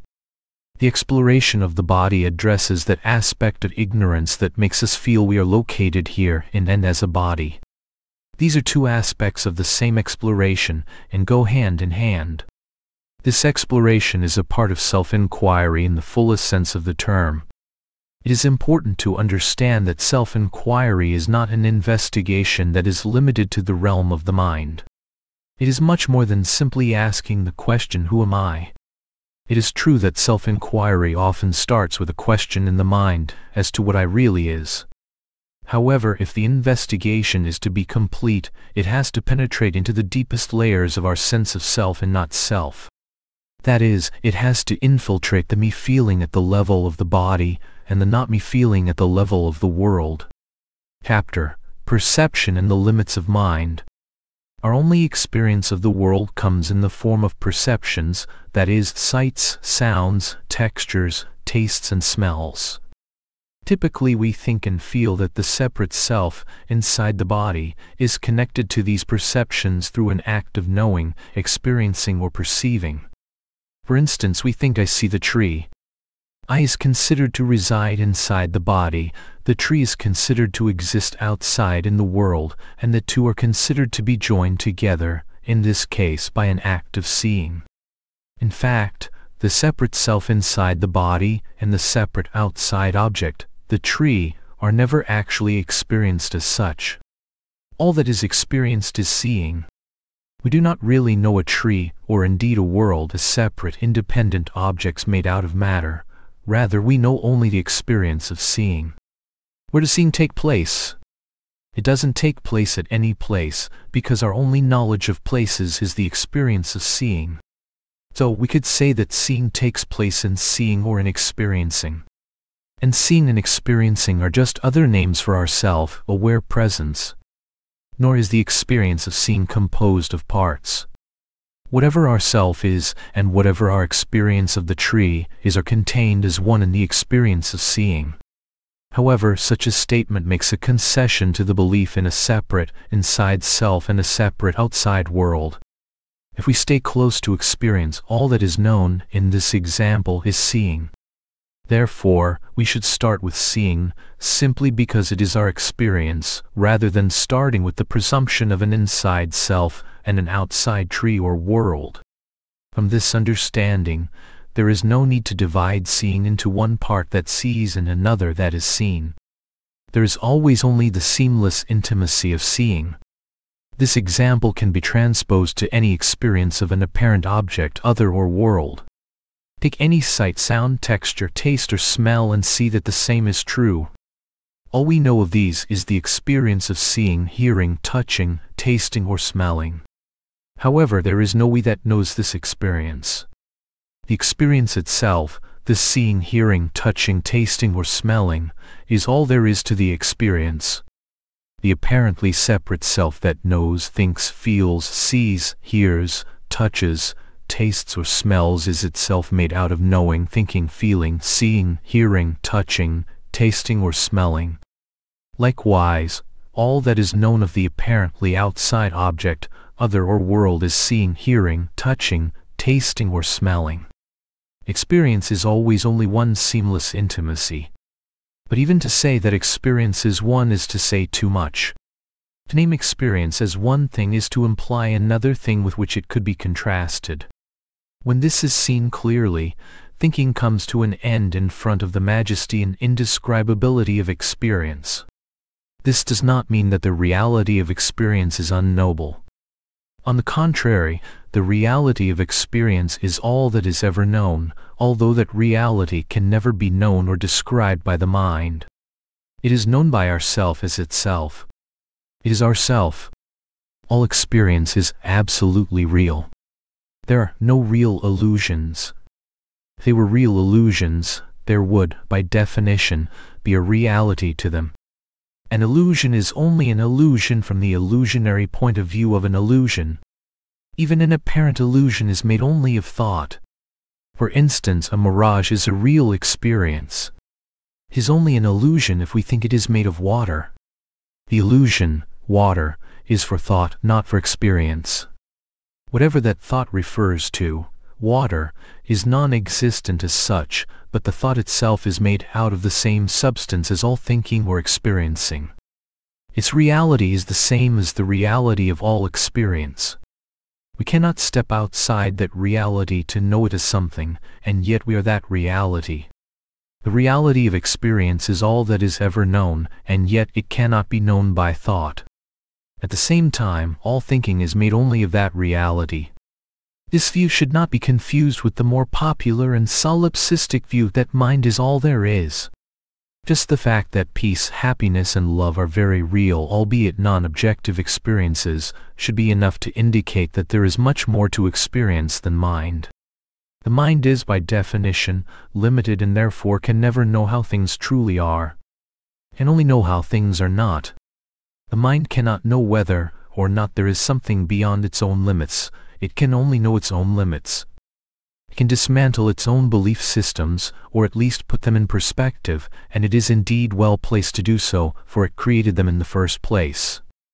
It is for this reason that these contemplations explore our experience and do not limit reality to the mind alone. We go inwards to the heart of experience.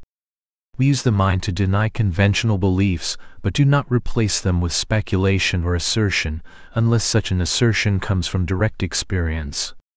There is nothing to suggest that mind is the only form that appears within awareness. For instance, our perceptions may be a cross-section of a larger reality that the human mind is unable to perceive. However, even in this case, the essence of our perception must share the essence of the larger reality of which it may be a limited and distorted view, just as the essence of the wave is the essence of the ocean. Imagine, for instance, a creature that only has the capacity to perceive in two dimensions. This creature lies on the surface of a pond and can only see forwards, backwards, and sideways, not up and down. At the edge of the pond, the branches of a tree dip into the water. What is the creature's view of the branches? They will appear as horizontal lines in its world. The thicker the branches, the longer the lines. If the creature observed the lines for some time, it might notice that they were continually lengthening or shortening as the wind moved the branches, sometimes disappearing as a branch was lifted out of the water. Or if it rained, and of course rain would just appear as little explosive lines in its world, the surface of the pond would rise up the branches, causing them to appear as longer lines in the creature's world. Likewise, in summertime, when the pond began to dry up, the lines would get shorter as only the tips of the branches touched the water. Over many years of observation, the creature might build up theories about the nature of its world. However, its theories would reflect the characteristics and limitations of its own mind rather than the reality of the real three-dimensional world of ponds, trees, fields, rivers, and sky. The important point is that the essential reality of the lines that our creature observes will share the essential reality of the tree of which the lines are a cross-section, and indeed they will share the essential reality of the fields, rivers and sky of which the tree is a part. The creature doesn't need to perceive the totality of the tree or nature as a whole to know its essential reality. If it goes deeply into the nature of just one of the lines that appear in its world, it will eventually arrive at the inescapable truth that whatever the lines really are, whatever the tree really is, and whatever it, the creature itself, really is, are all one. Creature's mind will never know this oneness nor need it, because the creature is that. All it needs to know is itself, and in knowing itself it knows the essential nature of the tree, pond, fields, rivers and sky, and whatever else there may be. In knowing itself it knows the reality or essential nature of all of nature. It knows nature's eternity. And how does it know itself? Simply by being itself, without adding anything to this essential being. All that is necessary is to see this clearly once, and in time that glimpse will consume the world as we know it. With this understanding we realize that nothing is mundane, all experience is only the experience of the absolute reality. How the mind represents that reality is not important, just as the particular appearance of an image on a screen does not alter the fact that only the screen is truly seen. When we see an image as image the screen seems limited, but the very same image when seen as the screen is realized to be unlimited. Likewise, as mind, experience is limited, but as awareness the very same experience is eternal and infinite.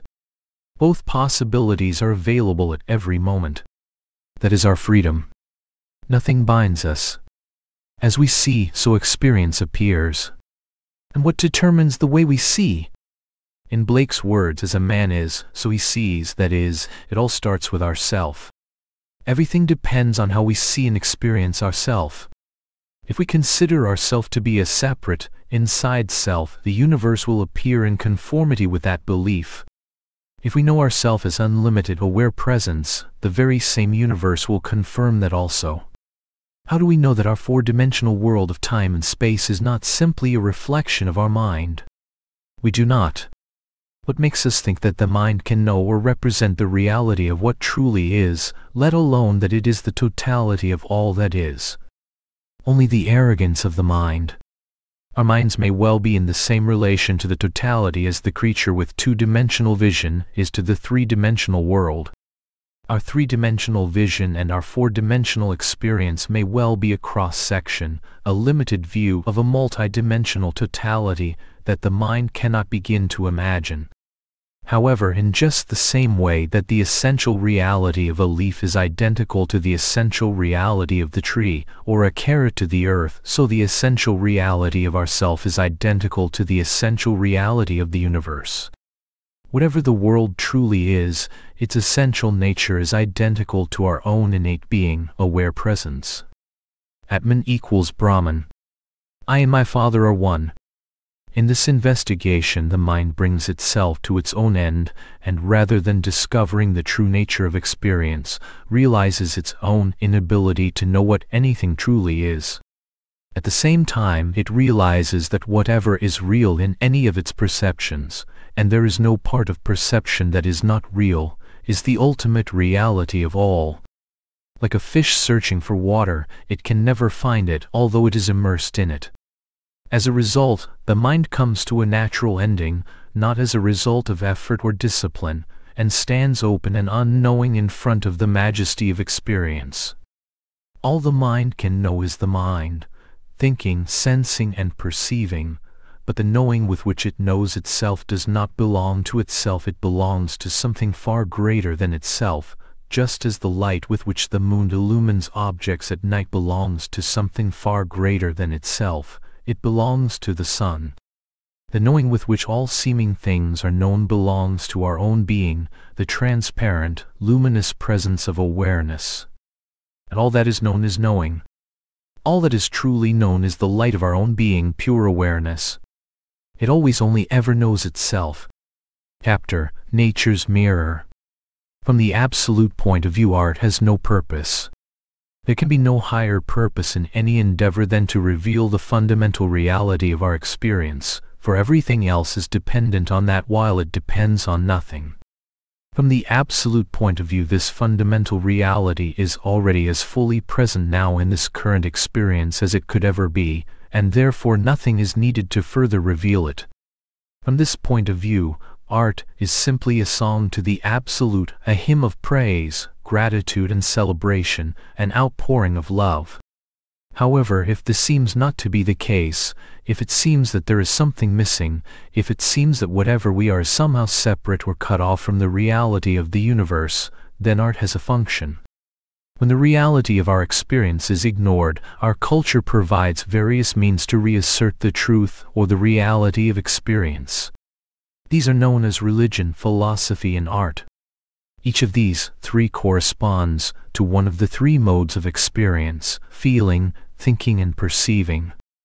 All these forms of knowledge are, at least in their original forms, means by which the truth or reality of experience can be explored and revealed.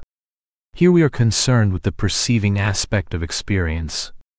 Art, from this point of view, could be said to be the path through which perceiving is returned to its original condition, or is, more accurately, seen afresh in its original form, devoid of the conceptual superimpositions of thinking and imagining.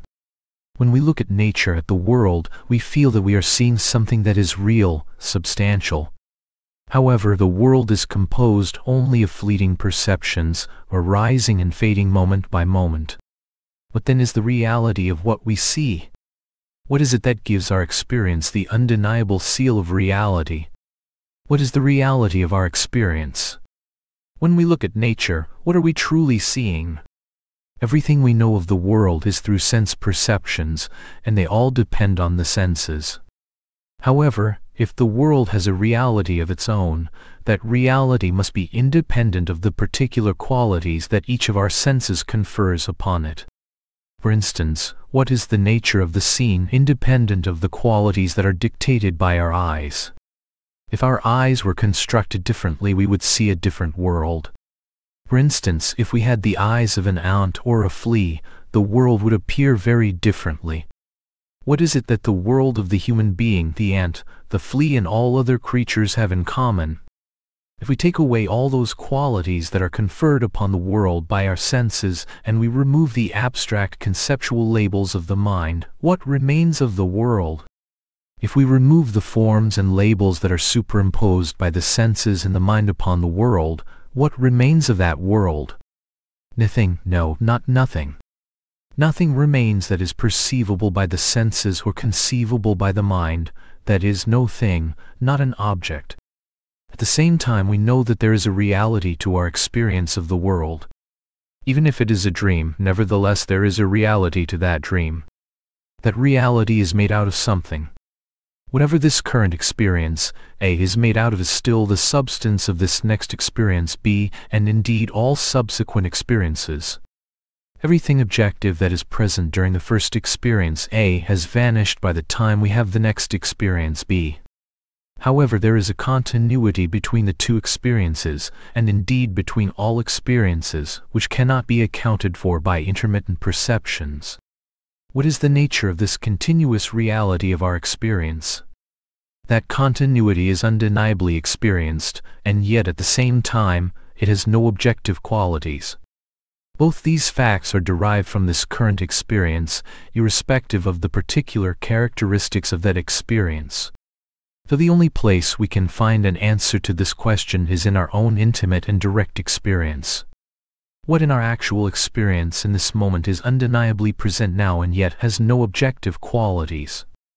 Only awareness and being, which together constitute our self therefore, we can say from our own experience that the underlying reality of the world onto which the mind and the senses superimpose their qualities is this present awareness that is the essential reality of our own self-experience is not inherently divided into a perceiving subject and a perceived object that are connected through an act of perceiving.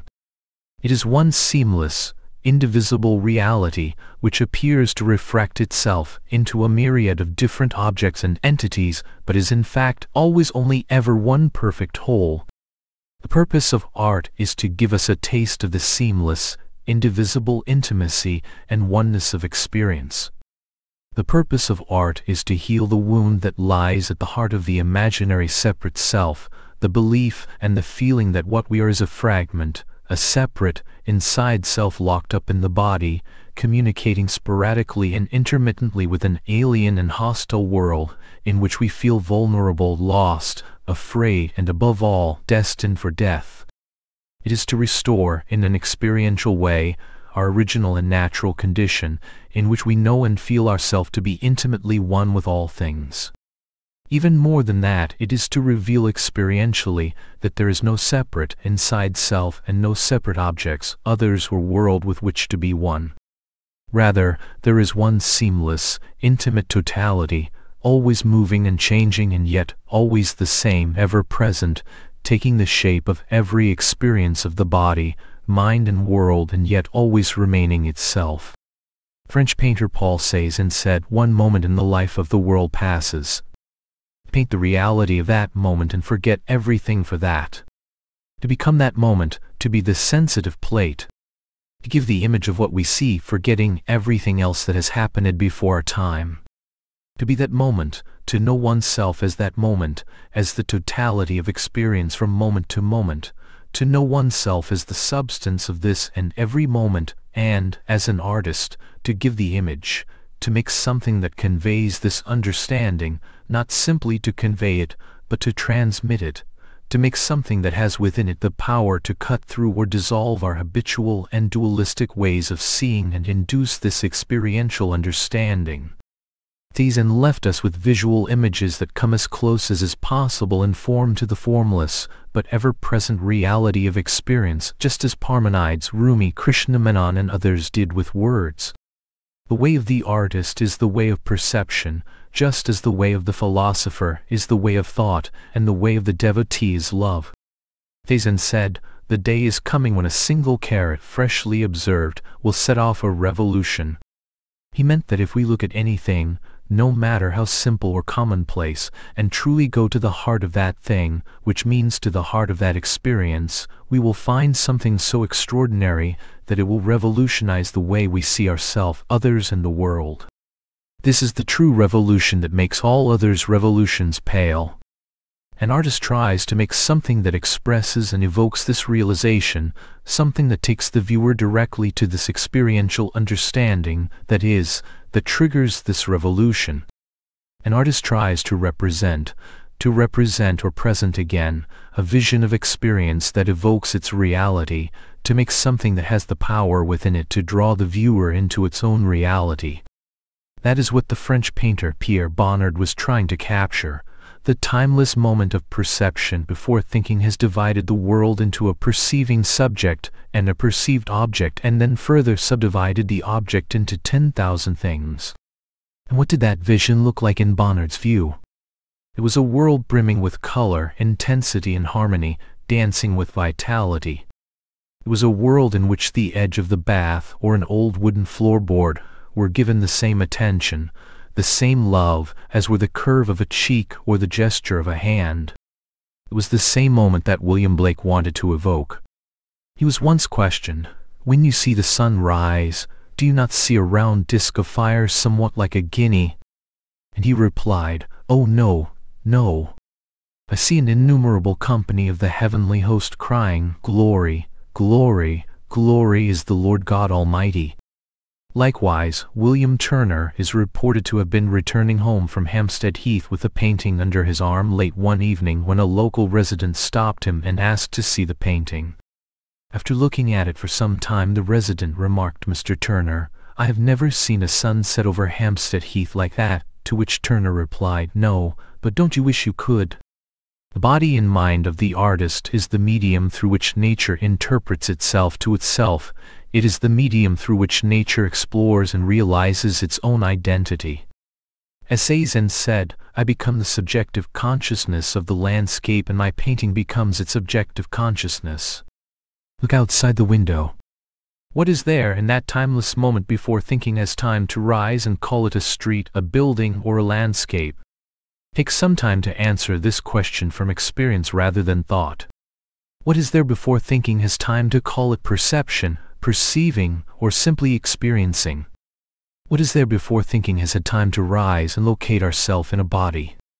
That fraction of a moment of time is not, in fact, a moment of time. It is the only and ever present now. That is what Pierre Bonnard was trying to give form to. When we truly see or indeed experience, there is no room for thought. In pure experiencing there is never any room for a separate, inside self and a separate, outside object, other or world. All that is known is pure experiencing. This timeless, thought-free experience of pure perception is what is known as the experience of beauty. When thought reappears and again divides perception into two parts, an inside self and an outside object, other or world, it imagines that the inside self experiences the beauty and that the object, other or world is itself beautiful. In other words, thought imagines beauty to be a property of objects. Beauty is simply one of the names that are given to experience when it is relieved of the dualistic interpretation of thought. All perception is made of beauty, just as all feeling is made of love. In fact, beauty and love are identical. They are the essential nature of all experience, only beauty tends to be the word that is used when perception is relieved of superimposed beliefs and love tends to be used when feelings are relieved of superimposed beliefs. Likewise, understanding is used when thinking is relieved of superimposed beliefs or doubts. Beauty is an apprehension of reality. It is a form of knowledge. It is a revelation of the reality of our experience.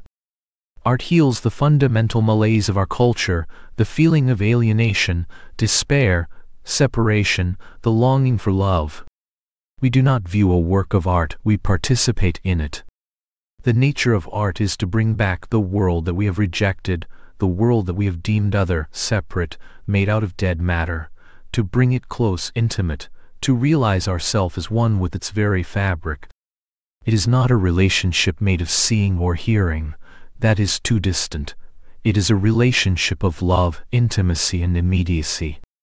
An artist is simply one who doesn't forget the freedom, innocence, freshness and intimacy of experience. The role of the artist is to transmit to humanity the deepest experience of reality. Art is remembrance. It is love. It is like a sword that distinguishes between appearances and reality. Beauty is the form of God. The purpose of art in our culture is to point towards this essential nature of all perception. It is to relieve perception of the superimposed beliefs that make it seem to be made out of selves, objects, entities, things, or the world and reveal its true nature as identical with our own true nature of aware being. An apparent object is never itself beautiful. True art is neither representation nor abstraction. It is revelation, the revelation that love rather than inert matter is the substance of all things. A true work of art has a power within it that derives from the clear seeing, love or understanding from which it comes. This power either cuts through or slowly dissolves thought, leaving experience itself divested of all objectness and otherness, standing raw, immediate, naked and intimate. In this sense all true teachings are works of art. In fact, any object or activity that comes directly from this love, beauty or understanding, unapparently mediated by the belief in separation, contains within it the power to reveal its origin. Cézanne said, everything vanishes, falls apart, doesn't it? Nature is always the same, but nothing in her that appears to us lasts. Our art must render the thrill of her permanence, along with her elements, the appearance of all her changes. It must give us a taste of her eternity, are the human body and mind not a part of nature? Nature's eternity, that which is essential and ever present in her, is the same ever present essence of aware being that is our own self. All true art points directly, not conceptually, to that. It has a penetrating or dissolving quality that is able to take the apparent elements of perception, sights, sounds, tastes, textures, and smells, and so arrange them as to precipitate this collapse of the normal dualistic ways of seeing into pure experiencing itself. That is beauty, the collapse of all objectness. That is love, the collapse of all otherness. Artists and scientists tend to look towards the apparently outside world and mystics tend to look towards the apparently inside self. It doesn't matter where we start, because the outside world and the inside self, as they are normally conceived, are two sides of the same belief. We explore either of these beliefs and are courageous enough to stop at nothing in our desire for the truth, both investigations will lead to the same place. The outside object or world and the inside self cannot stand the scrutiny of this investigation, and in time both will collapse. In this collapse the separate, inside self dies and the separate, outside world is dissolved, leaving only the raw intimacy of experience. This collapse is the transparent experience of peace, happiness, love, beauty or understanding. What we call it depends usually on the nature of the experience prior to this collapse, whether it was precipitated by feeling, thinking or perceiving. If it was precipitated by feeling, it is known as love, if by thinking, understanding, and if by perceiving, beauty. All these words refer to the same essential, transparent experience of our own presence. This understanding has been lost in our culture, which has reduced peace, happiness, love, beauty and understanding to experiences within the realm of the body, mind and world, as they are normally conceived is similarly misunderstood in some expressions of contemporary non-duality that equate happiness and unhappiness, beauty and ugliness, peace and agitation, considering them simply pairs of opposites arising equally in awareness. These teachings have reduced the living understanding of non-duality, that is the source of all love, beauty and understanding to a politically correct system of equality and relativity. In this case the fierce clarity of understanding has been appropriated by ignorance. The separate, inside self, which is created by the ignoring of the reality of our own being, has appropriated the true non-dual understanding and is using it as a means of validating and substantiating its own erroneous beliefs. Chapter The World and Awareness Change Places Our experience is always only one seamless, intimate totality only a thought appears to split it up into different categories of experience, such as mind, body and world, each made out of a different substance. In fact, all experience is made out of the same stuff. It could be called experience awareness, ourself or I. No part of experience is any closer to or farther away from experience, awareness or ourself than any other part. It is not even that the experience of the mind, body and world is close to experience, awareness or ourself. It is closer than close. How close is an image to the screen? There are not two things in experience. In the final analysis, which is just the analysis based on our true experience, it is not even correct to say that all experience of the mind, body and world is permeated or saturated with awareness or presence say so would imply that there is an independent mind, body and world present in the first place, which can be permeated by something in the way that a sponge is permeated by water. Such a statement is valid as a halfway stage if we believe in the independent reality of the mind, body and world. It draws attention to the fact that every experience of the mind, body and world is utterly one with awareness or presence. As it becomes more and more obvious that all experience is permeated with awareness, the awareness aspect of experience becomes more predominant and the apparently objective aspects of mind, body and world, the changing names and forms, begin to lose their apparent solidity and independence. Initially awareness seems to be the hidden, insubstantial, intermittent aspect of experience and the mind, body and world by contrast seem evident, substantial, stable and real. Thus we see only the objects of the mind, body and world.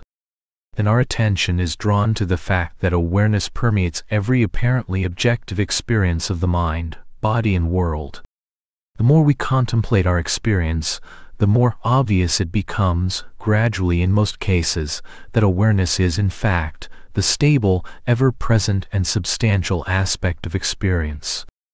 As this becomes more and more our lived experience, so the corresponding reality of the mind, body and world, as independent objects in their own right, begins to diminish. This contemplation may begin at the level of the mind, but in time it descends into the depths of our being and takes us over completely. It pervades our feelings and perceptions as well as our thoughts. The world and awareness change places. At a certain point there is a shift. The reality we once attributed to the mind, body and world is understood and experienced to reside with our self-awareness.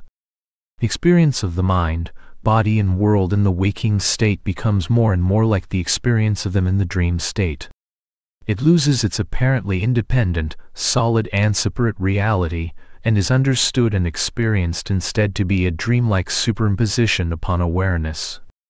Although we continue to see the appearance of the images on the screen, our actual experience is always only the screen itself. It is not that normal experience becomes unreal or insubstantial. Rather, it is that the reality and substance of experience is known and felt to be made only of the intimacy of our own being, awareness. The mind, body and world are experienced to be unreal as objects but real as awareness, just as the fields in a film are unreal as fields but real as screen. They were only ever real as fields from the imaginary point of view of the film. From the real and only point of view of our self-awareness, experience is always only ever real as awareness. Though the objectness of objects slowly fades and is replaced by the presentness of awareness, just as darkness is slowly replaced by light in the early hours of the morning. We can never say how, when, why or where this dissolution happens, precisely because the how, when, why and where dissolve along with the darkness those questions no longer remain to be answered. This shift is natural. At first it may seem that we have to make efforts to understand this, but after a while the truth of our experience, the obviousness of it, begins to impress itself upon us effortlessly. It is like reaching the top of a hill and starting to walk down the other side. Suddenly the hill, which initially seemed to oppose our efforts, now begins to cooperate with them or we could say it is like doing a jigsaw puzzle. To begin with, the pieces seem abstract, incoherent and unrelated. However, as we proceed the picture begins to fill in and it becomes easier and more obvious. There are fewer and fewer possibilities. This places us on a straight and narrow track where everything falls into place quickly. It is the same here. All the mind's objections are met with understanding until a time comes when there are no more objections left. The mind, which constructed the apparent duality in the first place, has deconstructed its own edifice those residual bodily sensations that seem to support the now discredited belief in a separate, inside self and its correspondingly separate, outside objects, others and world are left to tell their empty story and are slowly consumed in the light of understanding. This leaves us on the brink in openness and unknowing. From here awareness shines more and more brightly, dissolving within itself any last vestiges of separation and otherness that have lingered out of habit, revealing awareness shining in and as itself. It doesn't matter if the dissolution is long and slow, for there is nothing to wait for anymore, nothing to long for, nothing that is lacking, and no one to wait. Even our desire for truth or reality somehow loses its fierceness and can no longer really be called desire, for there is no room for desire here however noble. Our desire is transformed into love. In fact, it was always love, disguised as desire by a thin veil of otherness. It was always only that for which it was seeking. Chapter, The Friendliness of the World. I sometimes hear it said that when it becomes obvious that there is no separate entity, everything carries on as before, including the irritations, problems and so on. I always imagined and hoped that this understanding would have a profound impact on my life. Experiential understanding that there is no separate entity does have a profound effect on one's life. However, it is not intellectual understanding that transforms life, but rather the ever-present knowing, being and feeling of the oneness of experience. It is true that sensations and perceptions continue to arise as before. However, those sensations that seem to validate and substantiate the belief in a separate entity fall away, gradually in most cases. As a result, there is a great sense of ease and peace at the level of the body and mind. Although the dualistic beliefs that seem to separate our experience into a perceiving subject and a perceived object never actually do so, the separation seems to be real, and therefore the suffering that is inherent in this position seems equally real. Once this fundamental ignorance has been exposed, the thoughts, feelings, and activities that rely on it for their existence fall away, either dramatically or, in most cases, gradually. Those thoughts, feelings, and activities that depend on the sense of separation may continue to arise and may appear to be exactly the same as those that were once fed by the fundamental belief in duality, but they are not. They are like a rope that has been burned and yet still for a while maintains its old shape. When you blow on the rope you realize that it no longer has any substance, it is empty, hollow. It has been burned out. Only those thoughts, feelings, and activities that relied on the fundamental belief in duality cease to appear. All other thoughts, images, sensations, and perceptions continue as before. In this way, the mind is relieved of the agitation, confusion, longing, suffering, addiction, restlessness, defensiveness, and so on that once characterized much of its activity. Freedom, creativity, peace, lovingness, humor, warmth, friendliness, and intelligence become its natural habitude. The appearance of the body continues as before and is, of course, subject to the normal laws of nature, including physical pain, but is relieved of the terrible and impossible burden of fulfilling the voracious demands of a non-existent self. As a result, a deep relaxation takes place at the level of the body that penetrates to its deepest layers. The body returns gradually to its natural organic ease. It is felt to be open, loving, sensitive, light, spacious. The world, that is, sense perceptions, continues as before, only it is relieved of the feeling of otherness, of not me-ness. We no longer experience a world at a distance from ourself. The world ceases to be a potential source of peace, love and happiness for an imaginary self, and is therefore no longer a potential source of misery either. The world is experienced as closer than close. It is experienced as intimate, lively, vibrant, and friendly, in fact, we no longer experience a world, we are the world. Awareness and experience are realized as one. In fact, there is no we and by the same token there is no world. We no longer separate our knowing of the world from its being, its existence. As we realize that knowing the world and the existence of the world are one and the same experience, so we realize that loving is not something that is done by ourself to another, by ourself to the world, but rather that it is the inherent nature of all experience. There is nothing separate from that. To know the world is to be the world, and to be the world is to love the world. This brings us to the claim that irritations and problems carry on just as before. First of all, let us be clear that we are speaking of psychological problems, not practical problems. Practical problems, such as dealing with your car if it breaks down, with insurance if your house burns down, with financial and health issues and so on, are dealt with efficiently and practically and generate no psychological involvement, and therefore leave no psychological trace.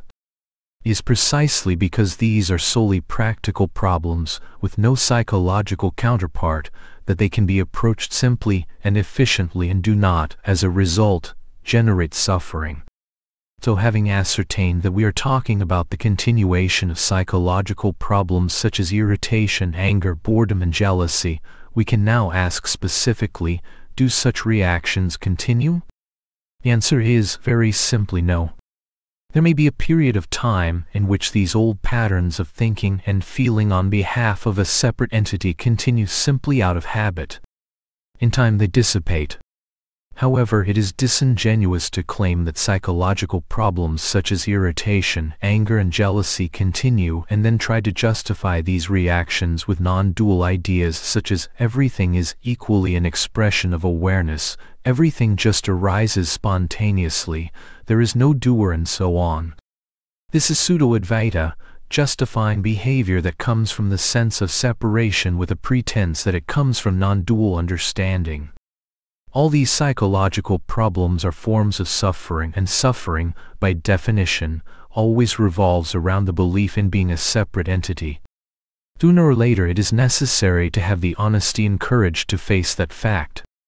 We may fool ourselves for a while, thinking that we have seen through the whole mechanism of the apparently separate self and yet continue to suffer, but sooner or later this seeking that is inherent in suffering will break through the thin veneer of non-dual beliefs that the separate self-sense has appropriated and initiate a new round of seeking. Main Chapter Experience Chapter The Intimacy of Experiencing See clearly that all we know is experiencing. Do we or could we know anything outside experiencing? Our only knowledge of thoughts, images, memories, feelings, bodily sensations and perceptions of the world is experiencing. Is there any substance present in our knowledge of the body, mind and world other than experiencing? Try to find or imagine such a substance. We normally think that there is a world with which we connect though an act of experiencing. We believe that world exists as a separate, independent object in its own right and that it is joined to ourself, the separate, independent subject, through an act of knowing, feeling or perceiving, that is, through experiencing. Have we ever experienced such a world? If we knew such a world, its existence would be within our experience. We don't experience that independently existing world, we only know experience. This is not a proof that no such world exists, we cannot make such an assertion with the limited mind. However, it draws attention to the fact that all we know is experiencing. Now where does experiencing take place? Does it take place inside a body, a mind, or the world? No, our only knowledge of a body, mind, or world is made out of experiencing. Experiencing doesn't take place in a place, inside a body, a mind, or a world the body, mind and world take place inside experiencing. In fact, they don't take place inside experiencing. They are in our experience, simply made out of it. Try to find a place where experiencing occurs, and see that any place that you come up with is simply made of experiencing. Imagine the ocean asking water, where do you take place? Where do you exist? The water doesn't take place inside the ocean. Ocean is only water. What is the relationship between ourself and experiencing? Is there any part of experiencing that is not utterly, intimately pervaded by ourself? In fact, can we find two substances, one experiencing and two ourself, or are experiencing and ourself utterly one, indivisibly one, seamlessly one?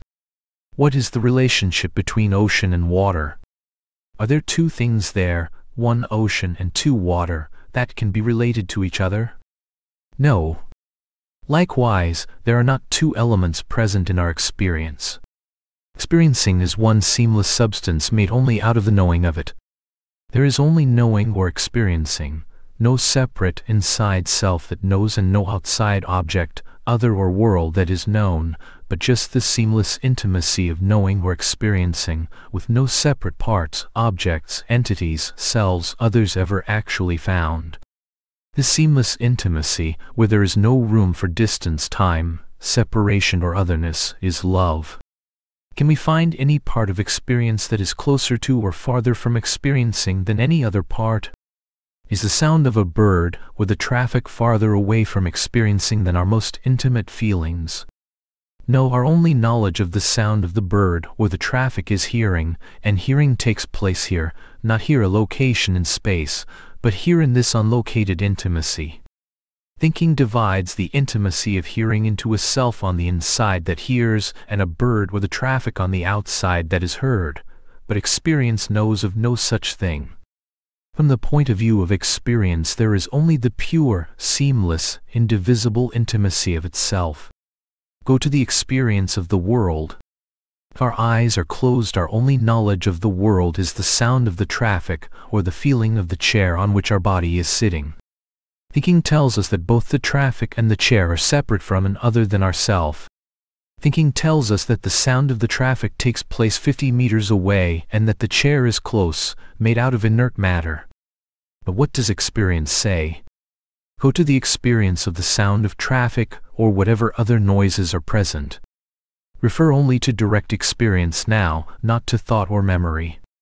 To ensure that we are relying on experience only, we may imagine that this is the first time we have ever had an experience. We have no knowledge about the current experience, the sound of traffic or a bird. In fact, we don't even know it is traffic or bird. It is just pure hearing. Do we have any knowledge of the traffic or the bird other than the experience of hearing? Where does hearing take place? 50 meters away? 5 meters away? Or is it intimately, utterly one with ourself, not ourself, a body or mind, but ourself, this sensitive aware presence? In fact, can we find two things in the experience of hearing one myself, this aware presence and two the experience of hearing, or are they intimately, utterly one? Is there any substance present in the experience of hearing other than the sensitive, aware presence that is ourself? See if we can find two substances in the experience of hearing, one myself and two hearing, or if it is just one substance, utterly intimate. Now what about an object in the so-called outside world, such as the chair? If our eyes are closed, our only experience of the chair is the experience of sensing. Where does the experience of sensing take place? At a distance from ourself? And how intimate is it? Is the experience of sensing made of two parts, one part that senses and the other that is sensed, or is it intimate and seamless? And is the experience of sensing dead and inert, or it is full to the brim with the aliveness and knowingness of ourself? Do we really have the experience of inert matter, or do we experience alive, vibrant sensing? If we now open our eyes and claim that the sight of the chair confirms its independent, objective existence, see that the sight of the chair is made only of the experience of seeing. Where does seeing take place? How intimate is it? Is there any inert matter there? Is there any part of seeing that is not pervaded by our own intimate, aware presence? In fact, are there parts to seeing?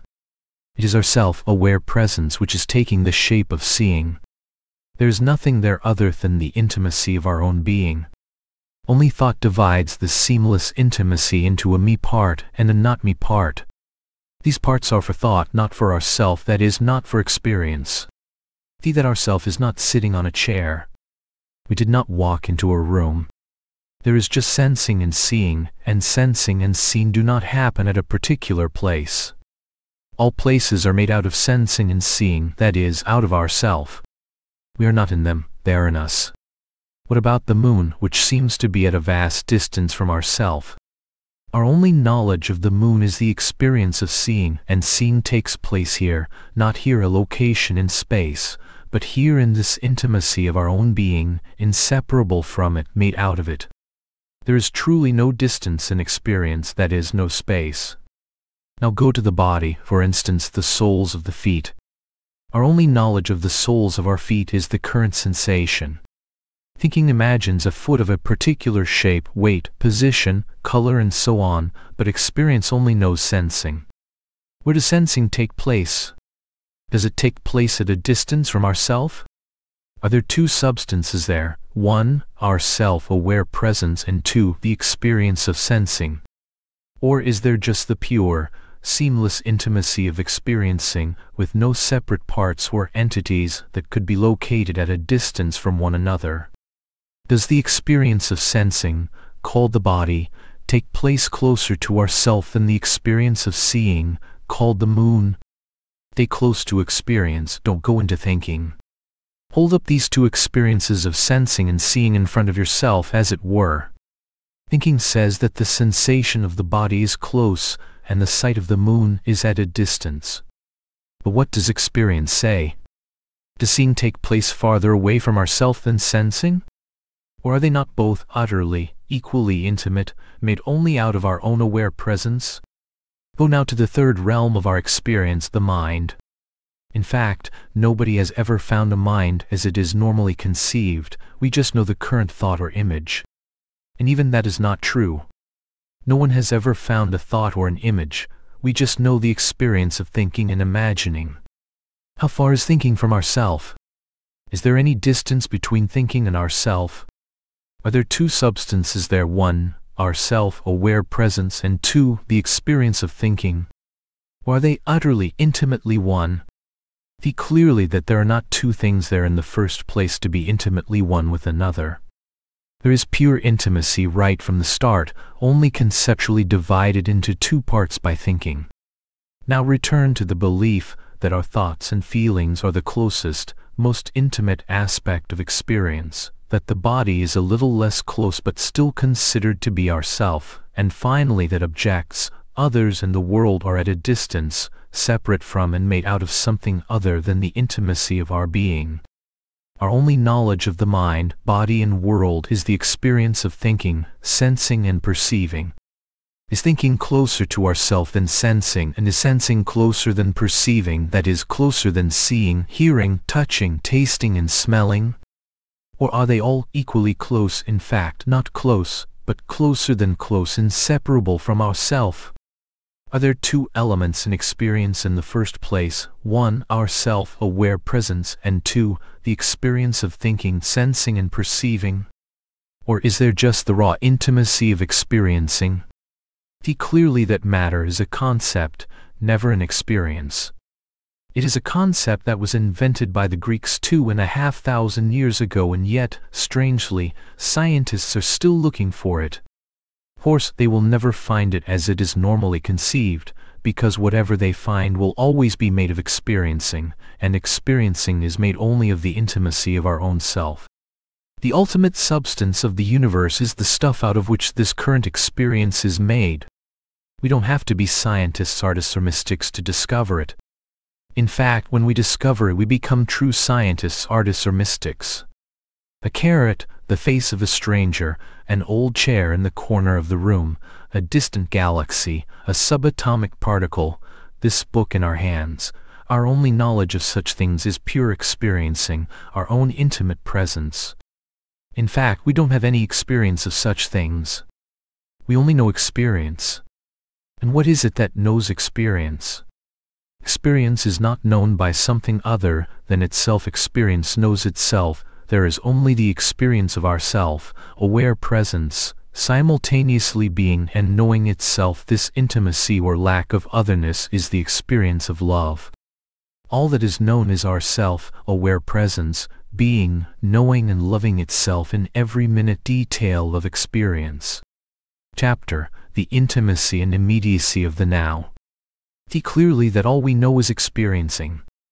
However, Experiencing is not known by someone or something other than itself, it is experiencing that experiences experiencing. Where is the inside self and the outside world in our actual experience? Stay intimately with pure experiencing and see if you find such a self or world there. Where is the line in pure experiencing that separates an inside from an outside? Search experience and try to find this line. This absolute intimacy of pure experiencing is what we call love. It is the absence of distance, separation or otherness. There is no room for two there. Love is the experience of pure non-duality. See clearly how artificial are the me and not me labels. We have never experienced anything that was not ourself, nor would it be possible to do so. And what is it that experiences ourself? Only ourself. There is only one substance in experience, and it is pervaded by and made out of knowing or awareness. In the classical language of non-duality, this is sometimes expressed in phrases such as, awareness only knows itself, but this may seem abstract. It is simply an attempt to describe the seamless intimacy of experience in which there is no room for a self, object, other or world, no room to step back from experience and find it happy or unhappy, right or wrong, good or bad. No time in which to step out of the now into an imaginary past or into a future in which we may become, evolve or progress. No possibility of stepping out of the intimacy of love into relationship with another. No possibility of knowing anything other than knowing, of being anything other than being, of loving anything other than loving no possibility of a thought arising which would attempt to frame the intimacy of experience in the abstract forms of the mind, no possibility for ourself to become a self, a fragment, a part, no possibility for the world to jump outside and for a self to contract inside, no possibility for time, distance or space to appear. What can we call this raw intimacy of experience? What is its nature? If we say it is one, we subtly imply the possibility of either more than one or fewer than one. That is why the ancients, in their wisdom and humility, called this understanding non-duality rather than oneness. They knew that to say one was to say one thing too much. Only thought tries to name experience or find its ultimate nature. Our self-aware presence does no such thing. Is only thought that says experience consists of a body, mind and world, that the body, mind and world consist of sensations, thoughts and perceptions, that sensations, thoughts and perceptions consist of sensing, thinking and perceiving, and that sensing, thinking and perceiving consist of ourself. All of these more or less subtle objects are only for thought. Indeed, it is only thought that says that all these are thoughts. Experience itself knows no such thing. Experience itself doesn't even know sensing, thinking or perceiving, let alone sensations, thoughts or perceptions. Experience itself is too intimately itself to be able to step back from itself and know, let alone conceptualize itself as something. It doesn't even know itself as experience. In order to do so it would have to divide itself into two parts, one part that knows, experiences and describes and another part that is known, experienced and described. How would it do this? Only by taking the shape of thought.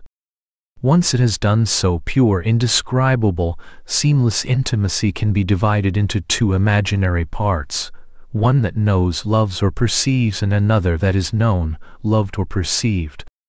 In order to do this, pure, indescribable, seamless intimacy would have to collapse into a separate, inside self and a separate, outside object or world. It would have to forego the intimacy of love and become a separate self, moving around in an imaginary world of objects, time and space. No such thing ever happens. All that is only for thought, and even a thought is only a thought for thought. Sooner or later it becomes clear that thinking can never go to the heart of experience, it can only seem to go away from it. When this is clearly seen, thought comes to its own natural ending. We find ourselves plunged into the intimacy and immediacy of the now. The intimacy and immediacy of the now is the only place that thinking cannot enter. The now is our only security. It is utterly vulnerable and completely secure. No harm can come to us in the now, no sorrow and no death. All our longing longs only for this. Like the fish in the ocean looking for water, all resistance and seeking, that is, the separate inside self, is already made out of the very thing it is looking for. But it can never find it. The thought that tries to enter the now is like the moth that tries to touch the flame. It cannot touch the flame, it can only die in it. For some time the residues that thinking has left in the body will continue to rise up and initiate the old search for peace, happiness and love. The search of a non-existent self in a non-existent world for the one thing that is ever present in experience. But sooner or later these residues vanish like a fading echo. We seem to have been on a long journey only to discover that experience is experience again. It is now what it always was. But something has been removed. We may not know how or why or when this happened, or it may seem to have happened in response to the intensity of our search. Either way, all experience is now pervaded by the intimacy of our own being. We may find ourselves again moving out into the so-called world, but this time without motive. The inclinations of our particular body and mind are undertaken spontaneously, without calculation, and they leave no trace of a separate self. We may find ourselves still having desires, but they are no longer motivated to find peace, happiness, and love. They only seek to express, share, and celebrate them. Chapter, which self is being inquired into? Which self is being inquired into here? It seems that there is a false self and a real self, and that as the investigation into one's true nature goes deeper into the former, it dissolves, allowing the reality of the latter to come into the light. The self that is being inquired into is the self we think and feel ourself to be at any moment. Is an investigation into what seems to be ourself, leading to the realization of the self that we truly are. In this current situation, I is the name we give to whatever it is that is knowing or experiencing these words, and whatever else is being experienced, such as the sound of traffic, bodily sensations, and our most intimate thoughts. It is the knowing or experiencing element in every experience, and it is, by definition, present. Therefore, knowing and presence are inherent in ourself. For this reason our self is sometimes referred to as knowing presence, aware presence or awareness that is, the presence of that which is aware, or the knowing of our own being. I am and I know that I am. Self-inquiry is an investigation into the nature of ourself. What can we say about ourself from experience, other than that it is aware and present? It is taken for granted by most people that this aware presence is located as an entity inside the body, and at the same time is the body. However, here we take nothing for granted. The only way to find out what can truly be said about this self that we intimately know ourself to be is to look at it. So right now turn around, as it were, and give your attention to whatever it is that is aware of these words, and whatever else is appearing at present, such as thoughts, bodily sensations and perceptions. Try to find it and look at it. Strange thing happens when we try to do this, Whilst this aware presence is undeniably present, we cannot find it as an object when we look for it. In fact, we do not even know in which direction to turn to find it. Right there in that experience, the belief that our self-aware presence is an entity located in, or as the body, is exposed and undermined. As we inquire more and more into our experience we find that there is, in fact, no experiential evidence for the belief that our self is located or limited.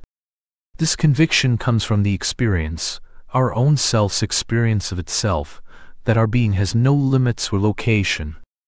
Ironically, when our being becomes clear to itself, unapparently modified by dualizing thought, we see at the same time that we have only ever been this unlimited, unlocated presence it becomes clear that for ourself there has never been another self, a false self, a lower self or a personal self, and therefore for ourself there has never been a journey or a process through which this apparently other self reaches, knows or becomes our real self. However, until this is experientially clear it is inevitable that some sort of process, investigation or journey is apparently undertaken by the limited, inside self that we imagine and feel ourself to be, that search, which is sometimes known as self-inquiry, is implicit in the separate self. So, let us begin with three basic possibilities of what we are. 1. The mind and the body. 2. The witness of things. And 3. Awareness or presence. Each of these possible stances for ourself has its corresponding view of the world. The first could be called a position of ignorance. The term ignorance is not meant in a judgmental or pejorative sense, but rather in a factual one. It is a position in which our true nature is ignored, and as a result, we mistakenly believe and feel ourselves to be a mind and a body. The second could be called a position of wisdom or understanding, in which it is clear that we are the awareness to which or in which all objects, body, mind, and world, appear. The third could be called a position of love, in which it is clear that there are no objects, others, selves, or world, but rather the seamless intimacy of pure experiencing, whose substance is presence, consciousness or awareness. Self-inquiry belongs to the first two positions. In the first, it is inevitable that self-inquiry will seem to be a process undertaken by a separate entity towards a goal of enlightenment. In the second, in which there is no longer any sense of being a separate entity, it is an impersonal exploration of the nature of the body, mind and world of which we know ourself as the witness. In this impersonal investigation, the subtle duality that seemingly exists between the witness and the witnessed is gradually realized to be non-existent. From this point of view, Self-inquiry is a progressive falling away of the successive layers of concepts and feelings with which awareness seems to have been veiled. This reveals the third possibility, that of awareness itself, in which self-inquiry has come to its natural end. Here awareness has been relieved of all the gross and subtle superimpositions of thinking that seem to limit and locate it, and stands revealed simply abiding as it is, knowing and being itself alone, intimately and utterly one with all appearances. From this point of view, it is clear that there has never been either a process towards awareness nor a dropping away of layers of ignorance that seemingly veiled it. Rather, it is seen that there is only ever awareness, and that awareness never knows anything other than itself. The belief that I am a mind involves the belief that I am located primarily in the middle of the head, somewhere behind the eyes, as a knowing center of experience. This location in the head is the place where the thinker and knower of experience is believed to reside. That that is believed to reside in the head has many guises, each one seeming to substantiate and validate at its apparent location there. The thinker, the knower, the chooser, the decider, the planner, the memorizer, the judge, the desirer and so on. In this moment, for instance, the I in the head may seem to be the knower, seer, reader or one who understands. However, if we turn our attention towards that one who knows or sees these words, we do not find any kind of an object there that one is undoubtedly knowing or experiencing and present, but it cannot be found to have any objective qualities, nor is it located anywhere in space. This investigation into the belief that I is located and therefore limited has already been described in various ways, so all that is necessary to add here is that with the clear seeing that there is no experiential evidence for this belief, it simply falls away through lack of supporting evidence. We may not know at this stage that our self is unlimited and unlocated, but at least we know that there is no evidence to the contrary, and this knowledge leaves us at least open to the possibility that it is so. Above all it leaves us open to exploring the apparent experience of ourself more deeply, that is, of exploring the feeling of being located in the body. Many people have the intellectual understanding that there is no evidence for a personal, limited I but then sabotage any deeper exploration of the feeling of I in the body by adopting the mantra, there is nothing to do. The feeling that I resides in and as the body is by far the larger aspect of the apparently separate self and has a deeper taproot, as it were, than the belief in the separate I. Again, much has already been said about the feeling of I in the body, so suffice it here to say that self-inquiry at this level involves an experiential exploration of the me-ness of bodily sensations.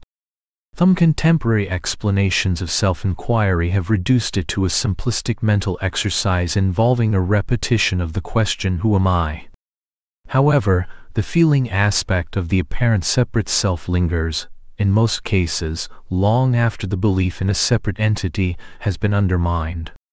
For this reason self-inquiry also involves an exploration of the sense of I at the level of feelings, in which the process of investigation at the level of the mind is taken into a silent and contemplative exploration of the more hidden layers of the sense of the separate self in the body. In this exploration the deeper layers, such as feelings of fear, guilt, shame, inadequacy and unlovableness, are allowed to surface without resistance or agenda and to slowly reveal the sense of separation that lies at their heart. It is in many cases, this deeper exploration of experience which distinguishes intellectual understanding from real experience. This investigation leaves ourself naturally, effortlessly and spontaneously relieved of the superimpositions of thoughts and feelings with which it seems to be limited and located, knowing itself as the witness of the mind, body and world. At this point the body, mind and world are all seen on the same level, so to speak. Nothing is closer to or farther from ourself than anything else, nothing is more or less intimate. Everything is not me, the classic position of neti neti, not this not this. Whatever appears in the body, mind or world is seen to appear to this witnessing presence of awareness. As the exploration deepens, the body, mind and world are experienced not just appearing to, but in awareness and in time, not just in but as awareness. Awareness is known as the very substance of all objects. At this stage we may ask, what are these objects of which awareness is the substance? It now becomes clear that there are, in reality, no objects present in the first place for awareness to be the substance of. Awareness is seen to be the substance of itself alone. This leads spontaneously and effortlessly to the cessation of all self-inquiry or higher reasoning, to a simple abiding as presence. We now simply take our stand knowingly as this presence. We abide as that though self-inquiry is, for the mind, a process of investigation and exploration which naturally gives way to what is, from the newly established position of the witness, an unveiling of apparent limitations, giving way in its turn to simply abiding as the only self there is. Although the first stage may seem a little more active than the more passive and contemplative position of the witness, at no stage do we actually do anything other than ask and look. In fact, we could say that we simply look, and in this seeing, the layers of apparent superimposition gradually fall away. However, it should be emphasized that at no time is there ever an entity that undertakes or undergoes a process. Imagine an actor playing the role of Hamlet. Self-inquiry is the process whereby Hamlet asks the question, What is my true nature? Or simply, Who am I?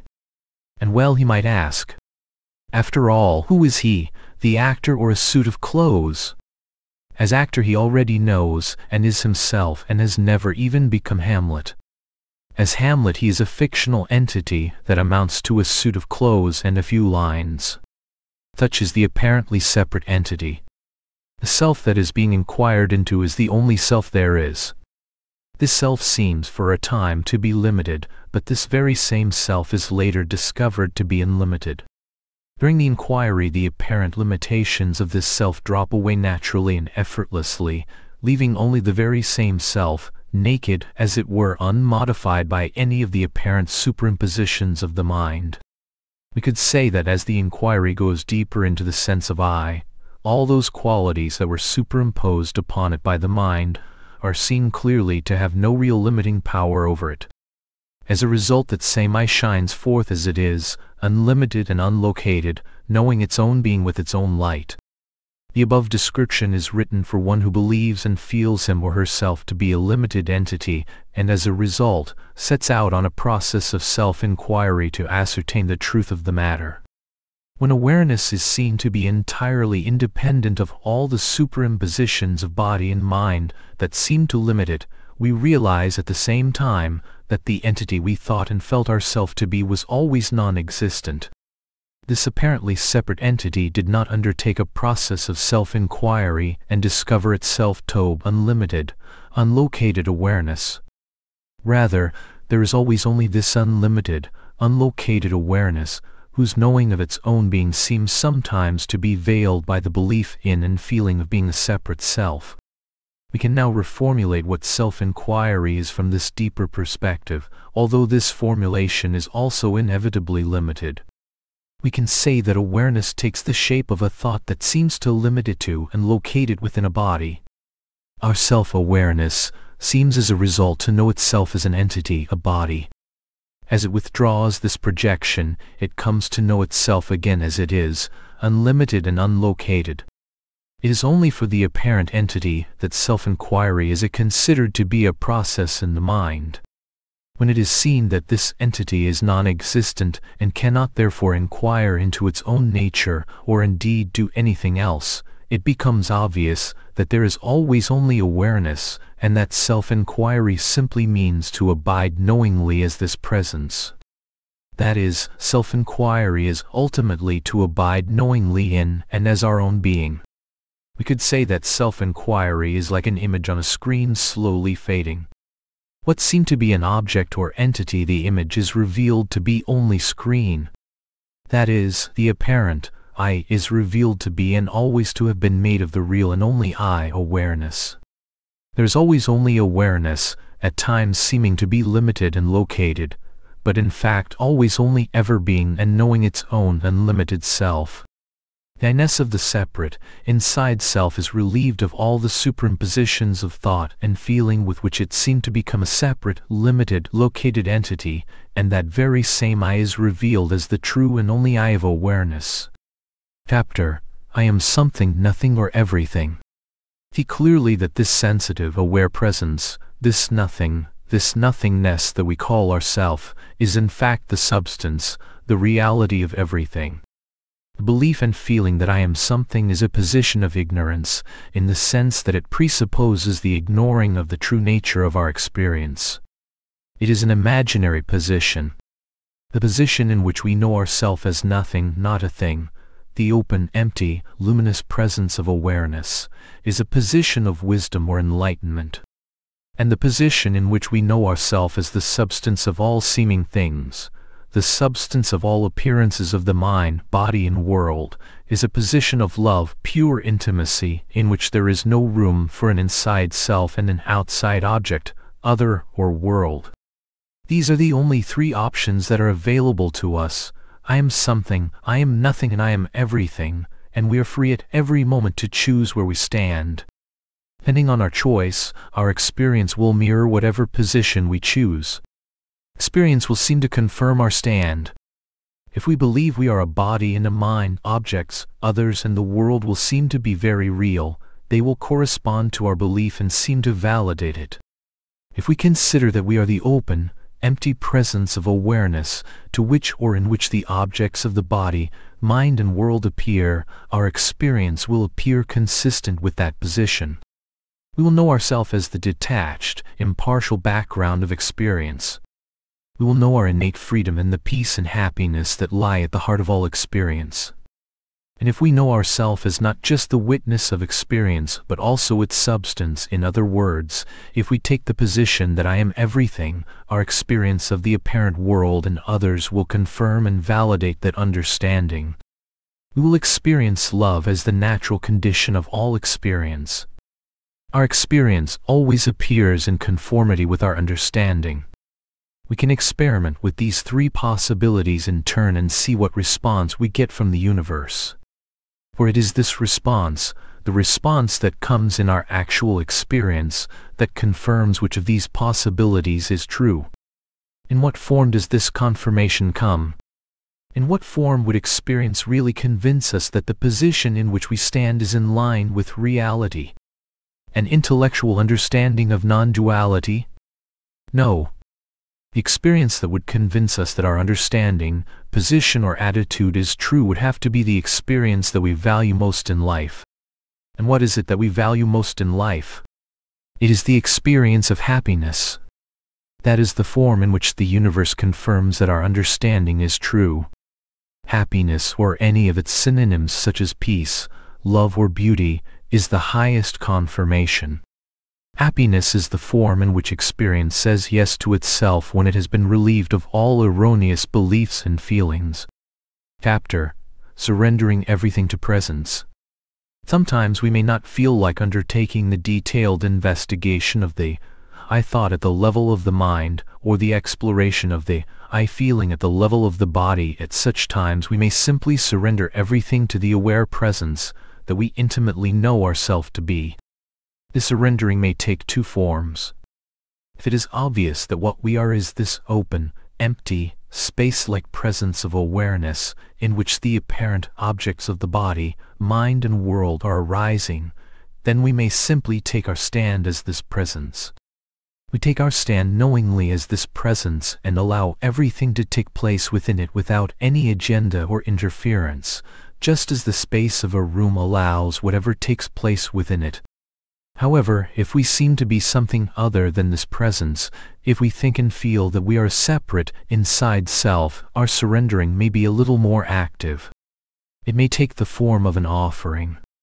We offer our thoughts, feelings, and perceptions to this presence. Either we take our stand as this open, allowing presence, or we offer everything to it. The two are in fact identical. There is nothing that cannot be allowed or offered from our most trivial thoughts to our deepest, darkest feelings. We allow everything, offer everything.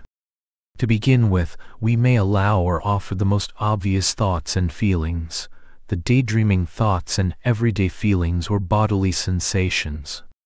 In time we may discover that the purpose of these daydreaming thoughts, these rivulets of thought that keep running in little excursions into the past, and the future, is precisely to prevent us from being aware of deeper layers of feeling in the body that may be more uncomfortable. These little streams of thought find successful ways of engaging our attention so we never have to fully feel the deeper, darker, less comfortable feelings which remain as a result safely buried deep inside the body and rarely surface. These subliminal feelings are the real location of the sense of separation, and we usually avoid them successfully through thinking or addiction to substances and activities. As a result, the separate self that they conceal remains intact, and the body becomes a refuge for the sense of separation.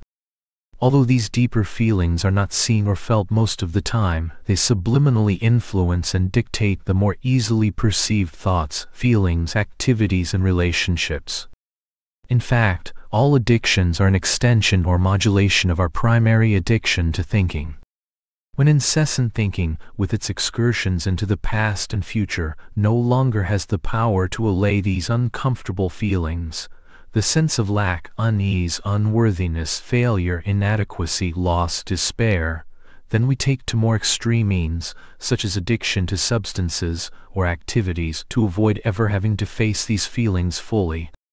As soon as the discomfort arises, we reach for our chosen substance or activity, as a result, the sense of unease temporarily abates, and we experience a brief respite in which the peace of our true nature shines briefly, thereby alleviating the mind and body of their anxieties and tensions.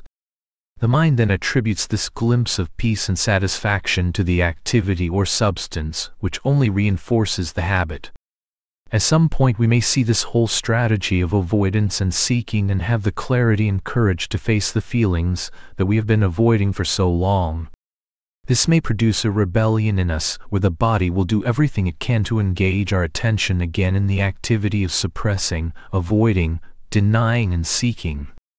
But if we are courageous and loving we may let this display of energies flow through us without allowing ourselves to become their accomplice. In this way, and without realizing it at first, we are taking our stand as aware presence, and by doing so robbing these feelings of the one thing they require, our attention. These feelings do not mind whether they are being indulged or suppressed, they thrive equally on both. We have the courage and the clarity not to escape these feelings through activities and substances, nor through subtler forms of avoidance such as boredom, anticipation, fear, expectation and doubt, layer upon layer of such feelings will be exposed to the light of presence. All these feelings are the various forms of the separate inside self, and the one thing the imaginary self cannot stand is being clearly seen. It thrives on inadvertence. Like a shadow, it cannot stand the light. Nothing needs to be done to these feelings. Our self-aware presence has no agenda with them. Nothing is a problem for ourself. It is only an imaginary self that would want to get rid of them. In fact, wanting to get rid of the separate self is one of the subtler ways it perpetuates itself. Nothing more than this allowing or offering is required. In the past our being, this open, empty, allowing presence, was appropriated by the body and mind and seemed, as a result, to take on their properties. That is, our self seemed to become limited, located, of a certain age or gender, dense, solid and destined for death. This surrendering or offering is the reversal of this process. Instead of our self taking on the qualities of the body and mind, the body and mind begin to take on the qualities of this open, empty, transparent presence. It is like dropping a sugar cube in a glass of warm water. The water doesn't do anything, and the sugar cube doesn't do anything, but the sugar cube slowly becomes like the water. It loses its name and form. The quality of the water, transparency, warmth, openness, emptiness, takes over the sugar cube, it dissolves it into itself. That is similar to what happens in this allowing or offering. Nothing is done by anyone to anyone or anything. The one that would seem to be doing the offering is itself offered up. The body, mind, and world are simply surrendered, and in their own time, they become infiltrated and pervaded by the transparency, openness, emptiness, and intimacy of our own being. The fears, anxieties, and tensions that characterize the separate, inside self slowly dissolve in this transparency, not through effort, discipline, or manipulation of the body or mind, but effortlessly and spontaneously. Allow presence to take care of everything. Whatever is present is only present because it is already totally accepted by awareness. If it were not already accepted by awareness, it would not be appearing. In fact, it is not just accepted. All appearances are loved by awareness. As William Blake said, eternity is in love with the productions of time. Love or pure intimacy is the only experience that awareness knows. Every appearance, even our deepest, darkest feelings, is completely, unconditionally loved by ourself, this presence. In fact, presence is so intimate with all experience that it doesn't know unhappiness or sorrow. Sorrow, always involves the rejection of the current situation. Presence cannot reject anything. It is inherently wide open and without resistance. All rejection, and therefore all sorrow, is for the imaginary self, not for the real and only self-aware presence. We normally think that sorrow needs to be avoided. It is the opposite. The only thing sorrow cannot stand is being embraced. The end of sorrow is not brought about by escaping from it, either into substances and activities or into an ivory tower of spiritual perfectionism. It is brought about by embracing the situation so intimately that there is no room for the least resistance to it. And what becomes of sorrow when it is completely allowed without resistance? The name we give to experience when there is not the slightest impulse to avoid it is peace and happiness. That is what all sorrow is, peace and happiness thinly veiled by the attempt to avoid it. Everything we have ever longed for lies at the heart of all experience, simply waiting to be recognized. All that is required is to cease avoiding what is, in favor of an imaginary past or future. Sorrow simply cannot stand in the now. It needs a past or a future to survive. All seeking takes us into the future and by definition veils the peace and happiness that are ever present at the heart of all experience. The first words I ever heard my teacher say were, meditation is a universal yes to everything. Everything that came after that was simply a commentary on these words, although I didn't realize this for some time. Everything started with that and resolved into that. At some point life, love, and meditation become indistinguishable. Chapter, there are no problems. You aware presence, have no problems, just as the space of a room has no problem with anything that appears within it. The fact that something is appearing means that you aware presence have already said yes to it. In other words, there are no real problems. Problems are always for the self that thought imagines us to be, never for our true self of aware presence. Imagine throwing a ball across a room. The ball is not a problem for the space. In fact, the space has no mechanism within it with which it could resist the ball. Only another object that would rise up within the space would be able to resist the ball. The separate self is like that. It is a thought or a feeling that rises up within the space of ourself and resists the current situation. That resistance turns ourself into a separate entity and turns a neutral situation into a problem. In the absence of that resistance there is simply the immediacy and seamless intimacy of experiencing, in which there is no room, nor any time, for a me, an other, or an object. Problem is always one imaginary part or object wrestling with another, but experiencing is seamless and intimate. There is only the seamless whole. Pure experiencing is not made up of parts, selves, objects, or others, each one fighting the other. Problems are always for thought, a thought wrestling with a thought, a feeling resisting a situation. All these thoughts appear in ourself, but are not for ourself. Even the resisting thought or feeling is not a problem for ourself, it is just another ball flying through the empty space. The resisting thought or feeling, out of which the imaginary self is made, is only a problem for the imaginary self. Only a separate self would want to get rid of a separate self. In fact, only a separate self sees a separate self. And a separate self cannot even see something, it is seen. Separation and the problems that attend it are only from the imaginary point of view of separation. There is in reality no such point of view. Separation and everything that comes from it, such as problems, are always imaginary. A true self doesn't know or see any separation. It knows no separate inside self and no separate outside world. It knows only the immediacy and intimacy of pure experiencing, without parts, separation, selves, objects, or otherness. That is, it knows only love. Our self pervades all experience like the screen pervades the image. In fact, the screen doesn't pervade the image. There is no image there apart from the screen. Image is just the name we give to the screen when it seems to be something other than the screen. Parts, separation, selves, objects and others are the names we give to experience when it seems to be something other than ourself, aware presence, pure intimacy. How could our true self want to get rid of the sense of separation when it doesn't even see any such separation? What is it that sees a problem and wants to get rid of it? Only an imaginary self. It is the apparent presence of that imaginary self that turns a neutral situation into a problem to be solved. It is not possible to deal with a non-existent problem. By dealing with problems we grant them reality. Problems thrive on the attention we give them.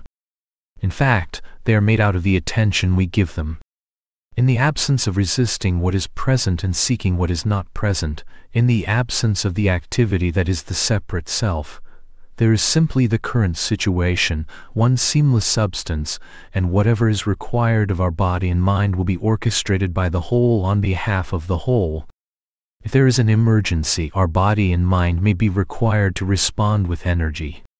However, the imaginary self will not be present in the response, which will as a result be free of the distorting lens of separation through which experience is so often filtered. In such a situation, the body-mind will play its role in this situation, contributing whatever is required of it with efficiency and precision. After the emergency has passed, the body and mind return to their natural state of openness, transparency and ease, without any lingering residues or traces. In this way, the body and mind never become a refuge for the sense of separation, and their natural sensitivity remains intact. Likewise, the world never becomes a distant, separate inner object. It remains vibrant, alive and intimate, and our activities are always in line with it because they proceed from within it and are not superimposed from an imaginary outside. Chapter Happiness is the highest spiritual practice. Many teachers say that there is nothing the apparent individual can do towards the realization of the true nature of experience. Is this true? If there is a belief, and more importantly, a feeling of separation, a sense that I am located in and as a body, then that belief and feeling veil the reality of our experience, making it appear that there is a separate self in here and a separate object, other or world out there. In fact, this belief and feeling only appear to veil the reality of our experience and never actually do. The reality of our experience is that we are the unlimited, unlocated aware presence that intimately pervades all experience. The apparent veiling of our true nature comes the veiling of the peace and happiness that are inherent in it. This veiling of happiness is the experience of sorrow or suffering, and inherent in suffering is the search for happiness. There were no search for happiness, in other words, if we were completely content with the current situation, there would be no suffering. Though the veiling of happiness, suffering, and the search for happiness are all synonyms. Another name for this search is the separate inside self. The separate inside self is not an entity. It is the activity of resisting and seeking, and therefore the activity of suffering. It is not that the apparent separate entity searches for happiness, but rather that it is the search for happiness. If we see our suffering as arising in awareness along with everything else and believe as a result, there is nothing to be done about it, we are fooling ourselves. Suffering is, by definition, a resistance to the current situation and the inevitable search for an alternative in the future. If there is no resistance to the current situation, there is no suffering. If the current situation is the experience of suffering, and if there is absolutely no resistance to that suffering, then the suffering cannot stand, because suffering is resistance. The suffering is immediately transformed into happiness. Suffering stands revealed as happiness as soon as all resistance to it ceases. Thus, happiness is the essential nature even of suffering. It lies quietly at the heart of all experience, including suffering, waiting to be recognized, waiting for our resistance to drop, waiting for us to have the courage and the love to turn around, as it were, and face the suffering without the slightest desire to resist it or move away. It is for this reason that even in our darkest moments of despair, we are never completely overtaken by unhappiness. If we were, there would be no room for anything else, not even room for thought to separate out a self to look back at the suffering and try to get rid of it, and then it would be perfect non-duality, and therefore perfect happiness. There is no such thing as absolute suffering. Suffering is always mixed with something else, with a desire to get rid of it in an imaginary future, that is, with a desire for happiness. However, there is absolute happiness that is not mixed with the slightest tinge of anything else. That is ourself. If there is unhappiness, it is because we are taking our stand as a separate inside self. In that case, the imaginary self cannot say that everything, including its own unhappiness, is arising in awareness, because the separate self is precisely the belief that some things, such as our self, our awareness and others, such as objects in the world, are not. Therefore, to be unhappy and to claim there is nothing to do is a contradiction in terms. The separate entity is already a doing, a rejection of the current situation, a search for happiness. It is the activity of suffering and searching. Though if, as an apparent person, we think there is nothing to do, we are deluding ourselves, we are laying a veneer of non-duality over uncomfortable feelings that we have neither the courage nor the intelligence to face. In this case, non-duality has just become our new religion, and we are using it to avoid honestly and courageously facing our actual experience. The apparently separate, inside self has simply appropriated the non-dual teachings and is using them in its own defense. Such a position is simply a belief and does not touch the far deeper layers of suffering that live as feelings in our body. In fact, the more vehemently we assert our new religion of there is nothing to do, the more safely the separate self remains buried in the body. However, sooner or later in the privacy of our heart, our suffering will resurface and compel the search for happiness. If as an apparent person, we feel there is nothing to do, we are in an even worse position than one who has never heard the teaching, for not only are we suffering, but we are also, by a convoluted act of reasoning, denying ourselves the very means by which we may see the origin and therefore the resolution of our suffering. At least one who is suffering and honestly searching for a resolution has the possibility of exploring his or her experience and coming to an understanding of the nature of suffering. The only thing that suffering cannot stand is to be understood, that is, to be clearly seen. Suffering is ultimately an illusion, but in order to see it as such we have to face it with courage. The only way out of suffering is right through the heart of it we deny this possibility, we are stuck. Is denial masquerading as acceptance, fear masquerading as peace. The true teaching is always spontaneous and can assume a great variety of forms to suit the needs of the moment. The prescription there is nothing to do is just one of the possible forms of the teaching. If it comes in the moment as the response of love and intelligence to a particular question or situation, then it will be perfect but if it is applied as a mechanical answer to all questions then it perpetuates the ignorance that it seeks to relieve. In fact, in such a case it comes from ignorance. True teaching is not in the words. It is in the love and understanding from which the words proceed and with which they are permeated. The words are just the packaging of the teaching. They are important, but only insofar as they lead back to their place of origin. As such, and in the hands of a skillful and sensitive teacher or friend, a very wide variety of means and expressions will be used, depending on the current situation.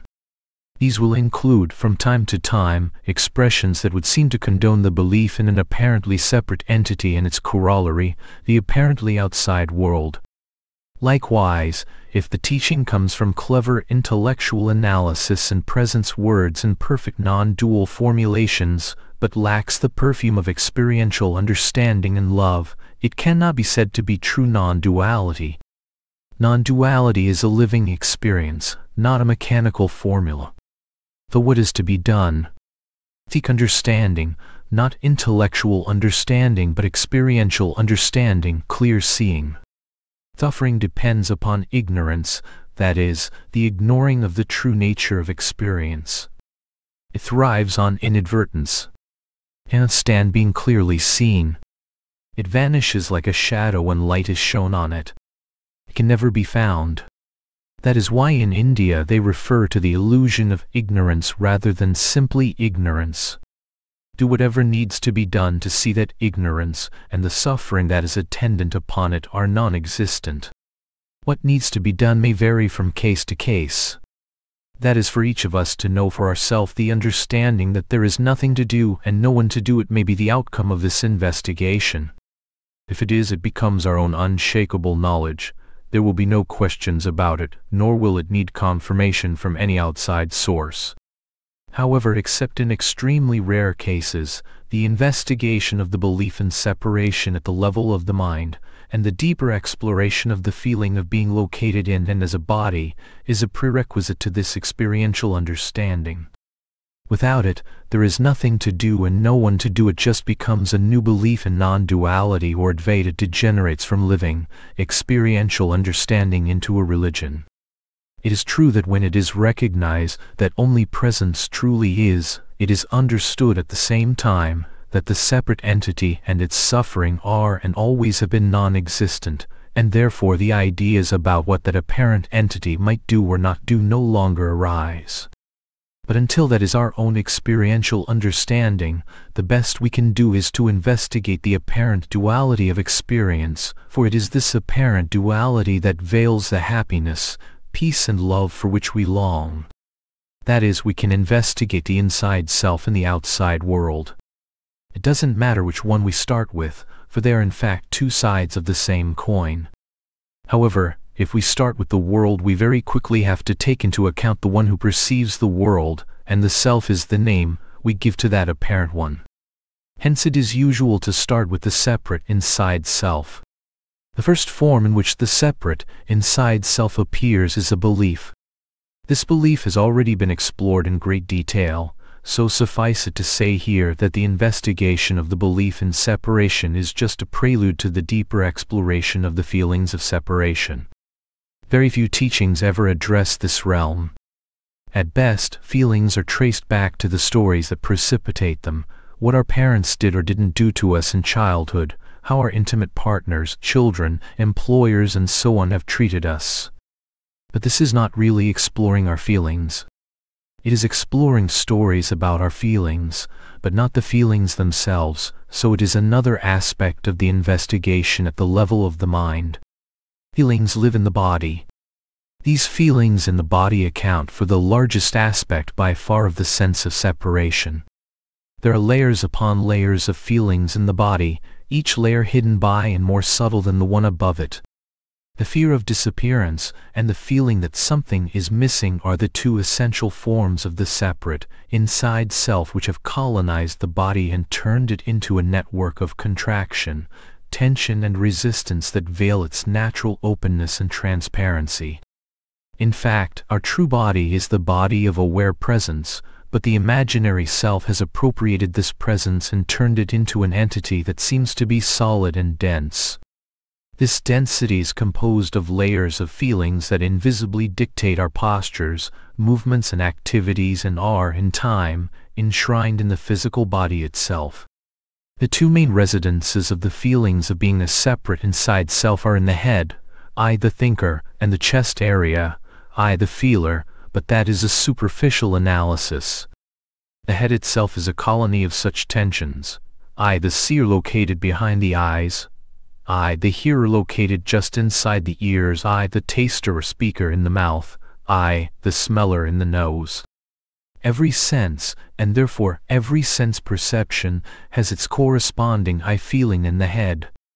Then there is I, the feeler or lover in the chest area, I, the maker in the hands, I, the mover, the walker, the doer, woven into a dense, multi-layered fabric of me-ness that pervades the body. The exploration of the me-ness in the body is first the revelation of this fabric and subsequently its unraveling. The me-ness in the body could be likened to a box full of family photos dating back to our earliest childhood. On the top the images are quite distinct and easy to make out. However, as we progress down through the photos they become more faded. They begin to lose their sharpness and clarity. The most obvious me feelings may be enshrined as a general feeling that pervades the head and chest, but as these are clearly seen, the subtler layers of me feelings in the body are revealed. The only thing that these feelings cannot stand is to be clearly seen, for in being clearly seen they are understood and felt to be simply neutral bodily sensations with no separate self at their center. In this contemplation they lose their need to be either indulged or avoided, they no longer provoke resistance or seeking. They are simply allowed to be what they are, neutral sensations appearing in our transparent presence. In time and with our loving and disinterested contemplation, the distinction between the sensations and the presence in which they appear begins to blur. We have the courage to stay with these sensations for long enough and not escape them through the usual channels of thinking and acting. They are revealed as nothing other than this presence. In fact, they were always that but are now known and felt as such. As each layer of feeling evaporates in this experiential understanding, the next one, which resides deeper in the body, closer to the essential me feeling, is exposed and in turn relieved of all superimposed me-ness as it is subjected to the light of awareness. At some point the core separate self-feeling, the fear of disappearance and the sense of lack, is exposed. For some this is the first feeling to be exposed, this may be a frightening experience and we may shrink from opening ourselves totally to it. In this case, we may approach it again gradually as outlined above. Or we may face it full on the first time, and have the courage and the love to completely surrender to the invitation to release it to the transparent presence of our own being. The residues of feelings in the body will, in almost all cases, remain and will gradually, effortlessly and naturally be flushed out of the system in time. If we approach it more gradually, the exposure of this essential fear and lack will not be such a dramatic event and may even pass unnoticed. It will only be later that we discover that the core knot of separation in the body has been dissolved, Either way, a time comes when the whole fabric of the separate self-feeling in the body has been fully exposed and offered to the light of aware presence, which has, as it were, completely absorbed it into itself. All that remains now is presence itself, abiding in and as itself. This abiding in and as aware presence is the essence of meditation, and indeed the essence of the teaching. In time it becomes the essence of our life, Nothing other than that is really needed. All the words are meant only to point towards this abidance in and his presence. The investigation at the level of the mind relieves our being of the doubts and beliefs with which it was veiled and exposes the deeper layers of feeling in the body. The exploration and dissolution of these feelings leaves our being relieved of the deeper layers of superimposed feelings, standing naked and unadorned. Relieved of the dictates of the tyrant self, the body and mind are now experienced as open, empty, transparent and sensitive, and are available to express, communicate, share and celebrate our being's essential qualities of happiness, peace and love. For presence there is nothing to avoid, nor any state that could add anything to its fullness. As such, it is the simple experience of happiness. Happiness is simply the knowing of our own being its knowing of itself as it is. To abide knowingly as that is pure meditation, and in the end turns out to be life itself. Happiness is the highest spiritual practice. Chapter The Light of Knowing You repeatedly say that awareness knows the objects of the body, mind, and world. You also say that awareness does not know objects, selves, entities, others, or the world. How do we reconcile these seemingly contradictory statements? The suggestion that awareness knows objects is a halfway understanding that relieves us of the belief that the body mind is an independent entity in its own right, with its own capacity to think, feel, and perceive. Once this formulation has done its job of uprooting the previous belief in the separate existence of a subject and object, it can be abandoned in favor of the deeper understanding that objects as such are never truly known. In time, of course, this new understanding also has to be abandoned, and we find ourselves shining at the heart of experience, simply unable to move away from it into the abstract symbols of thought that conceive of selves, entities, objects, others, and the world. Though these two statements are not contradictory, the latter is simply an extension and a refinement of the former. Imagine that the sun's light could see as well as illumine. On a dark night, the sun cannot see the objects of the world. All there is for the sun is its own light shining in emptiness. Only the moon can see or know the objects of the world at night, However, the light with which the moon sees or knows objects belongs to the sun.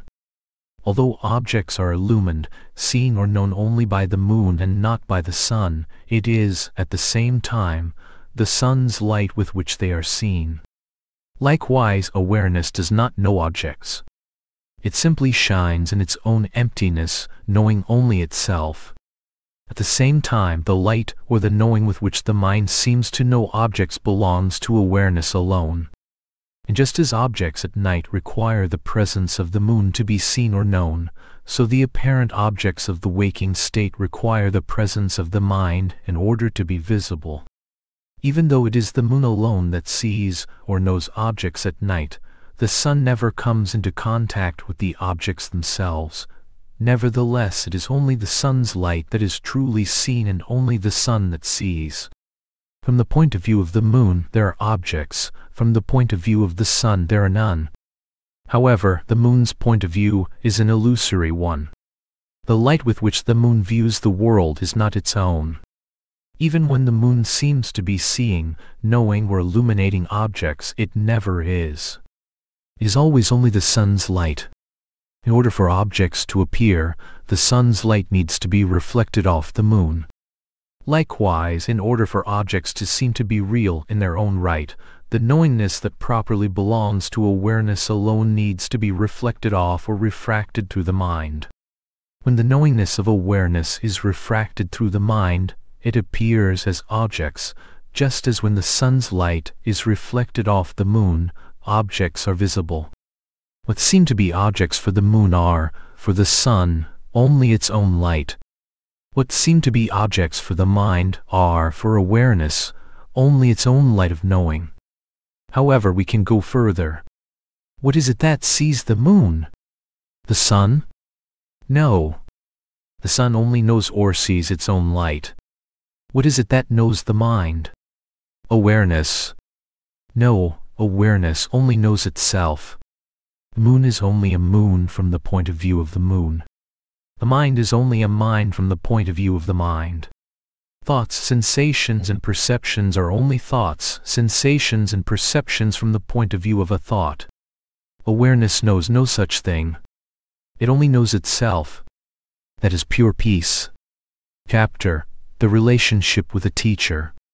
How do you see the uprooting or exposure of personal blind spots that seem to block the release into the natural openness of being? Do you advocate a kind of one-on-one teacher-student pointing out that could lead to this type of release? The teacher wants absolutely nothing either for or from the student. He or she has no agenda. The so-called teacher sees the so-called student as him or herself, that is, as presence. It is this attitude that is primarily, in my experience, the effective agent in the apparent relationship between the teacher and the student. For so long the world has treated us like a separate person, and as a result, we have learned to think, feel, and behave like one.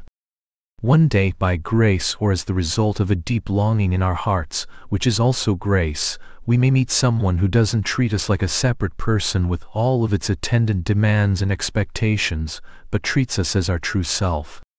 We may register this encounter simply as friendship, the simple feeling of I like this man or woman.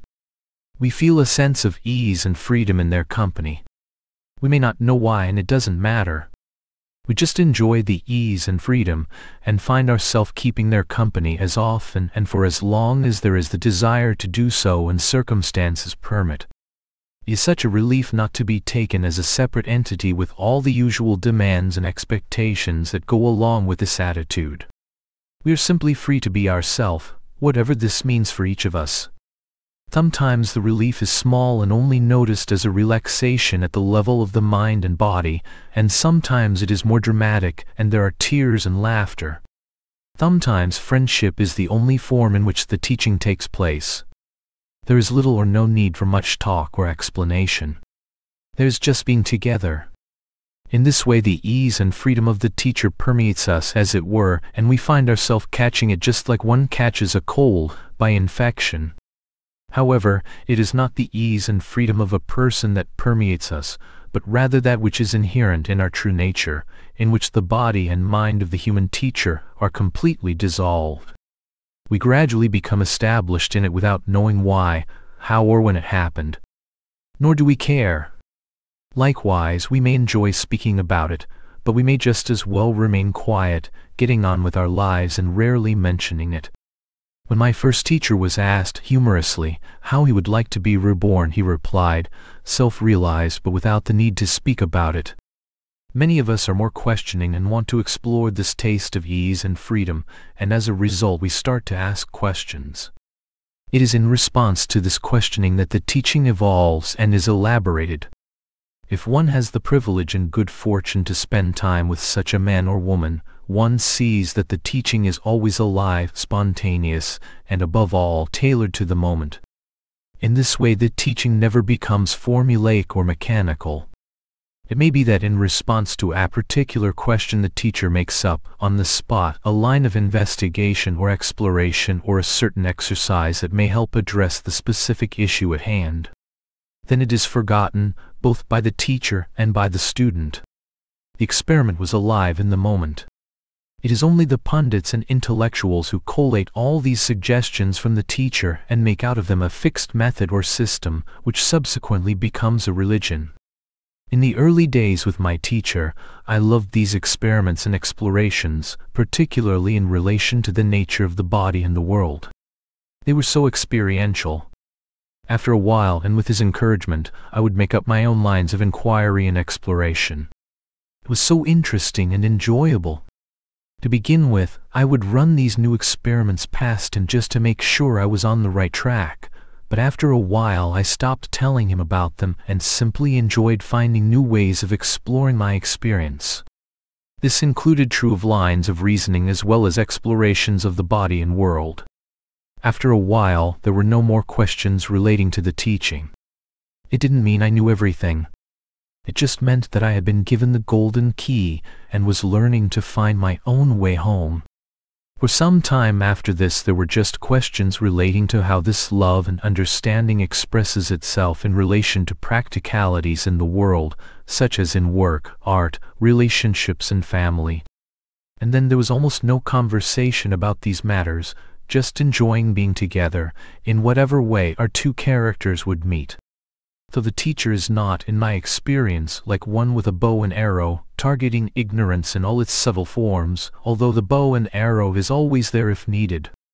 In my experience the teacher is more like an ocean of love and intelligence. It is to this ocean, which at first we ascribe to the person of the teacher, but later ascribe to impersonal presence, that the beliefs and feelings of being a separate and limited entity are offered and in which they are subsequently dissolved. How that dissolution takes place I do not really know, but it is unique in each case. For few it will not even involve the presence of a teacher, but even in these rare cases, it is still the same ocean of love and intelligence that dissolves the apparent ignorance. When one looks back on the relationship with the teacher, it is a mystery. We do not know what happened, when, how, or why. All that remains is a heart melted in love and gratitude. We do not know what we are in love with, nor do we know to whom we are grateful. It is almost impossible to speak of this. Nor is it necessary to, for more and more one finds that one's whole life becomes a gesture of this love and gratitude. I had a dream about my teacher some time ago that graphically illustrated my relationship with him. In the dream Ellen and I had been staying with him in a large old house and were due to depart following day. I wanted to say goodbye and to thank him, so started to look for him. After some time we both simultaneously entered a tiny room at the center of the house, each through a different door. Our eyes met and we smiled warmly. I went up to him and embraced him, and we held each other closely for some time. At a certain point, still with our arms around one another, I started to rub Francis's back and said softly, Thank you, thank you, thank you. As I finished the last thank you, I began to lose my balance. I had been standing on tiptoe because in the dream he was taller than me. I began to sway as if seasick and stretched out an arm to find something solid to hold on to. However, as I did this something inside me said, no don't hold on to anything solid. Let go completely. As these words resounded, our bodies began to melt into one another. After some time our bodies were both completely melted and dissolved into one another. We remained like this timelessly. At some point our bodies began to emerge and take their respective shapes again. For long we were standing in front of each other in the normal way. Francis then said to me, When you are speaking to others, remember to tell them who it is that bears the light. We said goodbye and parted. In the Indian tradition, the teaching is a transference of insight or energy according to the capacity of the student, activated by a guru or teacher. Words can be used or not, but they are not the main vessel. As much as I enjoy the exchange with others on the path, all too often it turns from honest self-inquiry into a battlefield of opinions. Would you comment? You are quite right that the words are not the main vessel of the teaching. They are the outer layer of the teaching. However, there is much more to language than the stringing together of abstract sounds. We all know, for instance, that, that there are innumerable ways to simply say hello. Each of these different ways will add depth and meaning to the word. In fact, it is the way we say the word rather than the word itself that is its true import. Likewise, there are many other aspects of the teacher or the teaching that convey the essence of the understanding. Even more potent than these subtler ways of communicating are the silence, love and understanding from which the words arise.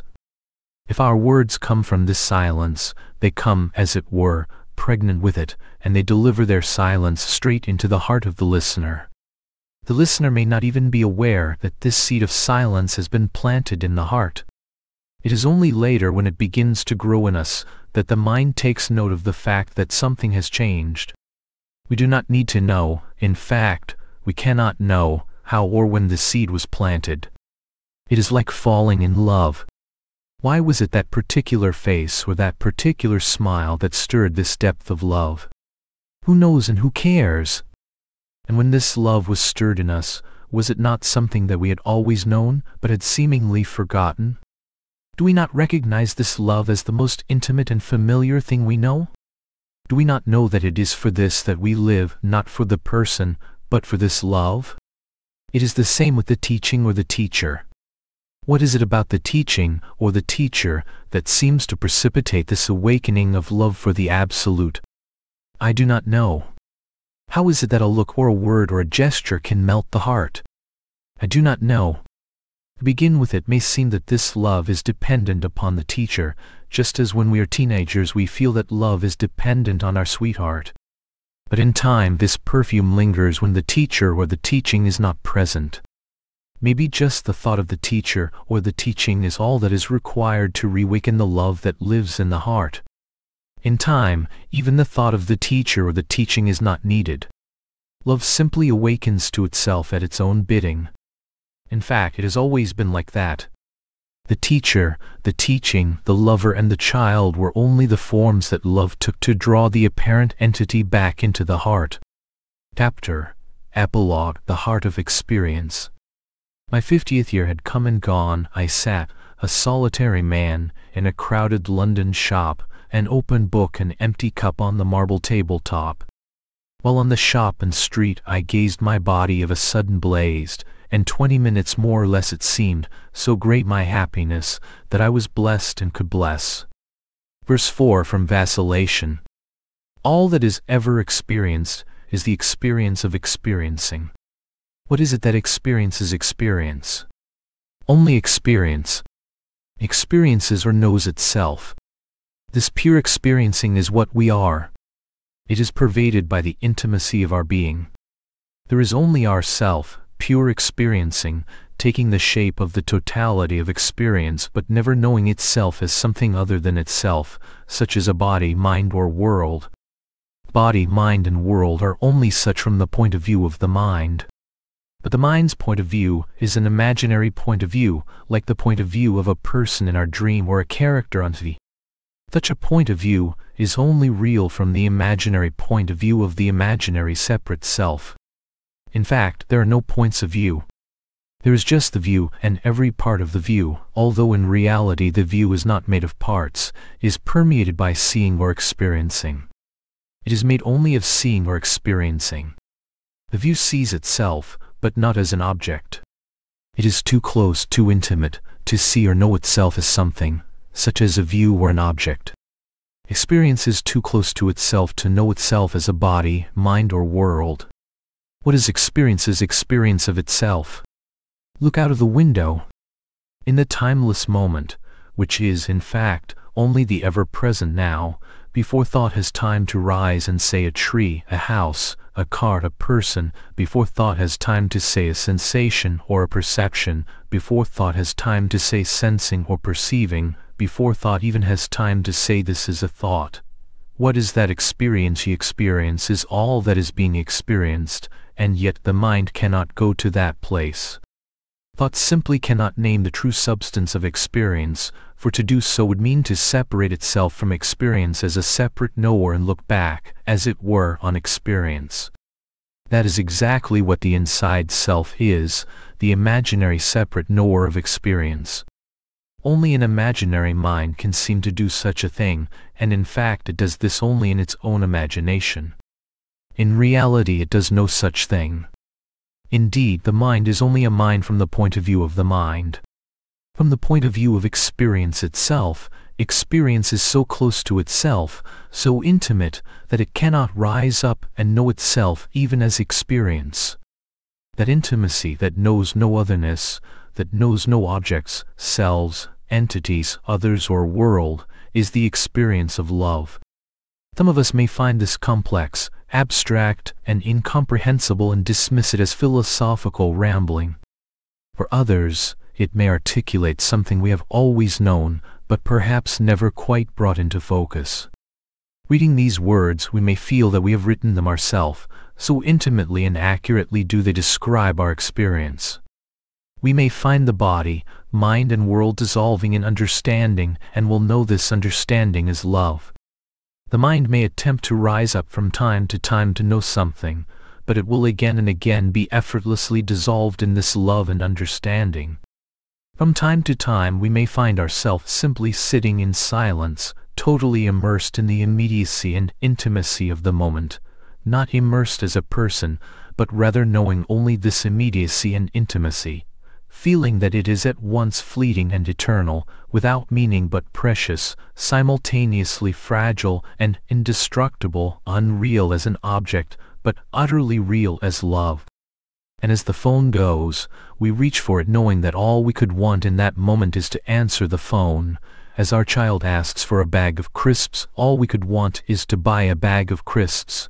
As we wash our face in the morning, all we could want is the sensation of warm water on our skin. Whatever we touch, wherever we look, whatever we hear, we bless it with our touching, with our looking, with our hearing, and are simultaneously blessed by it. We find ourselves at, and as the very heart of life, without the slightest motive to resist or seek.